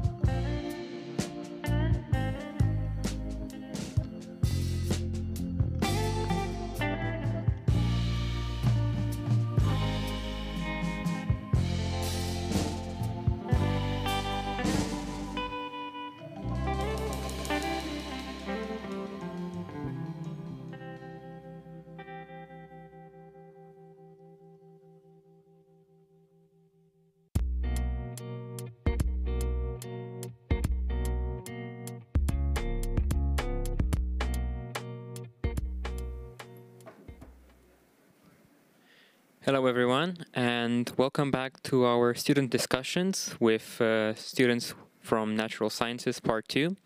My name is Liviu Pintilie. I am an international student ambassador of the University of Tartu. And today we're going to find out uh, some more information and uh, some uh, more insight from the lives of students at the University of Tartu. Now, for those who are watching us and are on uh, Worksup, you can find a Q&A button next to each separate info session where you can ask your questions. And if the same question was already asked, please uh, rate the question so that it may come up in the um, um, questions queue. Now, on to our speakers. We have uh, three speakers, two of them uh, right here with me and one uh, through video call. We have uh, Egert, Asfand, and Marta. And now I would like you to uh, introduce yourself a little bit. I get it. Okay, so I'm gonna start it off. Uh, as mentioned, my name is uh, Egert, Egert Möller, and I am actually a first year master's student uh, in uh, material science and technology. And as you maybe can tell, I am actually an Estonian, so I bring this uh, slightly different insight uh, into this discussion. Okay, um, my name is Asfandyar and I'm from Pakistan. I am a second year master's student in the bioengineering curriculum. Um, um, as so now we have a, some cross-cultural country exposure here, Estonian and foreigner. So yeah, it I hopefully it will be a good experience. Okay, and Marta, can you hear us? Yes, I can. Okay, Hello. great. Uh, my name is Marta. I am from Latvia and I'm the second year student of Geoinformatics for Urbanized Society. Good. Thank you so much. Um, I think the first question that should be asked is why Tartu? Why the University of Tartu of, uh, of all the places? I think uh, it will be interesting to find out the rationale behind uh, your coming here. So, Marta, what can you say about your coming here? Yeah, um, obviously I haven't traveled that far, but the, the biggest reason was the fact that University of Tartu has ranked quite far, uh, quite high, and that was a big uh, reason of my choice. And second was obviously the program. Okay, thank you. Uh, Asfand, what about you? Uh, f- well, for me, it's uh, it's a an un- unorthodox reason because uh, my uncle uh, is Est- is Estonian. Uh, he has been here for like 22 years, so I knew about Estonia since my birth. Uh, but um, the reason why I decided to pursue my master's was because of the university, the state of the art facilities over there, that basically inspired me, and I was like, yeah, this is the time to go forward. Awesome. And Egert? Uh, well, Marta said uh, she didn't come from very far. Uh, I, I, I think I'm even from closer since I also did my bachelor's here, Mhm. and it just kind of seemed like a logical choice because uh, I, I didn't have any grievances with my uh, studies so far. Mhm. So why not? Good, good, uh, good thinking. So, when it comes to the, to the university, what do you like the most about your studies here? Uh, Egert, you can start. Uh, well, first and foremost, the facilities. I really I don't have that much of a reference point, but uh, as far as I can tell, as far as I know from what I've heard, uh, here in the University of Tartu, uh, the labs, the study buildings, everything is uh, grade A. Everything is uh, really good. And uh, secondly, I have to say, the working environment, the people here, they are uh, great. I really enjoy my time and the environment I have here. Good, thank you. Um, Asfand, did you have any like similar experience? Yes, like so, coming from like a different educational system and background, I think that it has been a huge improvement for myself. First of all, because you know you you have things to compare, different research cultures, different ways of living and education, teaching.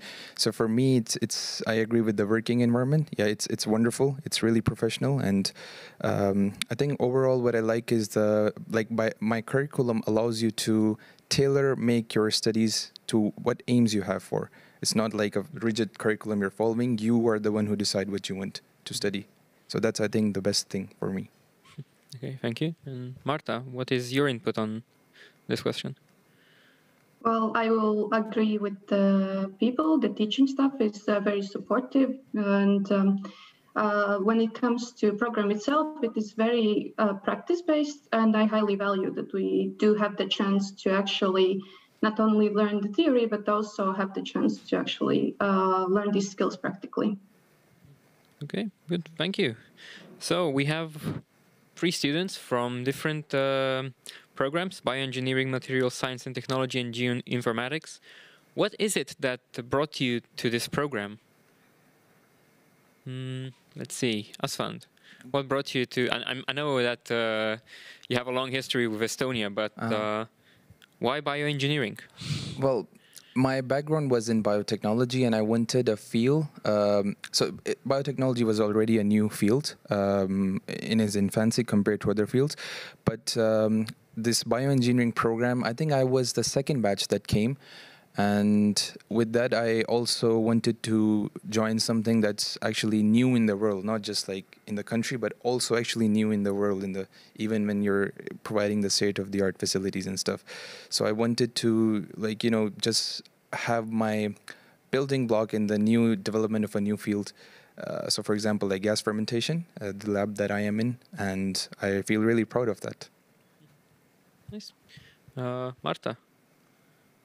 Uh, yes, so I have a bachelor's degree in environmental science, and throughout my bachelor's, I've closely followed uh, from our faculty. We had some polar researchers, and they uh, presented data, their data basically from a geoinformatics or spatial perspective. Uh, obviously, for example, they made 3D models of uh, glaciers, etc.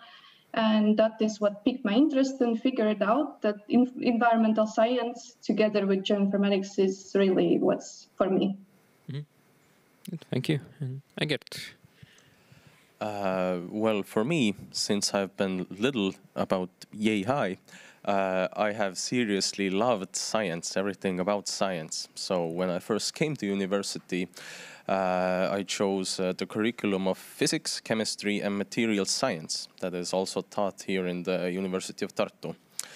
And uh, in the three years I spent in my bachelor studies, I realized that even though uh, I didn't know at first what material science was, then it turned out to be the thing that I really needed because it takes the practical part of physics and of chemistry and uh, of uh, engineering sciences, and it puts puts it together into something practical, which I felt I really wanted to pursue uh, after my bachelor's. Thank you. And if you could all describe your program in three words, what words would you choose to describe it? Uh, three words. Yes. Okay. Hmm bioengineering master's program. That's just the three words out there. Are hard to think at the moment. Okay. Well, let's say just one word. Maybe three is too much. One word. um, sparkle. Yeah. Sparkle. Sparkle. Yeah. Mm -hmm. I think this just depicts all the philosophical and abstract meanings behind it. It mm -hmm. just sparkle. You have the chance to do it. Yeah. Okay, that's interesting.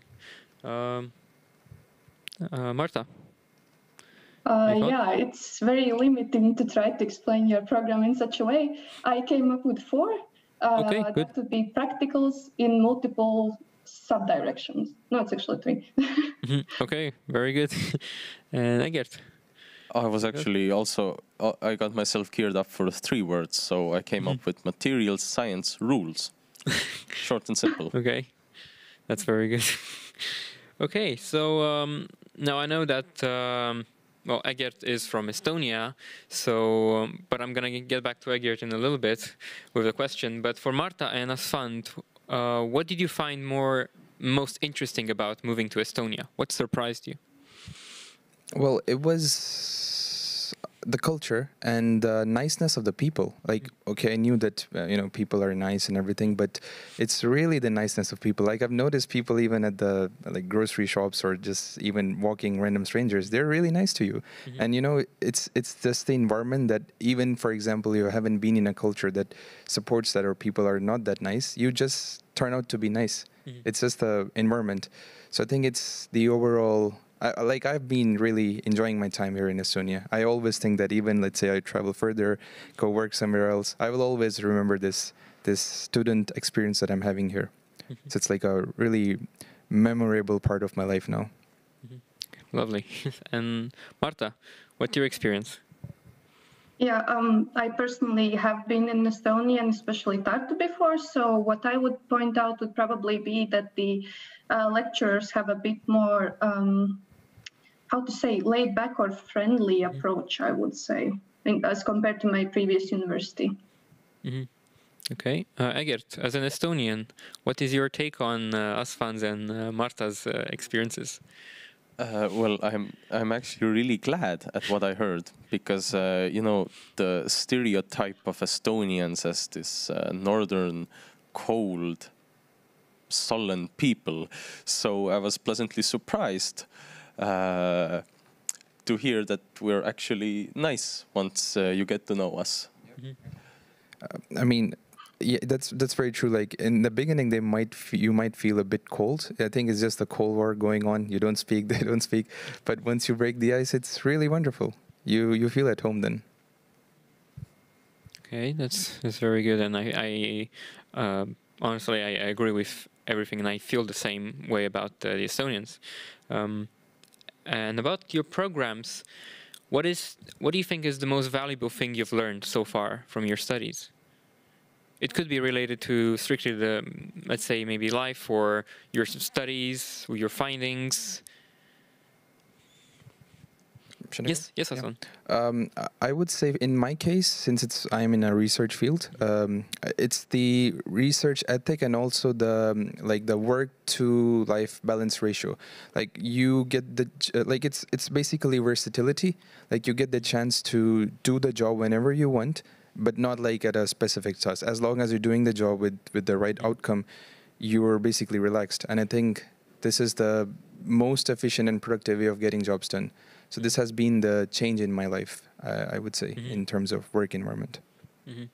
Marta, what do you think about this? Uh, well, I will probably more talk about in the program con- context would just be, and it would be basically the capability of doing very special studies over lots of pl- platforms, which will definitely come in handy later. Like this basic uh, versatility and also somewhat um, comfort mm. of uh, like trusting yourself yeah that you can perform all these special studies and uh, that yeah you have learned so much basically mm-hmm.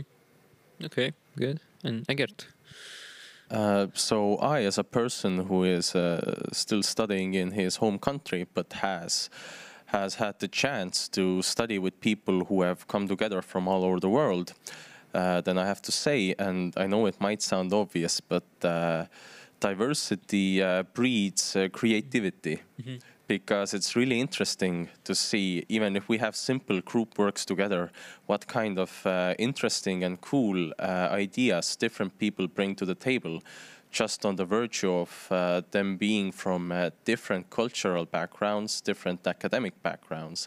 And it's really been an eye opener for me personally. Very good.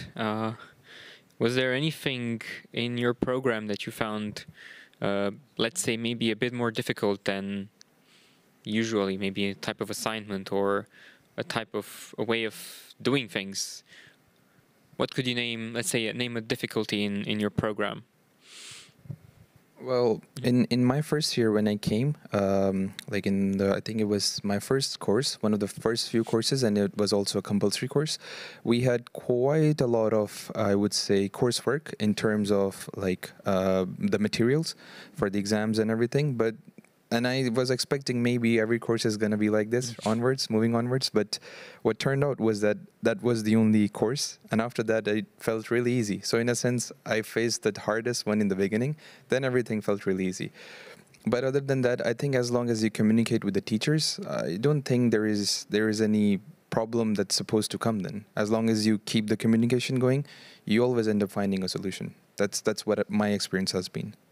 Thank you, uh, Egert. Did you find the same difficulty at the beginning? Uh, well, not quite. Uh, my initial experience, since basically I carried on with some of the same lecturers, uh, learning you know, still material science as I had been for the last three years in a way, then for me, uh, I guess initially, and this was very personal to just my own experience, was that uh, initially the first courses we took together, uh, our year students, they were kind of meant to bring everybody to the same page, and uh, and it, it just uh, kind of uh, felt weird, I guess, to go over some of the same things. So initially, I had this kind of shock. I was thinking that is there gonna be stagnation now, mm-hmm. but that uh, once again turned out not to be true, because yeah, that was just uh, the birthing difficulties of uh, having so many different people from so many different backgrounds uh, now doing the same thing.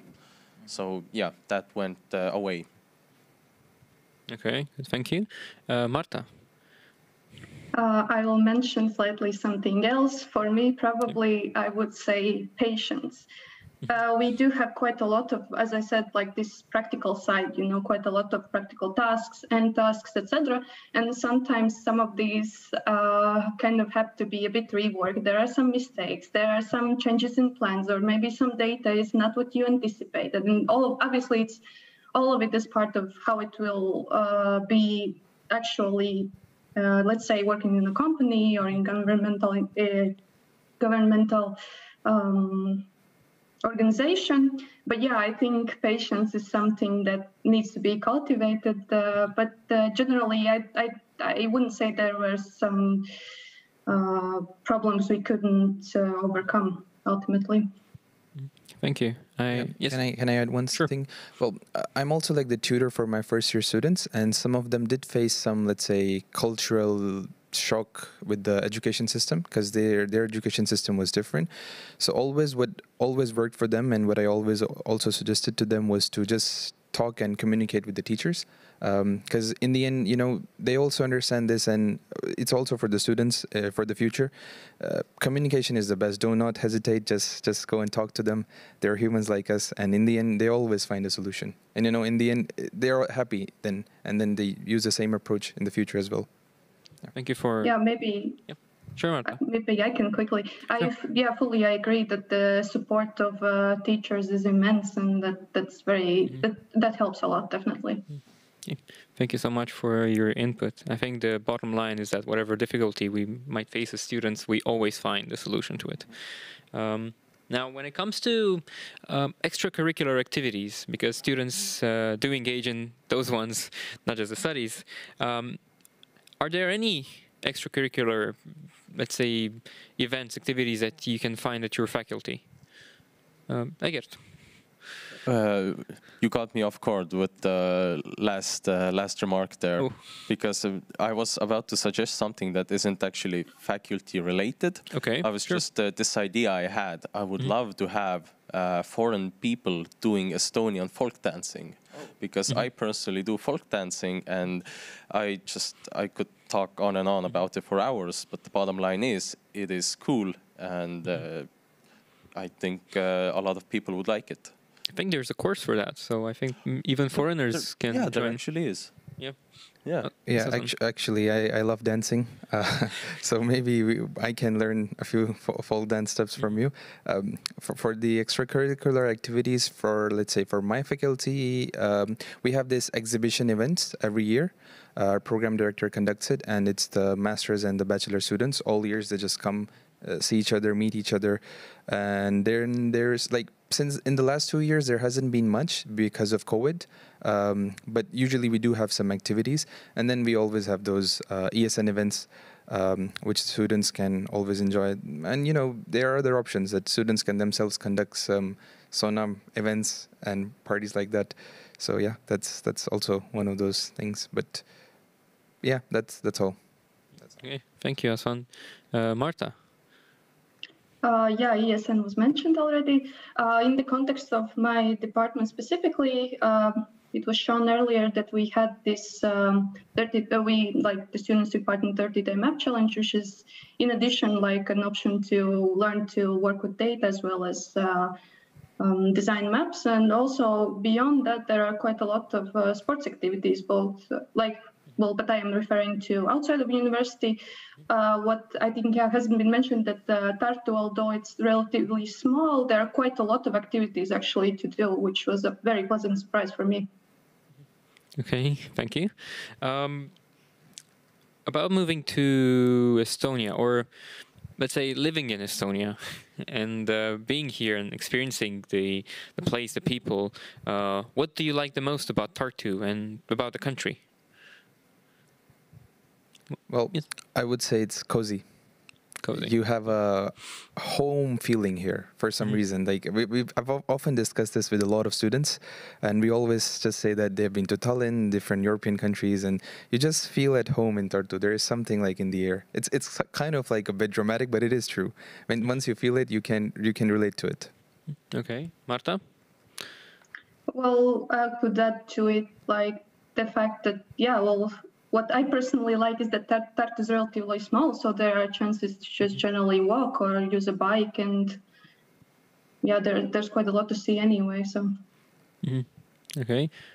Yes. Uh, I just have to add that uh, cozy is the right word because um, I'm, I'm, Estonian. Mm-hmm. I come from quite close, but I actually come from a city or town that is only of roughly 5,000 people, so more than 10 times smaller than Tartu. Tartu still just feels cozier. I, yeah, it, it just is. Mm -hmm. Okay, good. So cozy is the key word in when it comes to Estonia. Uh, and about the university facilities, uh, what can you tell me about your labs, your cafes, your buildings? Maybe some of the people who are watching us are curious about what amenities uh, the faculties have. Uh, Egert, you can start. Well, uh, when, when I answered the question about what I like the most, and that was actually my, you know, first go-to thing, that uh, the the buildings are uh, nice. They well, I come from uh, Institute of Physics and Chemistry, uh, two separate buildings, and they both have uh, basically basically the basic amenities to live in if you're mm. kind of desperate-ish. So I'd say everything you would want is mm. there. Mm -hmm. Okay, Aslan or Marta, could you, would you like to add something? We're yeah, I'll just quickly say that um, I was in awe with the facilities available, with mm -hmm. all the technology and things that you mm -hmm. could use to hone up your research skills. So it's definitely a life-changing opportunity. Mm -hmm.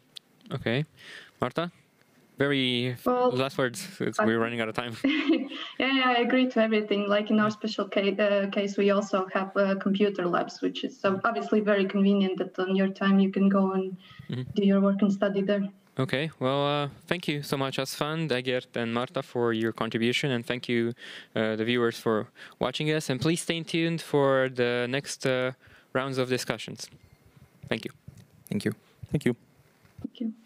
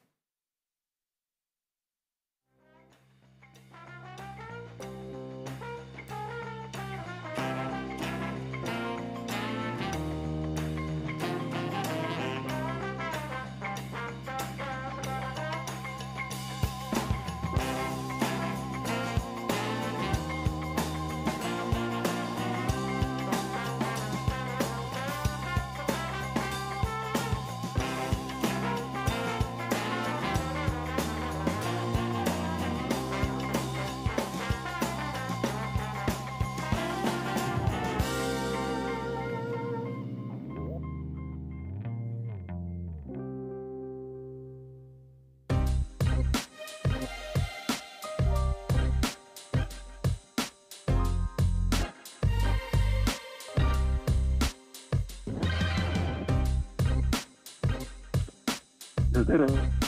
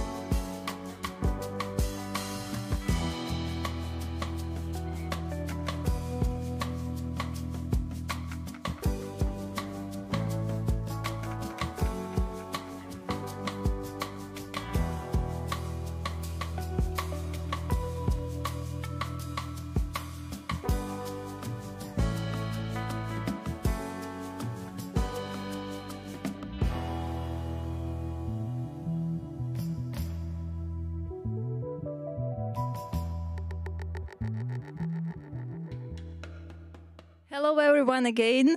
We are welcoming you to our last for today info session about the master's programs in uh, IT programs. And today we are going to introduce our three programs computer science, software engineering, and robotics and computer engineering. After this, we are also going to host a discussion session with students from this program. So please don't leave exactly after the uh, uh, webinar will be done. Also, I would like to remind you that this is a very good place where you can ask your questions. So if you are watching us from Worksup, uh, please then next to the info session, you can find the Q&A uh, button where you can write your questions to us and then we will answer them online. If you uh, want to address your uh, question specifically to some certain program or specifically to one of the program managers who are going to introduce their programs today, then you can just indicate the name of the program or the name of the speaker.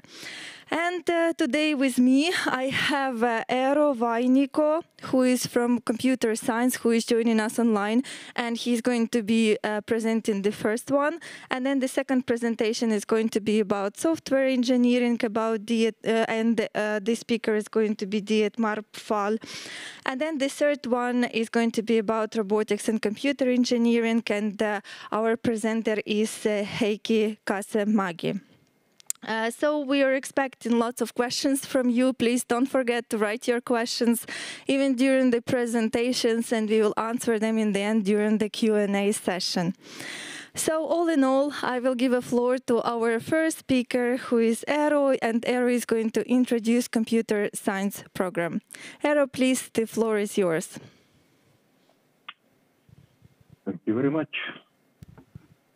I hope uh, my slides can be opened soon. I welcome you to Introduction to Masters of Computer Science program, and uh, I'm very happy that we can do this uh, presentation. And uh, I hope you can get enough information, and if uh, you have any questions, you can then ask later about your uh, questions then. So uh, somehow I cannot see the slides. Is it uh, possible to open this?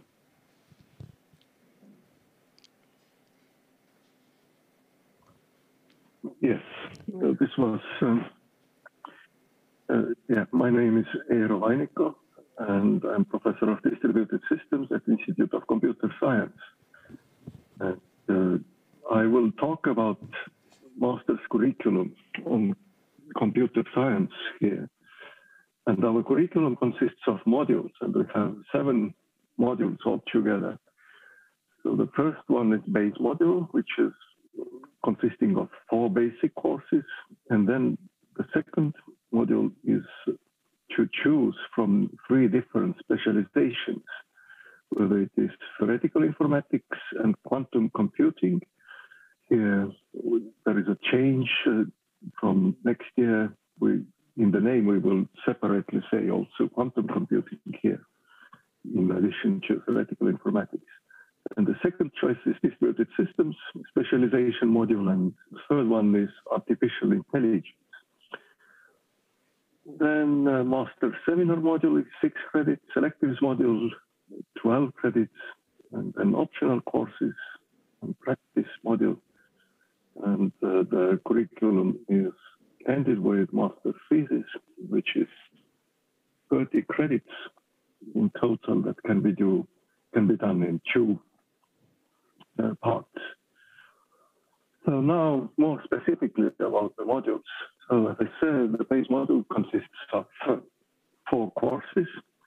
Three of them are scheduled for the first semester, and it's very essential for you to pass those courses uh, on the very first attempt. The algorithmics course is the very basic of all computer science we are teaching here. Then design and analysis of algorithms is about theoretical informatics part. Machine learning is for artificial intelligence specializations and distributed systems is for as Introduction to Specialization of Distributed Systems. So it means that uh, on your choice of three of those different specializations, based on the base module courses, you can actually take uh, as elective courses or uh, free choice courses, also some courses from the other specializations. Now, uh, about the specialization modules, all of them are 24 credits, and you have to choose one of those uh, finally towards the end of first semester. Although actually during the intake, you already have to write about uh, your choice in the motivation letter, but uh, you still can um, make up the final choice while studying here already. And there is a lot of different courses in theoretical computer science and quantum uh, computing. For distributed systems, parallel computing is one of the essential ones, and there you can learn about cloud computing, intelligent transportation systems, and big data management. Also, uh, DevOps is one of those courses we're dealing here, and now Internet of Things is a cool thing as well in artificial intelligence, you can uh, actually have some sub choices from natural language processing, like ne neural networks, and also uh, bioinformatics and machine translation, uh, logics as well. Now, uh, the master seminar is actually six credits you have to choose from different research groups in uh, our institute. And uh, the, each of those different colors actually correspond to different research groups here, whether it is on theoretical computer science or quantum computing research group or distributed systems research group with blue here, or artificial intelligence. Um, but in addition, you can do also programming language research seminar and data systems research seminar and digital product management as well. So these are like uh, additional possibilities there. In practice modules, you have actually 18 credits to take, and the most obvious choice is to go for um, a practical training to some com- uh, some company and you have 12 credits or 18 credits altogether. But there are other possibilities as well that you can go for or combine those different choices here. Is actually practice through teaching, mainly teaching on bachelor level. Though yes, it is mainly for uh, bachelor level courses. So that uh, as bachelor uh, of computer science here is in Estonian, might need, need to know Estonian, at least for part of the courses. Then uh, there is possibility to do entrepreneurship practice with some courses here, like software entrepreneurship project or introduction to software entrepreneurship. Or you can also get credits for participation in hackathons.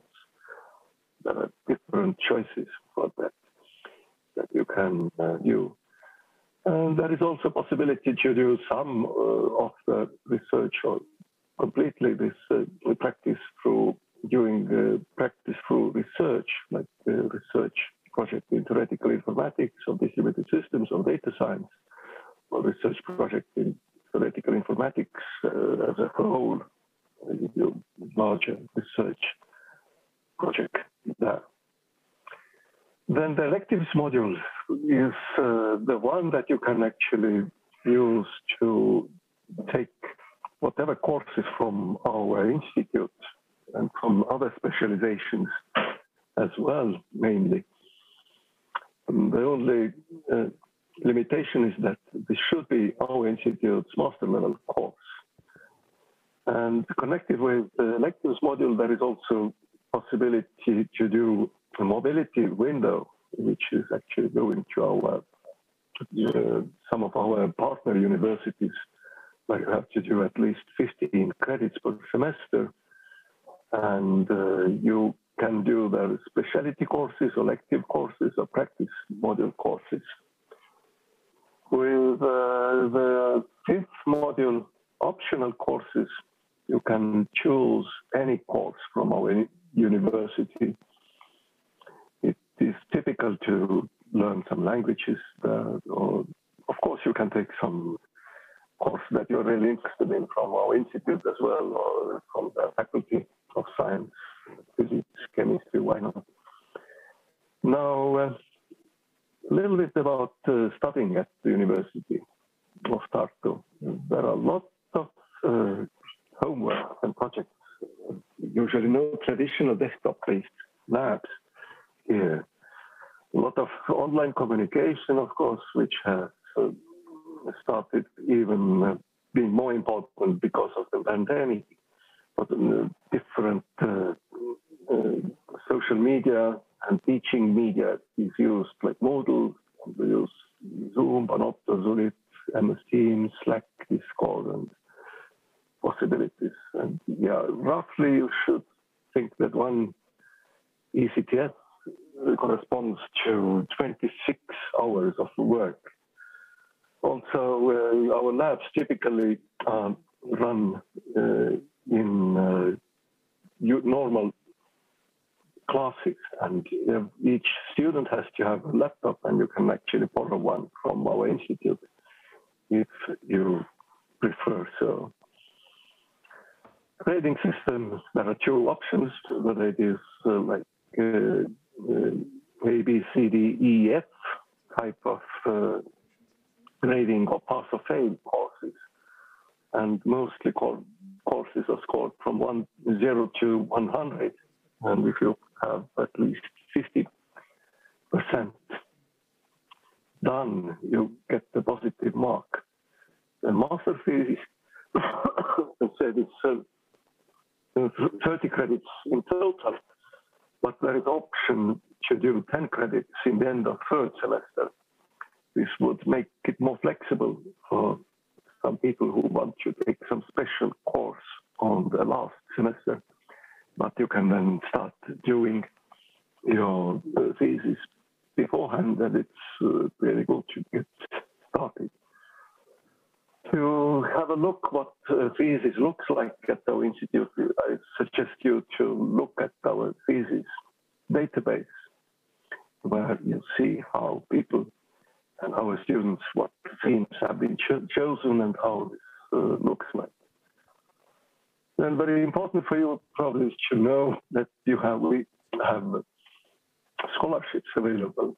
Uh, officially, this is tuition paying uh, curriculum, but uh, there are 40 tuition waiver stipends, and it means you, you get those uh, 40 non-fee paying positions.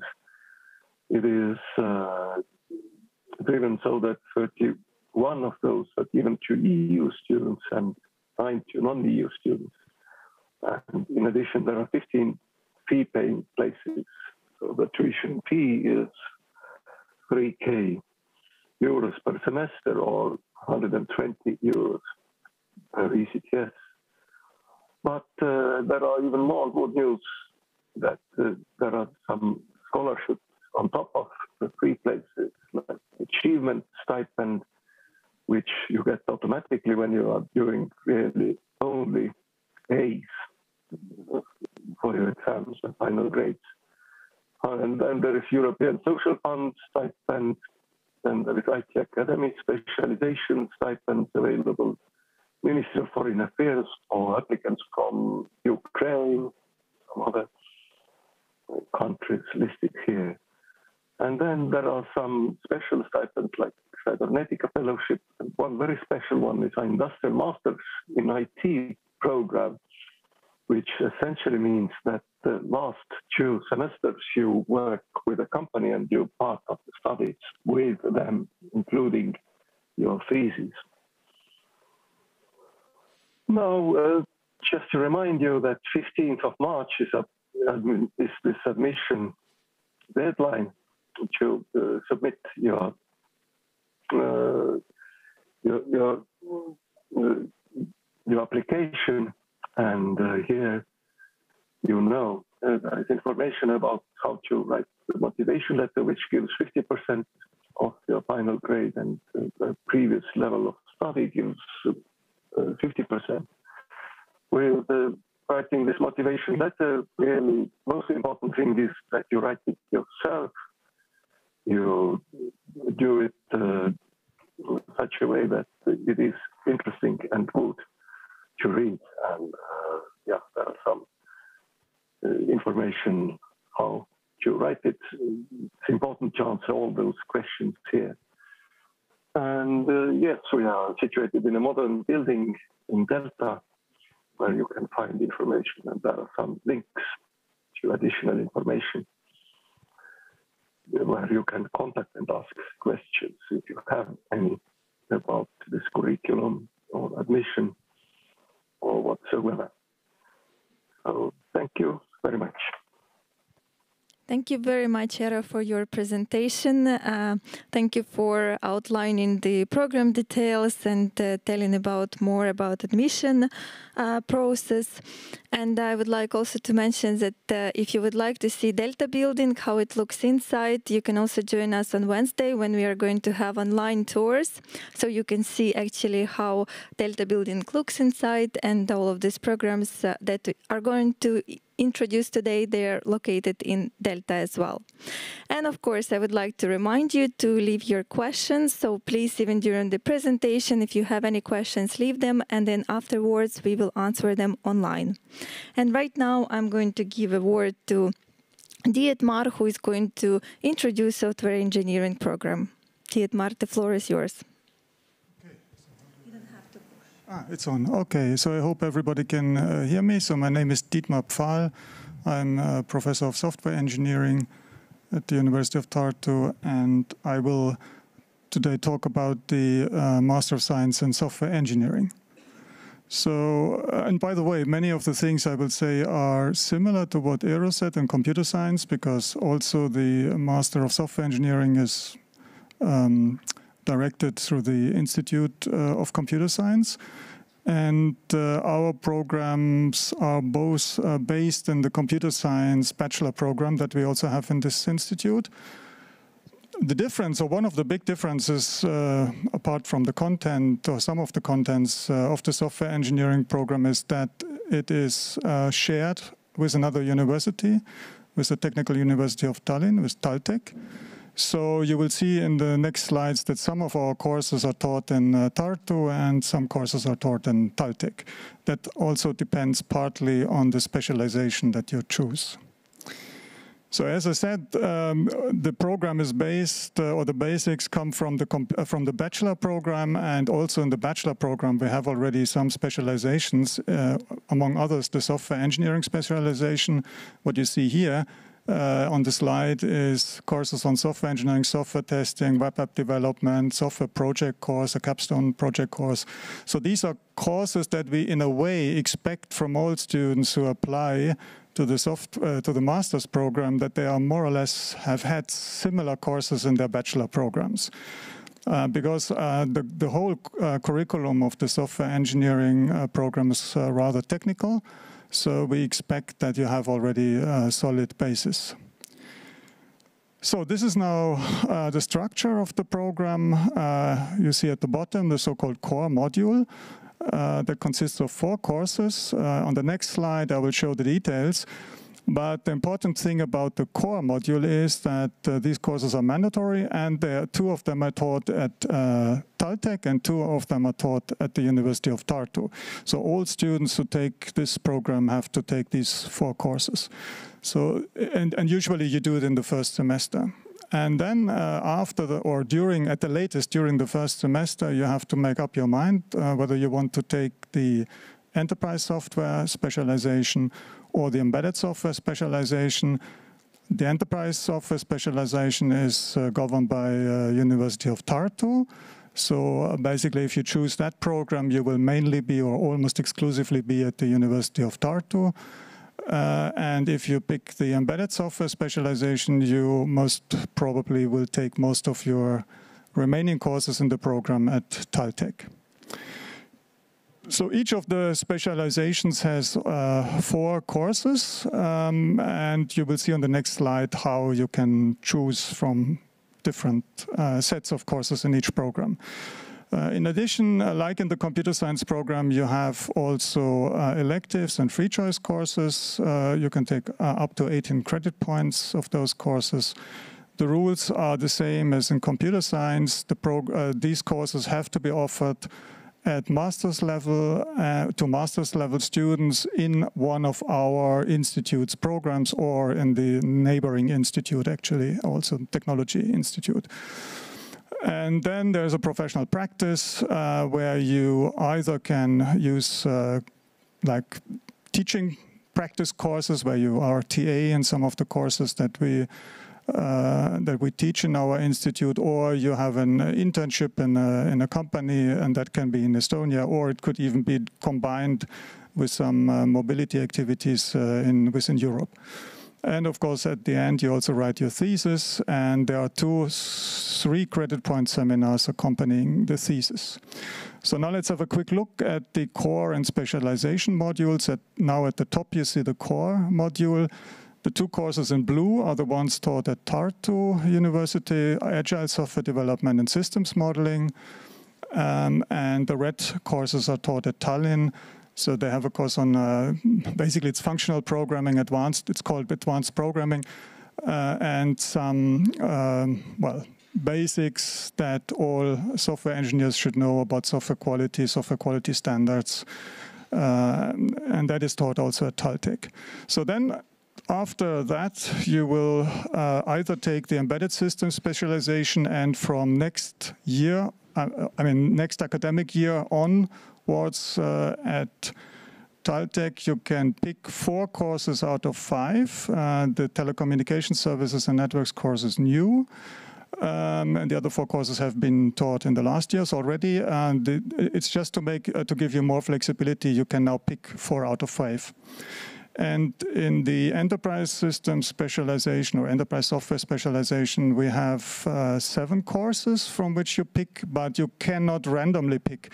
So there's one course that is very basic uh, and very fundamental. It's called enterprise system integration that has to be taken by all students in this specialization. But then you can pick uh, two from three courses on product management, process management, requirements engineering, and one course from business data analytics, big data management, and machine learning. And by the way, those courses uh, that are that are listed here, and you don't pick uh, for inclusion in the um, in the um, specialization module, uh, they can of course be taken as an elective course or as an um, practice. Uh, sorry, as an optional course. Sorry. So the so the electives module uh, is also different depending on whether you study at Taltech or at Tartus or whether you take the one or the other specialization.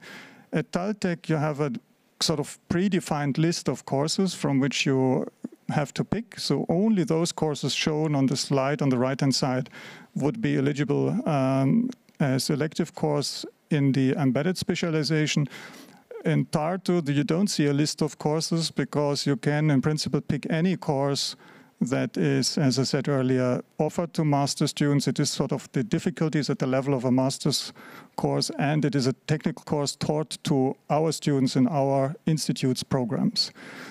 So, so you couldn't take a master level course, let's say, on in Spanish or something like that.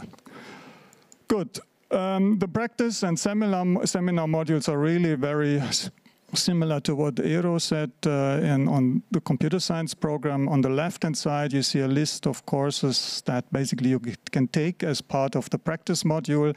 But in addition to that, uh, any kind of um, let's say, defined and uh, checked activity in terms of an internship uh, could also count, then it would formally uh, go under the I think there's something called practical trainings in informatics, uh, so it would be subsumed uh, under those courses.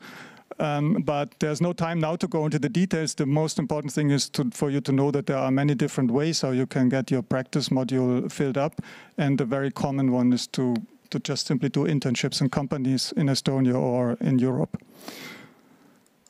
Um, so in the end, when you have completed the program, uh, you should be uh, really um, a full a full stack uh, software developer who knows much about all the technical uh, aspects of uh, how to develop software, how to make sure that it has good quality, how to develop it efficiently.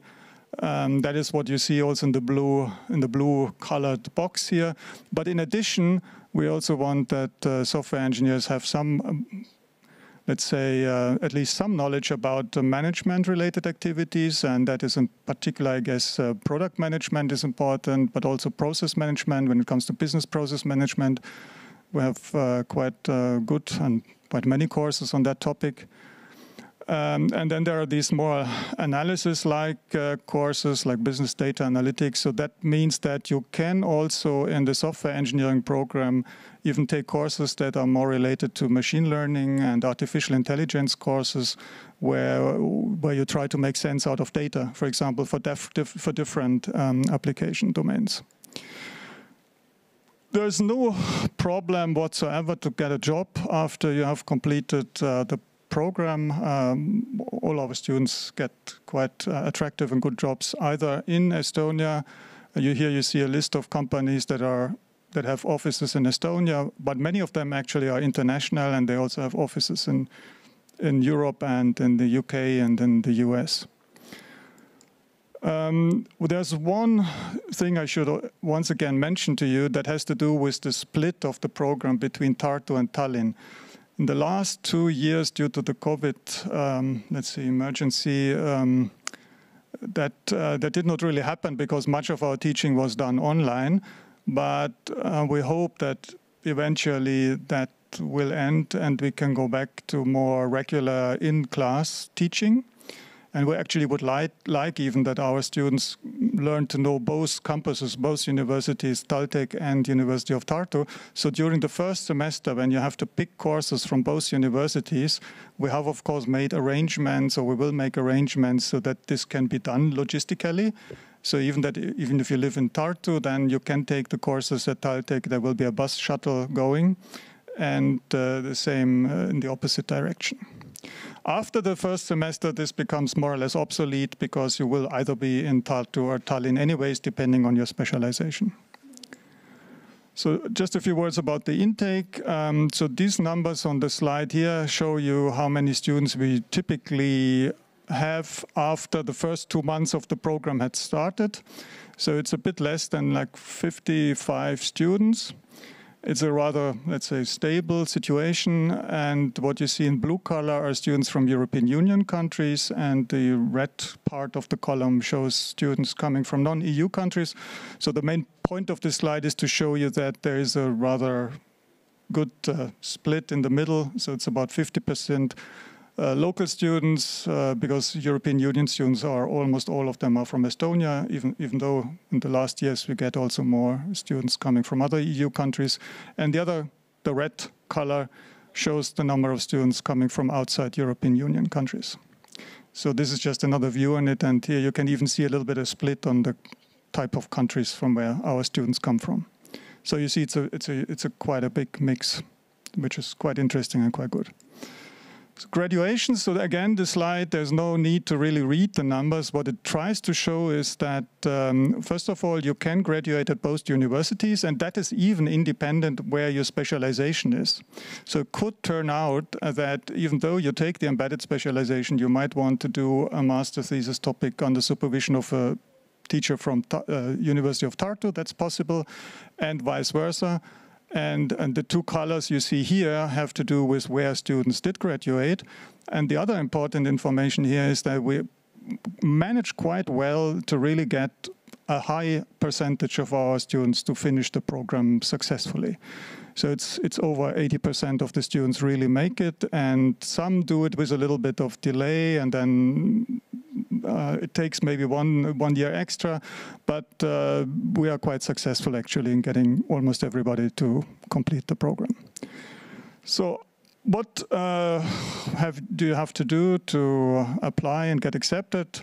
Um, this is very much the same as for computer science. Um, you have to write a, a motivation letter that gives 50% of the, let's say, the, the value of your application. So we will have an application evaluation committee uh, where we read your letters and we try to see who seems to be more or better matching the profile of the program.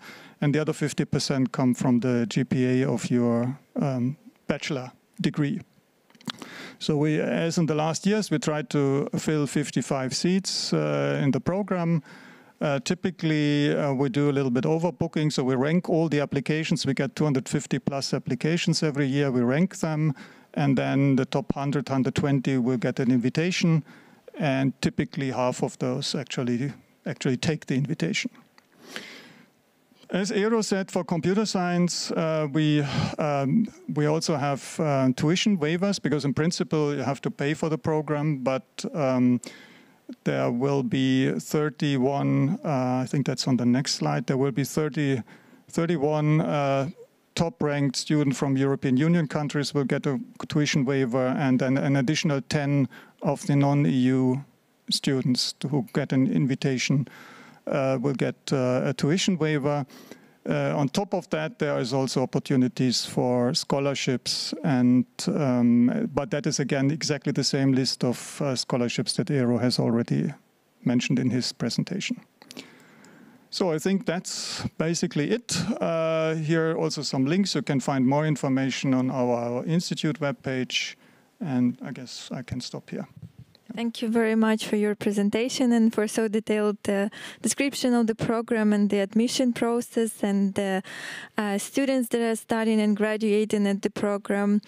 And uh, I would remind you that if you're interested to apply to software engineering, please leave your questions and we are going to answer them after the last presentation is done. And right now we are going to move with our next presentation, which is uh, about robotics and computer engineering program. And I'm giving a word to Heiki. Okay, thank you. Hello, everyone. Uh, my name is Heiki Kasemägi. I am um, associate professor of uh, Institute of Technology and also I'm a program manager of um, robotics and uh, computer engineering. So I have no idea if uh, Eero showed you uh, where are we situated, but um, Estonia is a small, small country in a far, far northeast corner of Europe. Uh, uh, area is uh, quite small, only 45,000 square kilometers. Uh, the population is uh, so small that we claim that uh, once a quarter of our population was covered to this square. we use euro as a currency. our capital looks like on this picture. we are a member of, um, of uh, European Union and NATO since uh, 2004.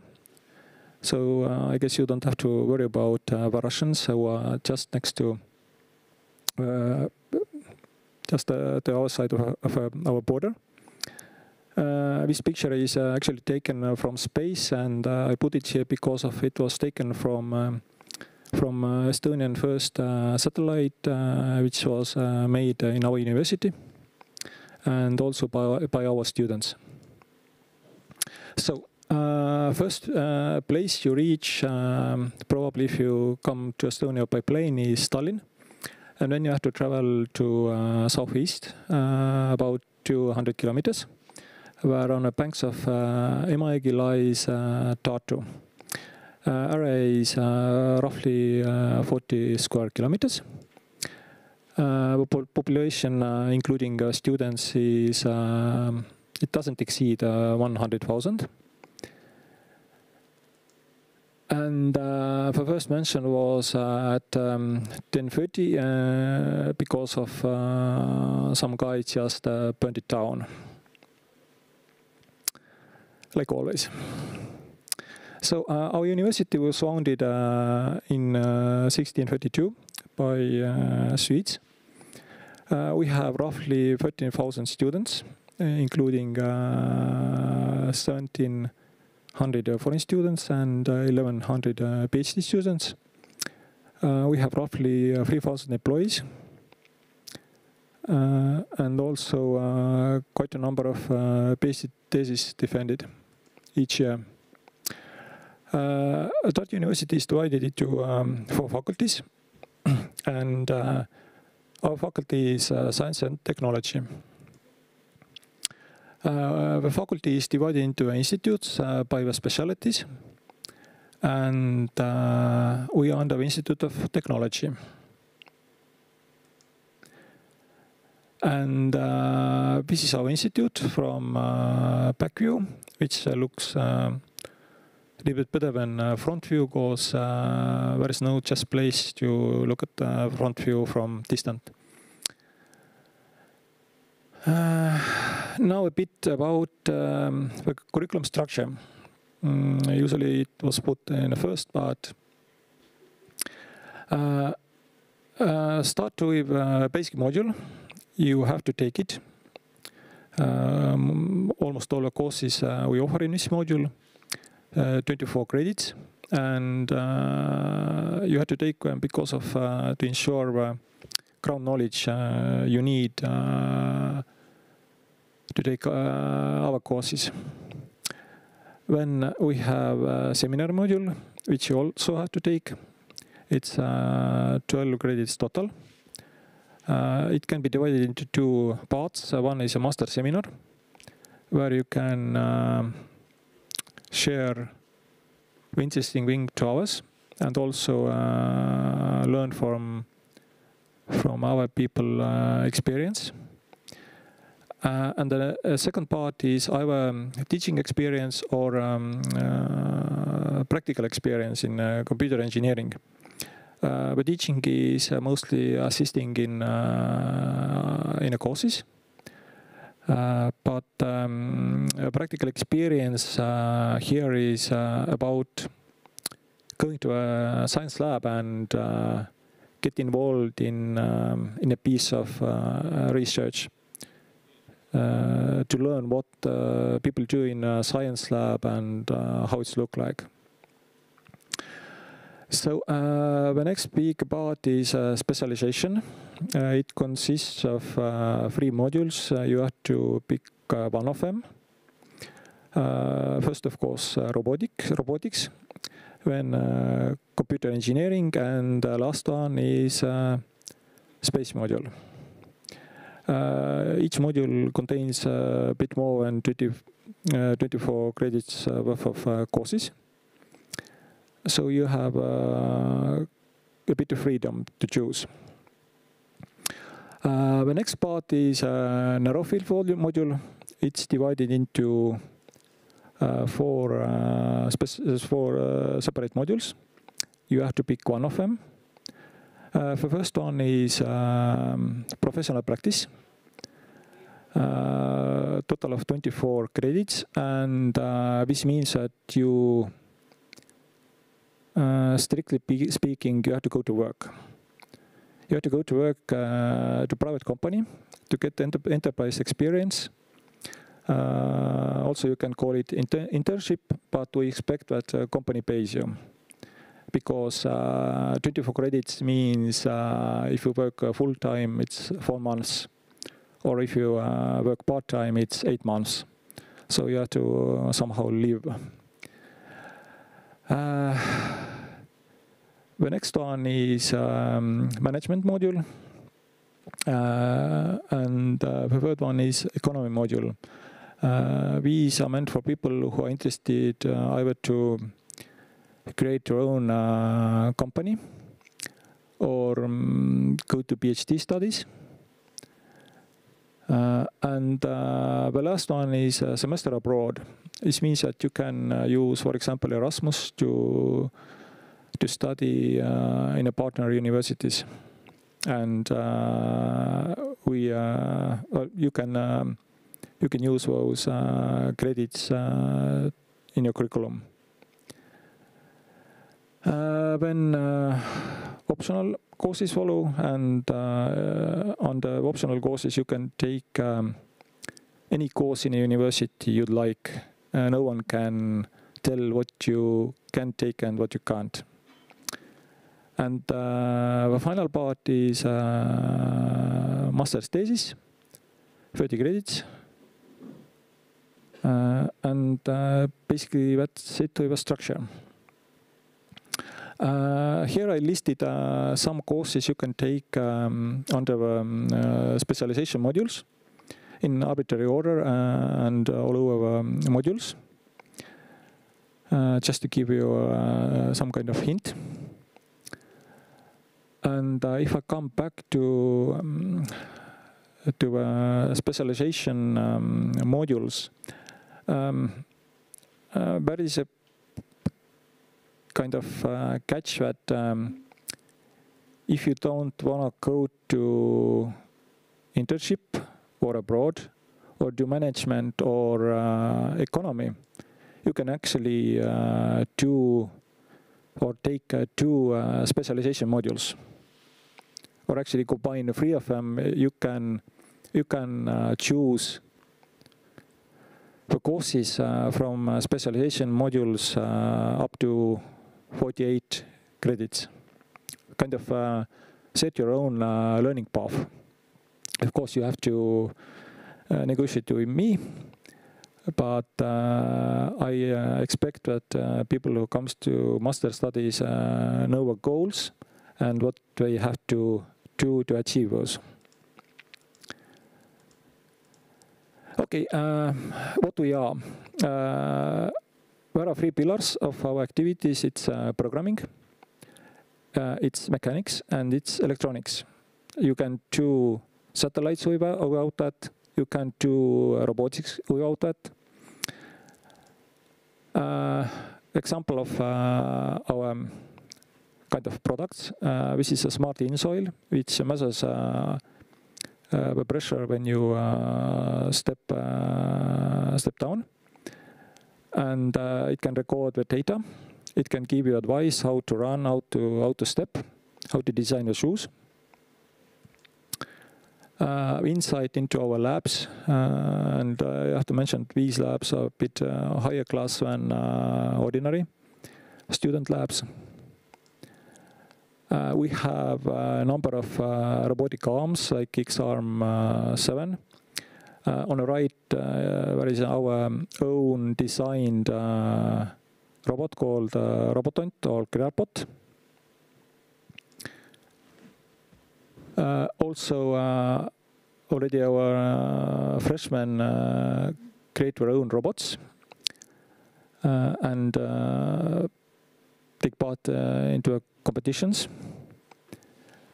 Uh, as I mentioned, uh, our students uh, put a satellite into orbit.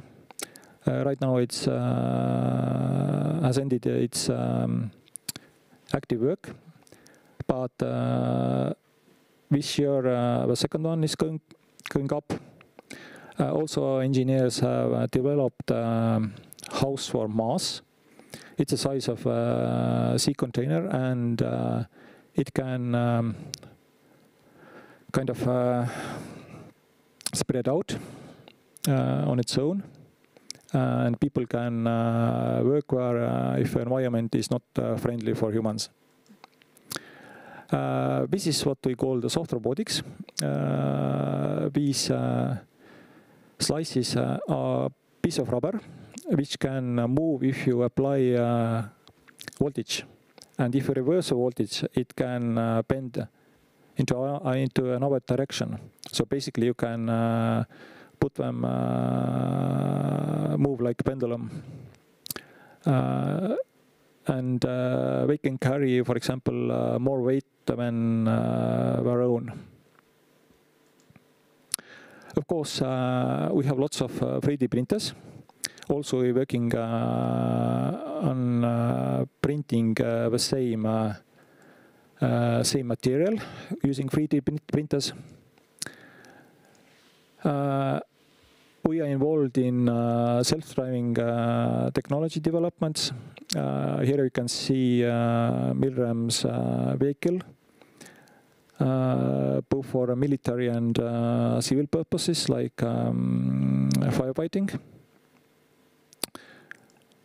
Uh, you can be involved in uh, smart solutions, meaning that everything which is wireless collects data uh, which you have to control. Uh, basically, it's called uh, IoT. Uh, and also, you can do lots of fun stuff like click and click and grow on a right. And I have to mention that these are also student projects. And uh, you're welcome. Thank you. Thank you very much, Heiki, for so nice presentation and also for showing what you actually can do within the program if you are going to study it. This is really inspiring for our future applicants. So I would like also to point out that we are going to have a tour around the Institute of Technology online video tour, which is going to happen on Wednesday. So please join us and you can see if you choose robotics and computer engineering, where you will be studying and you will see how the building uh, looks inside. And right now, I think I will continue with we will continue with our Q&A session. And uh, we have received quite many questions regarding admissions. Uh, so I will try to group these questions a little bit together so we can uh, uh just uh, not answer each separate question, but can answer the question in, in general. So first of all, uh, applicants are writing about different uh, um, requirements to their diplomas uh, prerequisite courses to apply to the programs. Uh, for example, we have a question if I have uh, a bachelor's degree uh, of science in psychology, can I apply? So maybe we can make a circle and then outline what are actually the requirements to each programs regarding bachelor's qualification and what courses are required to be uh, enrolled to program. Maybe Dietmar, if we start from you. Okay, so um, so first of all, of course, applying apply can everybody. Uh, the question is if you will get admitted.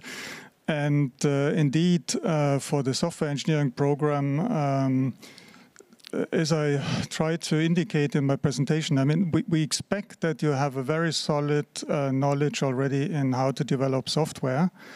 Um, we do not, uh, I mean, you cannot learn uh, software development in the master's program. You must already know how to do it. And that means that in what, what we check uh, when we get applications is that if you do not have a, a bachelor degree in computer uh, science, that is kind of there we expect that you have all you need. But if you have a different degree, then we look into the transcripts and uh, we check if you have taken courses that seem to be beyond just the basic introduction into programming. So meaning you have to have perhaps taken a course uh, on maybe even software engineering. You maybe you did already a software project, uh, or you um, can somehow demonstrate that you have taken courses, formal courses uh, in in your home university in databases, uh, in uh, algorithms and data structures, and something related. Yeah, mm -hmm. maybe that's enough. Thank you very much. Heiki, would you like to continue about your program?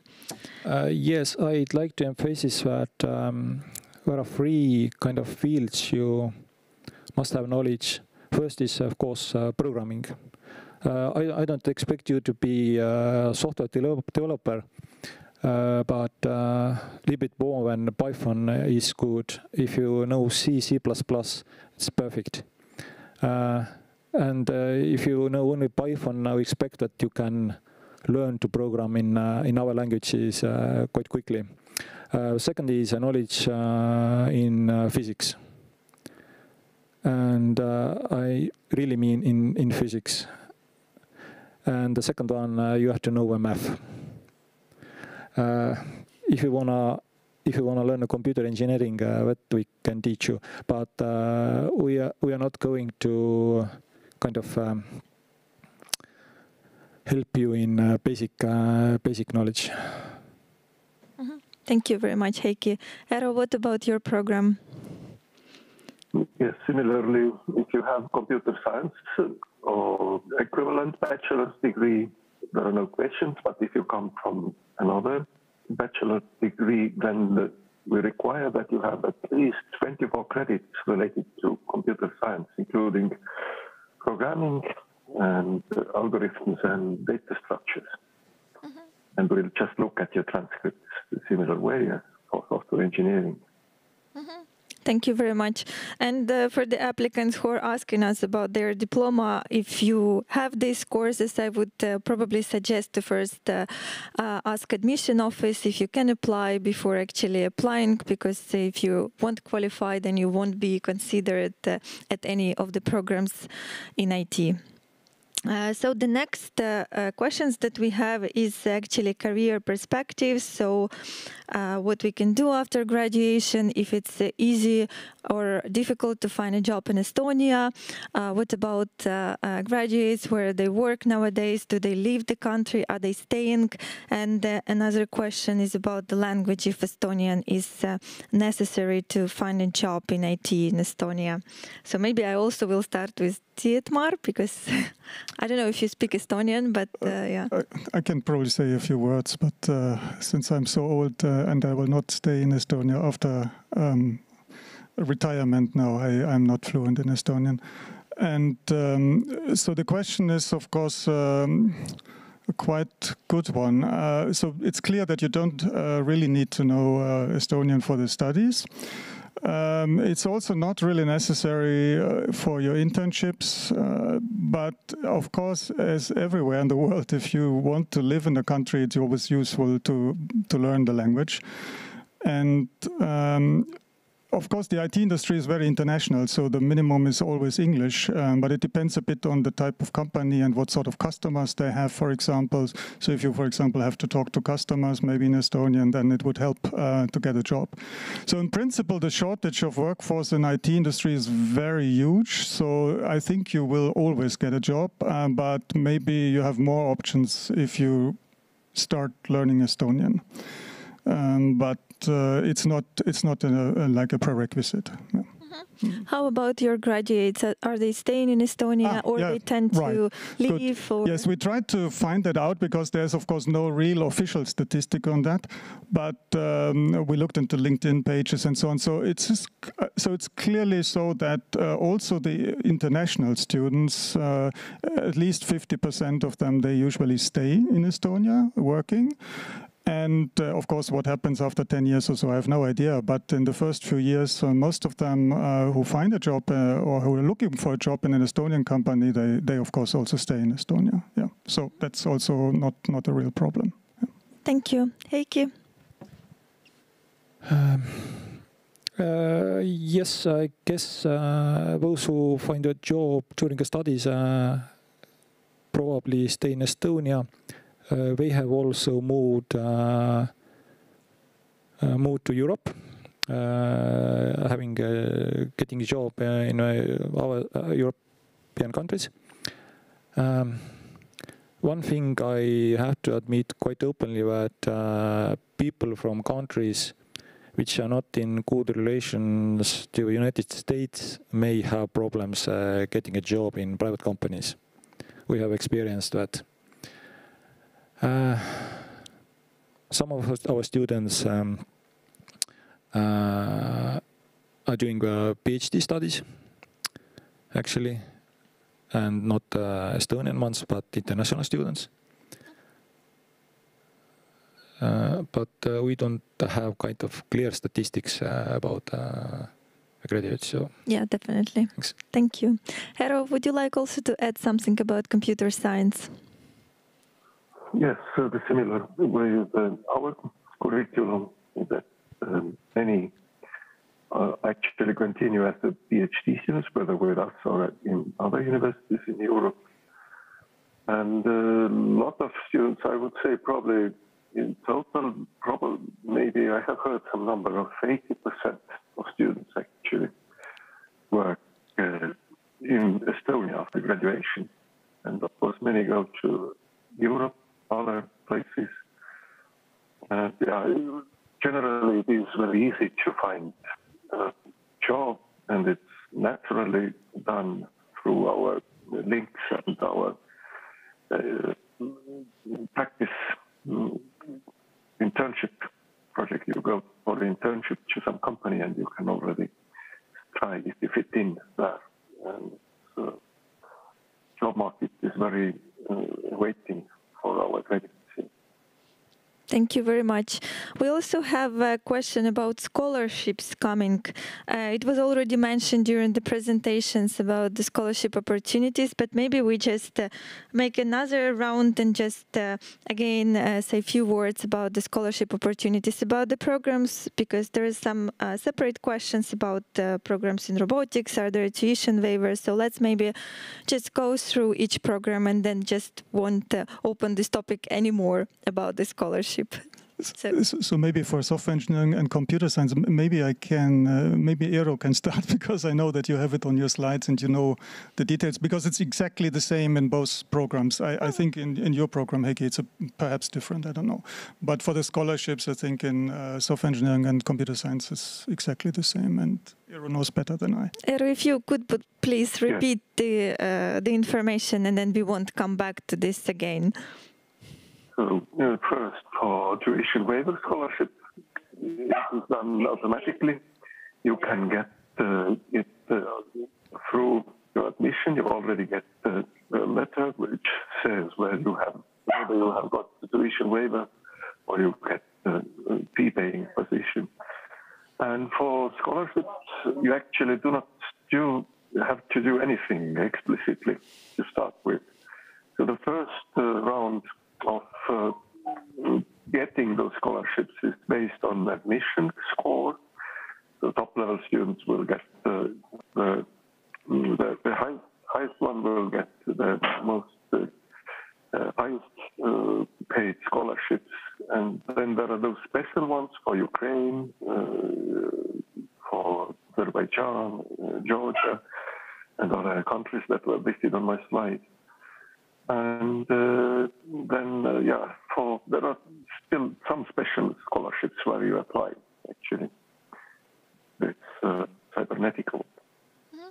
Thank you very much, Eero. Heiki, could would you like to add something about scholarship opportunities at uh, robotics? Well, first, uh, tuition waiver, of course, um, which is uh, 10 to 12 for uh, Estonia and European countries, and uh, 1 to 2 for uh, our countries. Uh, also, uh, we have this um, scholarship of uh, Ministry of Foreign Affairs, like our programs. It's meant for Azerbaijan and and those countries. and also our students can apply for all our scholarships available in the university. And uh, one uh, scholarship uh, I recommend is um, for first year master students. It's called uh, Rotalia Foundation uh, Scholarship. Uh, we announce it usually in May. quite a good amount, and yeah, yeah, so keep an eye on the website and don't miss the chance to apply for a scholarship. Exactly. And we also have all scholarships uh, gathered together on one website. It's uh, scholarship.ut.ee, so you can also check check them out mm. as well. And there, there, was a question if there are tuition waivers uh, at the robotics program. So yes, the, the, answer would be yes to that question. Marso. Uh, just as a follow-up, is there also a question about uh, cost of living uh, and so on coming? Um, uh, not yet, but yeah. we can also because cover if it's it is the way it is related. I mean, maybe one should yes. also say that in Estonia the cost of living is not uh, super high. I mean, maybe it is increasing like everywhere at the moment. But uh, like many international students also see the situation, let's say in Sweden or Germany or Finland, and the countries uh, not so far away from Estonia, uh, there the cost of living is definitely much higher. So um, even the student housing cost, even though I think also there there was a small increase, uh, it's like 150 maybe around that uh, euros uh, per month to uh, to get a room in the student housing. So so that is actually I think quite attractive in in general, and of course that applies to all programs. And, yeah, definitely. It's worth to mention. Maybe our applicants are keeping these questions to the next session when they're going to talk to students and asking them if it's enough money to, to live in Estonia, for example, using your scholarship. All right, a bit related to scholarship uh, question. Are the admission and scholarship criteria mostly GPA cent centric or is it like an overall profile? that you are considering? Yeah. Um, okay. So uh, it's clearly uh, 50% is uh, GPA and 50% is kind of we deduce information from the motivation letter. That is actually why you should very carefully read uh, in the admissions on the admissions webpage what we expect uh, you to tell us through your um, uh, motivation letter. that that can sort of compensate to some degree uh, with if you have a low GPA. But I can already tell you that uh, in the past years for the software engineering program, uh, the GPA has to be probably something like 75% of 100%. However, you calculated because obviously in different countries there are different uh, rules how the GPA is communicated. But we try to kind of um, standardize or normalize it in a certain way, and then um, and then we calculate how many out of 100% you have GPA-wise, and then we look at the motivation letter. How well did you answer? Do we think you you have a good profile? And for example, it can help if you write uh, about industry experience, what you have done working for companies. If you have this experience and that could then compensate if your GPA is not uh, too strong. Okay. Eero, is it the same uh, in your program? Yes, in general, the approach is the same. 50% is GPA, 50% is motivation letter. But in addition to the very first semester, it's based on this uh, in, uh, intake mm -hmm. score. But uh, from then, uh, scholarships are actually delivered based on your performance. So if you really are doing very well, getting all the A's, you get automatically this 100 euro scholarship already, but on top of that, there are other, other ones available as well. Yes, Heiki, what about your program? Uh, okay, uh, we have um, two parts. Uh, one is uh, GPA, of course, and uh, as far as I uh, remember, it's 40%. Uh, and the second part is a bit different for EU countries and non-EU countries. EU countries can write a motivation letter. It's 60%. Uh, non-EU countries have to do uh, a test uh, basic knowledge in physics, programming, and mathematics. Uh, also, uh, EU countries can do the same test if they wanna kind of uh, be sure that uh, we get the maximum uh, points out of uh, motivation letter part. Thank you.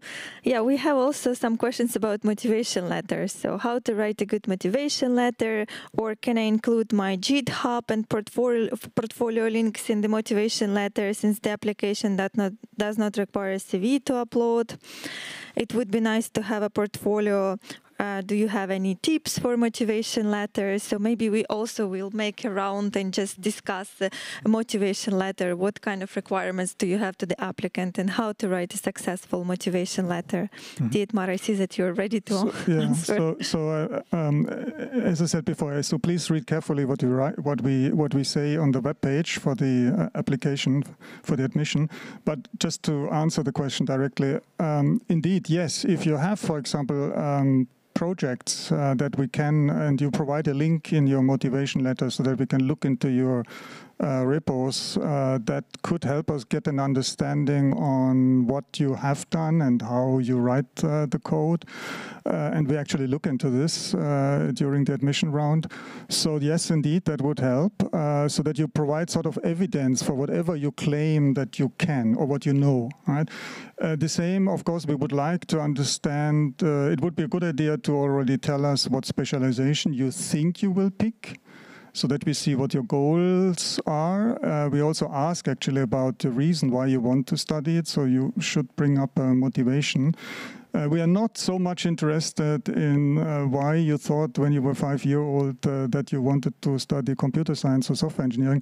It's really, I mean, stick to the facts. Uh, try to tell us what you did uh, since your bachelor program and and why you want to study software engineering, for example, and and even when you want to study embedded systems, why embedded systems? What what is your goal? What will you do after you have completed the program? Mm, yes, I think that's it. Thank you, Eero. Would you like to add something since your programs are very related? Uh, Yes, so all that is related to, to software engineering relates also to uh, computer science. Maybe if you want to choose theoretical informatics, you should be also telling something about your interest and ability to do theoretical uh, computer science and mathematics behind it. Also, yes, GitHub links to your projects is very important. And most important thing is that this is an essay that you write yourself. If you copy paste, it will come out quite automatically through plagiarism check anyway, and uh, you lose points very quickly. Yeah. Mm-hmm. Thank you. Heiki, what about uh, motivation letter for robotics? The first uh, motivation letter shows that uh, if you can read or not, if you can, it shows that if you answer uh, uh, what is asked uh, for. the second, including your CV is always a good idea. also, if you if you include some samples of projects you have uh, accomplished, uh, some robots, some satellites, uh, some videos of those. Um, also, um, you can, or actually, you should, if you have this um, this chance uh, to mention, for example, your experience uh, in Estonia. If you have been here in uh, summer schools, uh, in in courses uh, somewhere, and if you name right people who you who you have met, uh, it's only good for you. but be aware of that. Uh, I, I can check that. okay, thank you. Thank you for such nice tips. Uh, then we have a few very specific uh, questions. Uh, one is, uh, uh, this might be very specific, but what are the opportunities for someone who wants to pursue an area of blockchain for research and development? I even don't know to whom to address this question. okay, this is maybe Eero. Eero, you if can... you want, I can also say something, but yeah, blockchain and recent developments in computer, computer science is, of course, one of the possibilities to specialize. And we have uh, in each main area of computer science, we have somebody who is well-known researcher, and blockchain is not uh, an exception here. Some, some good supervisors for your fees. Thank you. Dietmar? Uh, yes, indeed. So, uh, of course, in both programs, computer science and software engineering, you have the opportunity to, if you like blockchain, uh, to focus on it. Uh, you will also find uh, master thesis supervisors who will be interested. We have already every year uh, quite a few master theses where students do something related to blockchain, either already inside the company, so they do it to solve some problems for, let's say, one of the fintechs here in, in Estonia, uh, so that's of course a clear uh, yes. There are many many different opportunities, and of course the field is evolving at the moment. Yeah. Thank you very much. Uh, we have another question from the applicant who applied already to computer science and software engineering and uh, was uh, accepted uh, last year, but due to some personal emergency problems, couldn't accept the offer. But wants to, but the applicant still wants to apply this year and very much concerned if it would negatively impact this year's applications. Maybe if you can start. No, we are looking independently. It does not uh, mean that if you were applying last year, you cannot uh, do it again, of course. Yes. Yes, clear.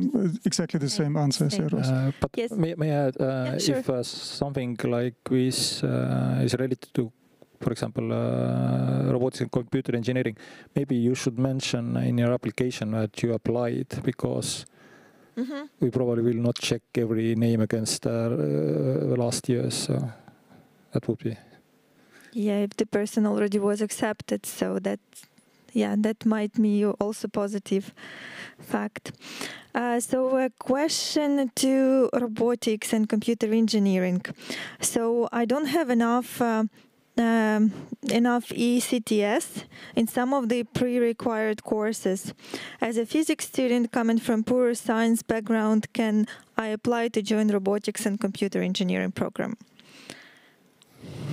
Physics students usually know physics, uh, they know math.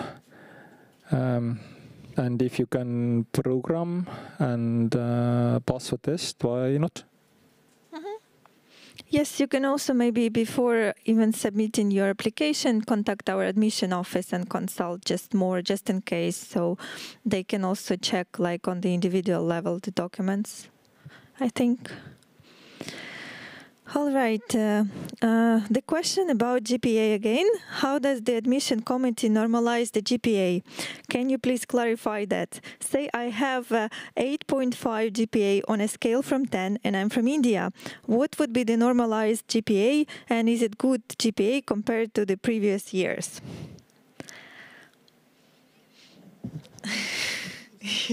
Heiki, if you would like, you can start Trade first. secret. to be honest. Maybe just to add on it, yes, of course, at the moment I wouldn't even know by heart all the different uh, normalizations because, of course, we collect information about universities worldwide. Uh, so just uh, saying that it's from a university in India doesn't really tell us much. Let's say that if you're from one of the top universities in India, then it might be better than if it's a university where we can't even figure out where it is ranked. But uh, in principle, of course, we use some, uh, we know about the different grading systems in different uh, countries like UK, India, uh, Pakistan. Uh, so, so we try to be fair. Uh, of course, um, and we cannot say what is enough because it really depends on who is applying, and this is changing, of course, a little bit every year. Yeah. Okay, I think that would be enough for this question. So there are some questions about internship, how difficult to find internship, and also if it's possible to combine work and studies. So maybe we can also make the round and include all of the programs and then uh, answer these questions as well. So another question here is the university also assisting in finding internship. So internship or and work, combining work and uh, studies. I guess I should start. Yeah, yes, sorry. So, so in principle, um, there's first of all, I would like to say that uh, you should remember that this is a full-time study place. Uh, so in principle, if you did your core module plus the one extra course, like a specialization course or optional course in the first semester, it's a 40 to 50 hour week workload. I, it's it's very difficult for me to uh, to think that you could have a full time job at the same time. Uh, just to make that uh, also clear. Uh, of course, in principle, it might be possible to work part time in parallel, uh, and it also depends. Of course, it's individual. It depends on what you do and how you do it, and so on.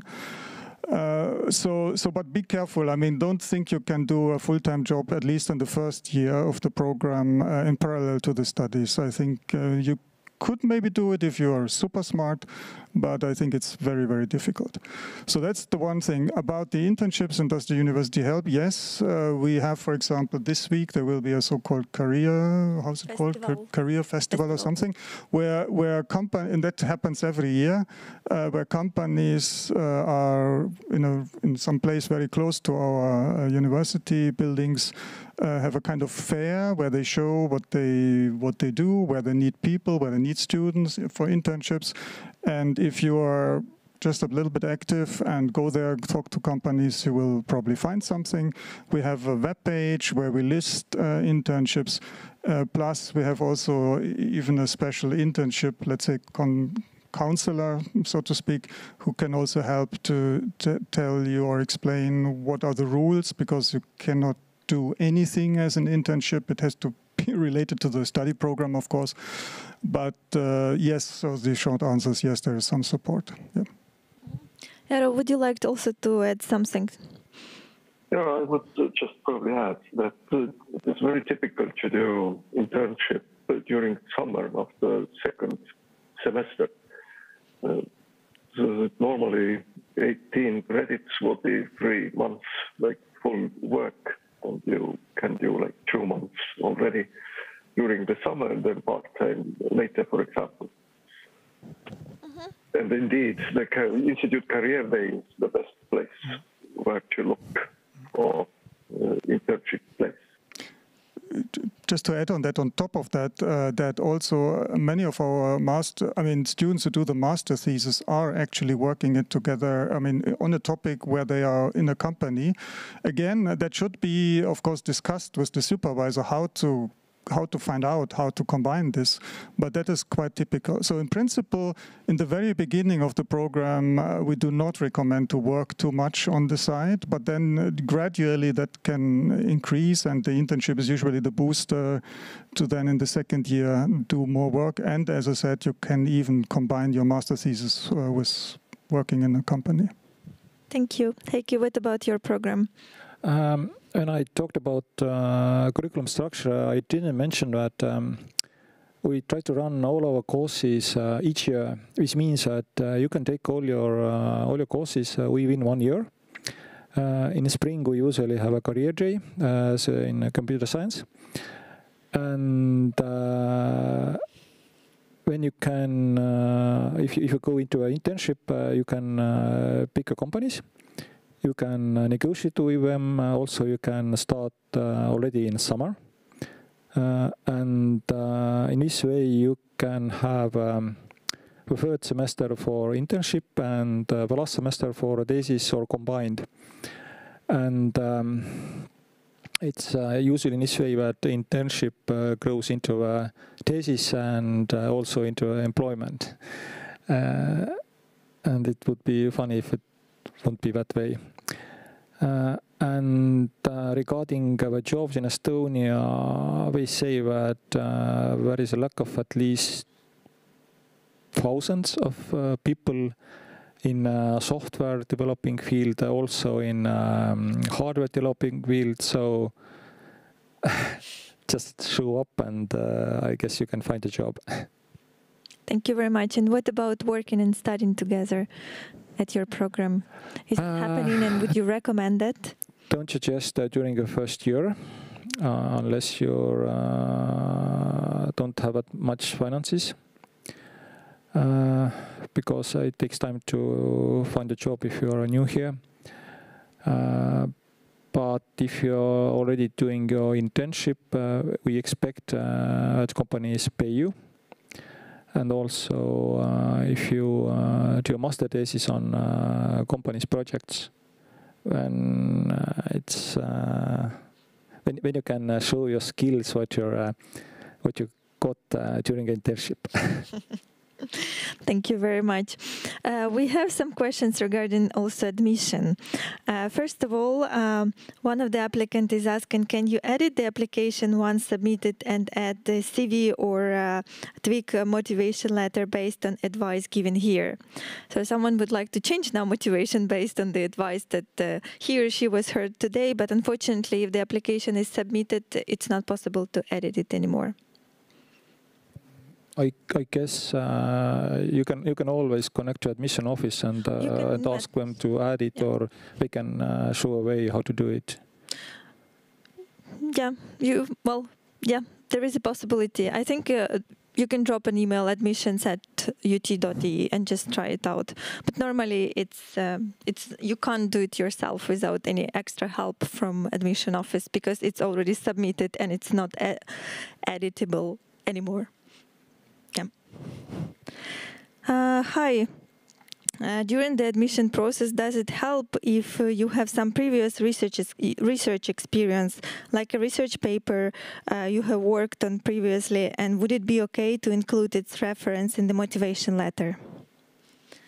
Uh, Dietmar, if you can start. Yes, uh, there's no reason why it should not be okay. yeah, yeah. If you think it's relevant, I mean, of course, you should think it's if if it is relevant for the program. Uh, yes, of course, you can do that. Yeah. Heiki. Or same. Yeah. Eero.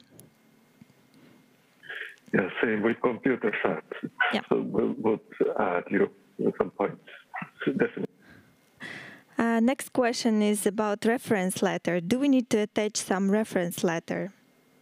Not specified which program this person, yeah, not specified uh, to which program, but maybe we can say uh, to every program. Uh, Dietmar, if you can Yeah. start. So, so I mean, uh, once again, uh, the- what we look at is the motivation letter and the GPA. Uh, but uh, of course, we always, uh, I guess, all of us, we, we can we have access to like for the international students who apply through the DreamApply, we have access to all the documents that you submit, and like for example, also CV. Uh, but it's not necessarily so that we look at it. Uh, and when I get, if uh, sometimes I see like like references, like one paragraph of somebody from some company, and I mean, it does probably not really help much. Maybe the only thing it gets, gives us, the only information that we get is that probably you really worked in that company from uh, date one to date two, but that's it. But we are not really, uh, it's not so important for us. Un- at least not in my program. Unless you get one from Elon Musk, for example, personally. uh, well, uh, yeah. mm, well, can you imagine that uh, you have uh, reference uh, letters uh, from three Indian professors? Uh, I have never met. I know nothing about it, about them. But if you have a reference letter from Estonia, from people I know, this is valuable for you. So Thank you. Eero, how about reference letter considered at commu- computer science program? It is, yeah, approximately the same. Yes. Mm, It's not mm, the same. But, uh, Okay, we will take our last question for today because we are running out of time. And the question is addressed to Dietmar.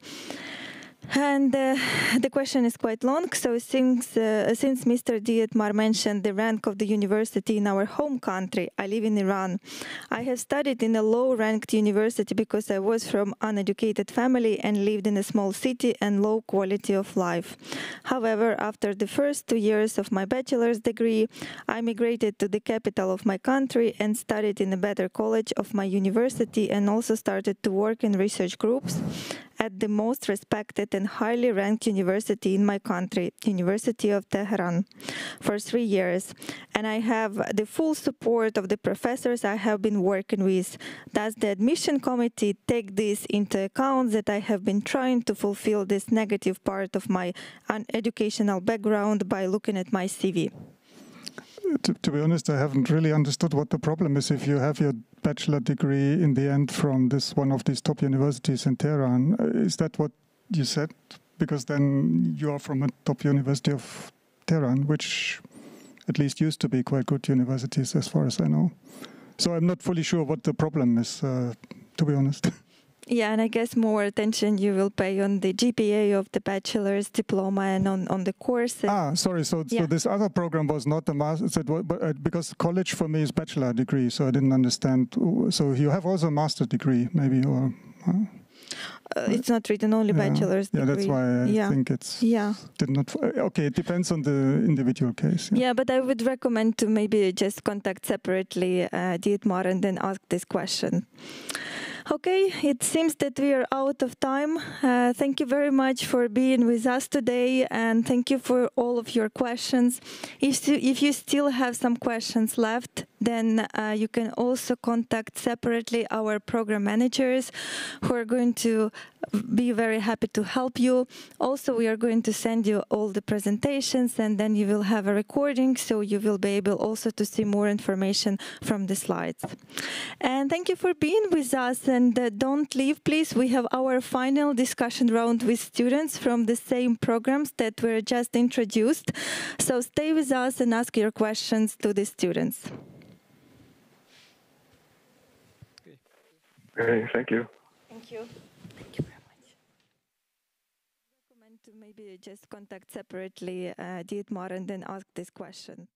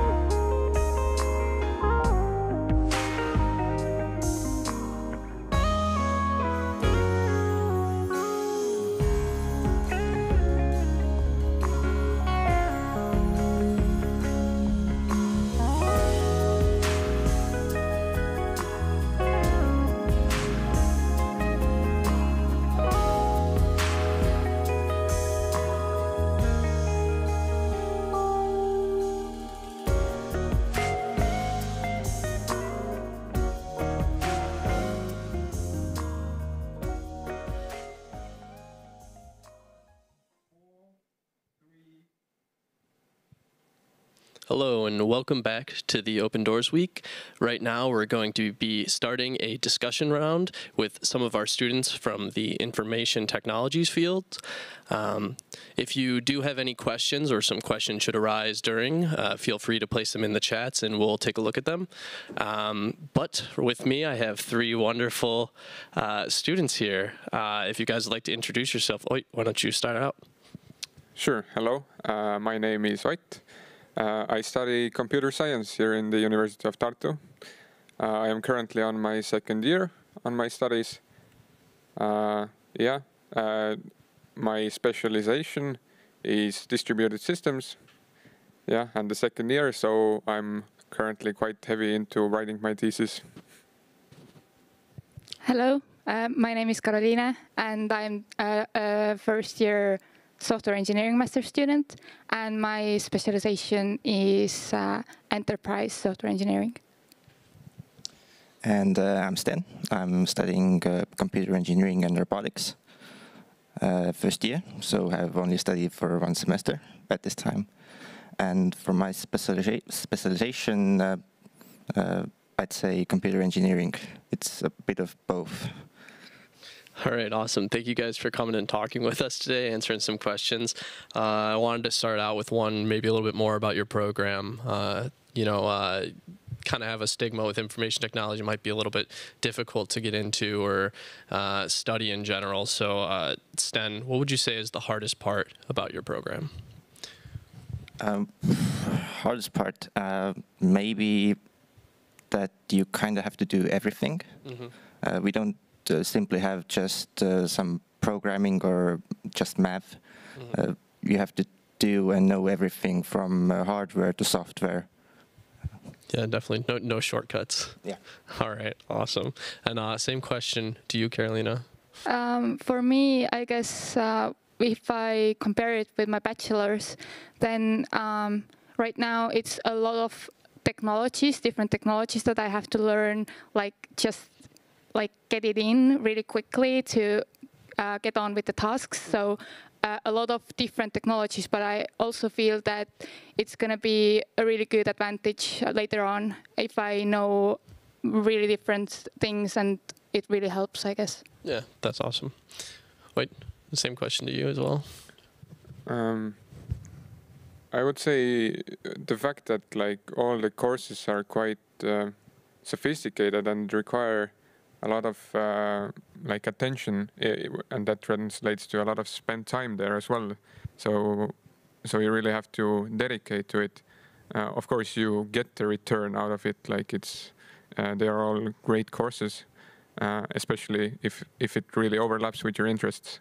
But yeah, that's one thing that requires some dedication definitely to get done. Yeah. So you would say it uh, requires a lot of independent study, kind of working on your own outside of the classroom too. Yeah, yeah, definitely. Especially considering last year's, uh, I mean, our studies have mostly been uh, remote, uh, which, like, if it suits you, it's great. You can watch that, watch the lecture. You can pause it uh, if you want to. I don't know, grab a snack or whatever, and then return to it in your own time. So you can like accommodate it to your life, which is great. But you, yeah, it requires you to have this individual. Um, time planning skills, I guess. Yeah, definitely. Um, I know you guys are a little bit new, uh, your first semester students, but uh, maybe what would you say is one thing that uh, you can tell to somebody maybe coming into University of Tartu, or maybe it's their first semester? What's one tip for success uh, coming to the University of Tartu? I mean, you guys can take a second, Stan, if you want to start out, or if Carolina, you have an answer first, and then maybe we'll we'll go over to the veteran over there. like maybe it's not a tip, but uh, there's really nothing to be afraid. Uh, like uh, as it as it's been said, I'm only been studying for one semester, but uh, to my experience, it's pretty much the same as bachelor's. Mm -hmm. So there's really nothing that new. Yeah. It's just two more years. All right. Carolina? Um, maybe in software engineering, as for the first semester, there are pretty many group uh, assignments, mm-hmm. then uh, start to communicate with everyone uh, as quickly as you can to find yourself a good team. And if you will be able to find yourself a good team, you're gonna be so like, it's gonna be so enjoyable. That's that's the tip I have. Yeah. So relying on your peers is like one one of one of the Yes, best definitely. things to do. You can cannot do stuff on, alone. Yeah, definitely. Okay, right. Yeah, I think uh, I agree that, uh, and in general, like, be proactive in your in your studies. That when when you have like a deadline or you have to do something, uh, like do it in advance, or like if you need to assign or like assemble a group for a project, like I don't know, just reach out to the guys who are vocal in uh, in lectures and ask them like, hey, can we do the project together? And you'll get a good team and stuff like that. And like when you you have to like pick some uh, modules, you have to pick your specialization. Then um, like it's good to know the courses in advance. You can just talk to the lecturers. They're very like open about uh, their their courses and and you can get a lot of information already there like what suits you what interests you and uh, uh, it, it also translates to the thesis like if you if you're if you are open you go and communicate with your lecturers you will most probably find a good topic for your thesis and uh, and yeah you'll have a good time Awesome, awesome. Yeah, I understand you guys are all uh, Estonian, but uh, I would like to ask you, what do you guys think about living in Tartu? I know Carolina, you're from Tartu, so maybe you have a, you have an insider perspective. Yeah, actually, um, I don't really want to go anywhere. Like the the reason I'm here in Tartu is because I really love it here. Mhm. Uh, I can I can f- really feel that I can study what I want here, and that uh, I will really get a good education, and uh, that's really important for me. And also the people here uh, are really nice, although. Estonians might seem a bit cold, but uh, I still like it. And also uh, in the masters, as now we have uh, some international students, uh, they are all super supportive here. So I really like that. Yeah, you guys don't seem too cold to me, so it's all right. uh, Sten, wh- what would you say? Uh, I would simply say that it's peaceful here. Mhm. So I come I come from the near the capital, Mhm. and like uh, there's more Russian there, and Yeah. Tartu really is simply a peaceful place to be. Yeah, I, I kind of have the the same kind of perspective on that. It's a lot slower kind of Yeah, lifestyle. yeah, people walk slower in the streets. Exactly, exactly. Wait, uh, how, how do you like living in Tartu? I definitely like it. I also like the uh, slower pace. Uh, it lets you focus on your studies uh, a lot. I also like the fact that you can walk er- everywhere. You don't need a car, or if you really need to go somewhere far, you can just take the bus.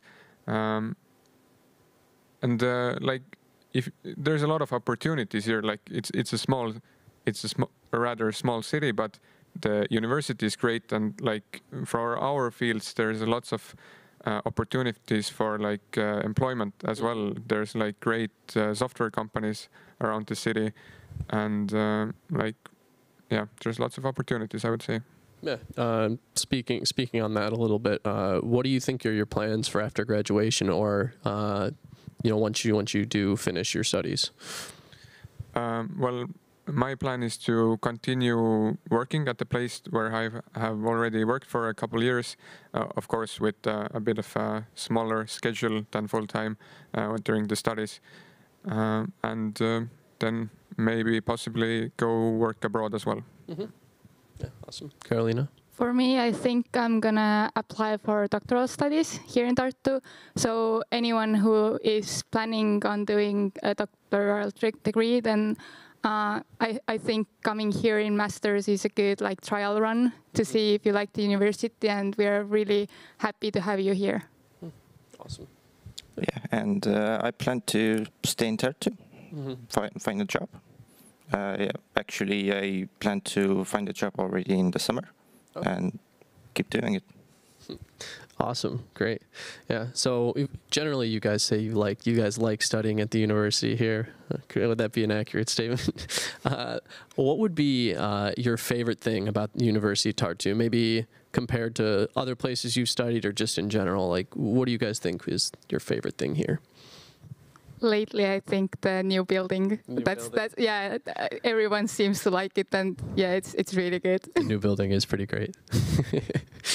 Stan, I don't have uh, experience in another university, Mm. so don't really have a good answer. But like every aspect that I can see, nothing to really like say bad about.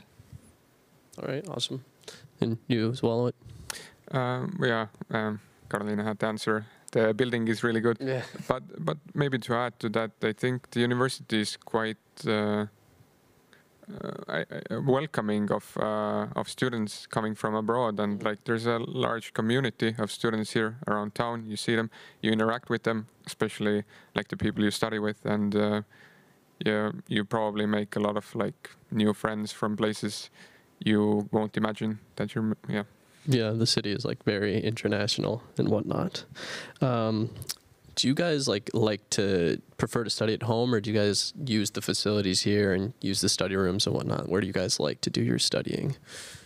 I personally like to use the Delta building. It has a lot of opportunities for studying, and I see a lot of international students also gather here. Um, and we also have some study sessions together with groups. So it's really good, like when when people are proactive, which uh, what uh, uh, recommended to be, then uh, you'll get uh, good friends really quickly, and then you can form the study groups and come to the Delta building, book yourself a room, and study together, and it's so much more fun. Yeah, definitely. Uh, I definitely prefer to study at home. Mhm. Uh, partly because uh, the new building has come up a lot, and in computer engineering and robotics, uh, the studies actually don't actually yeah, don't take place in here.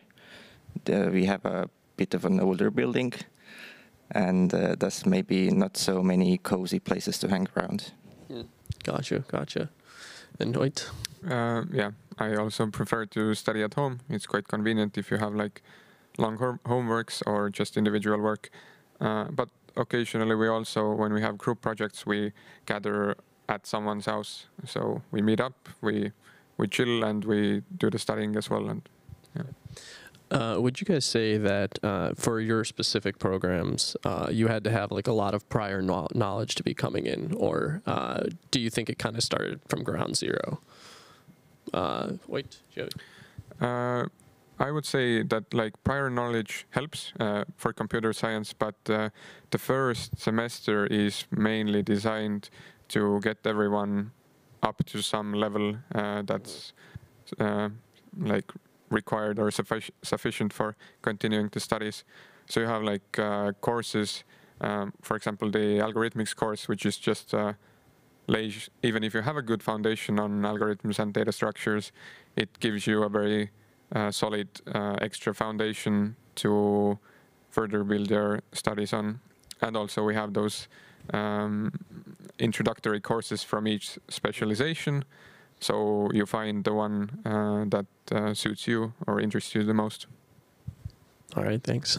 Uh, for those who watched the um, introduction session with program managers, then uh, Dietmar for software engineering also already said that uh, they assume that you have some knowledge in software engineering, so we are not uh, starting from zero. So if you don't feel too confident, I still recommend uh, applying. You can um, maybe prepare, yourse- uh, pre- prepare yourself during the summer a little bit, but uh, also when you come here, then there's an opportunity for you to take some bachelor courses that uh, the people who come from Estonia have taken in bachelor. So that's what is kind of assumed, and then you can take your, those courses yourself, so you can get uh, going.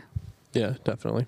Yeah, I concur that uh, previous experience is really, really recommended. Uh, we have students that uh, seem to be, uh, let's say, lacking of experience, Mhm. and uh, they seem actually to get along fine, but uh, with a lot more effort put into it. So that meaning that uh, if you are really motivated, not really, nothing really stopping you, Mhm. but recommended to have experience. Yeah, great. Um, so you are you guys' courses are in Estonian, correct? Or are they uh, English taught courses? No, they are English. English, English, okay. yeah. English, okay. So, uh, do you guys have a lot of uh, international students coming and uh, joining your programs as well? Is it like a very mixed group, or is it mostly just Estonians like we have here? Uh, I would say that uh, two thirds are international students, okay. and a third are Estonians. Yeah, actually, it's it's pretty weird that we are here all Estonians because we mostly have international students in our like programs. But um, I mean, most of the lecturers here are in international as well. Mm-hmm. So like the scene is really like including. Yeah, Yeah, same goes for computer science. Um, you have a mix of Estonians and international students, a bit more inclined towards international students in the masters. Yeah. Okay. Have you guys considered uh, studying abroad, uh, taking advantage of any of the programs, and or have you already? Um, I've heard that we have Erasmus plus plus uh, um, programs here. Uh, I personally haven't applied because, as I said earlier, I really love it here in Tartu and I want to really be here. So, but um, uh, for the international students, I- I don't know if you're coming to Tartu, then it's already new. So, I'm, but if you really love to travel, then it's gonna be like really cool that you come here in Tartu and then you can do a semester somewhere else and then come back and you can really like travel a lot if you want to. That's awesome. Definitely. I already feel like I'm studying abroad here, like a little bit of adventure. So, uh, what about you, Sen? Uh, no, haven't considered uh, going abroad. That's that's fine too. Wait. Um, maybe if I ever go to do a PhD, I would do it abroad. But uh, after the masters, I have to take a bit of a break from studying. Okay. Uh, are you guys uh, concurrent with your studies? Are you guys also doing any internships or working at the same time, or do you think you'd have time to do that just with the level of, uh, you know, of your studies? Yeah, I also been working since uh, the start of my bachelor studies. Mhm. Uh, not really uh, the professional, like uh, computer engineering job, Yeah. uh, like related to photography.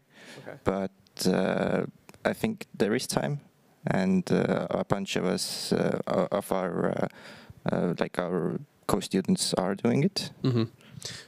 And uh, I also like to mention that uh, a good opportunity in the university is to uh, teach. Actually, Mhm. like if you have passed the subject, then it's uh, always possible to start teaching it. Mm-hmm. Okay. So maybe maybe I'm a bit old one out here because um, I'm actually uh, working here in the uni- university. So I was really um, uh, lucky to get a position in a research group, and I really really like it because it lets me kind of integrate what I'm studying with what I'm doing at work. Um, also, as uh, Sten said, um, I'm I've been teaching uh, some courses which I really really like. So that's that's a really great opportunity. But uh, from my master's uh, studies, um, I've I've seen a lot of people having internships Mhm. and actually working. Um, during the university times, and also in our program, uh, uh, quite a bit of ECTS come from practice. So at some point you have to do it anyway. So everybody does that here. Yeah. All right. Uh, yeah. Um, I've also been working during my studies, but my recommendation actually would be to maybe uh, considering uh, like I don't know how hard you want to work, but yeah, uh, the recommendation would be to take the first semester to concentrate on on studying, uh, just to adjust to the university load. Uh, you can take uh, ECTs or like courses uh, in advance, so do more than the required amount in the first semester. That will take some load off from the next semesters, and then you have like a, a bit of extra time to do an internship or or, or start working. All right. Yeah. Thank you guys. really, really enjoyed talking to you. You guys have any like final clothing, closing thoughts? Maybe just one little one liner about your program you'd like to shoot off before we uh, end the session here. Uh, not gonna be a one-liner, Ah, but um, uh, computer engineering and robotics is kind of something for everyone. Mhm. The um, the curriculum isn't strict. You can pretty much uh, choose maybe half of your subjects, and I think that's a big pro. All right. Yeah. Uh, although software engineering uh, seems more like something that you do the masters and then you go to work, then I really encourage people to come here and continue in doctoral studies. And I'll, I'll be waiting here for you. And I, I really want you to come. Really. Uh, you'll you'll see Carolina as your as your instructor, your professor. All right, White. Um, I don't have a one-liner either, but I'll try to say something. Uh, uh, well, I would say that uh, if you come here to study, uh, you will definitely get like um, a state-of-the-art uh, education. So the specialization modules, for example, we have a very strong uh, um, yeah, like the courses that are given on artificial intelligence, which is one of the specializations, uh, the lecturers and the faculty is very strong. And my specialization as well, distributed systems, it's like you will get a very good education here. Yeah. All right. Again, thank you guys so much. Uh, that's going to be the end of our student discussion here. Uh, if we're, we're going to have more student discussions um, throughout the rest of the Open Doors week. Um, but today, this is the last one. I can say we saved the best for last, maybe, but but uh, that'll be us uh, closing it off right there. Thank you so much for your questions, and thank you guys for uh, tuning in here.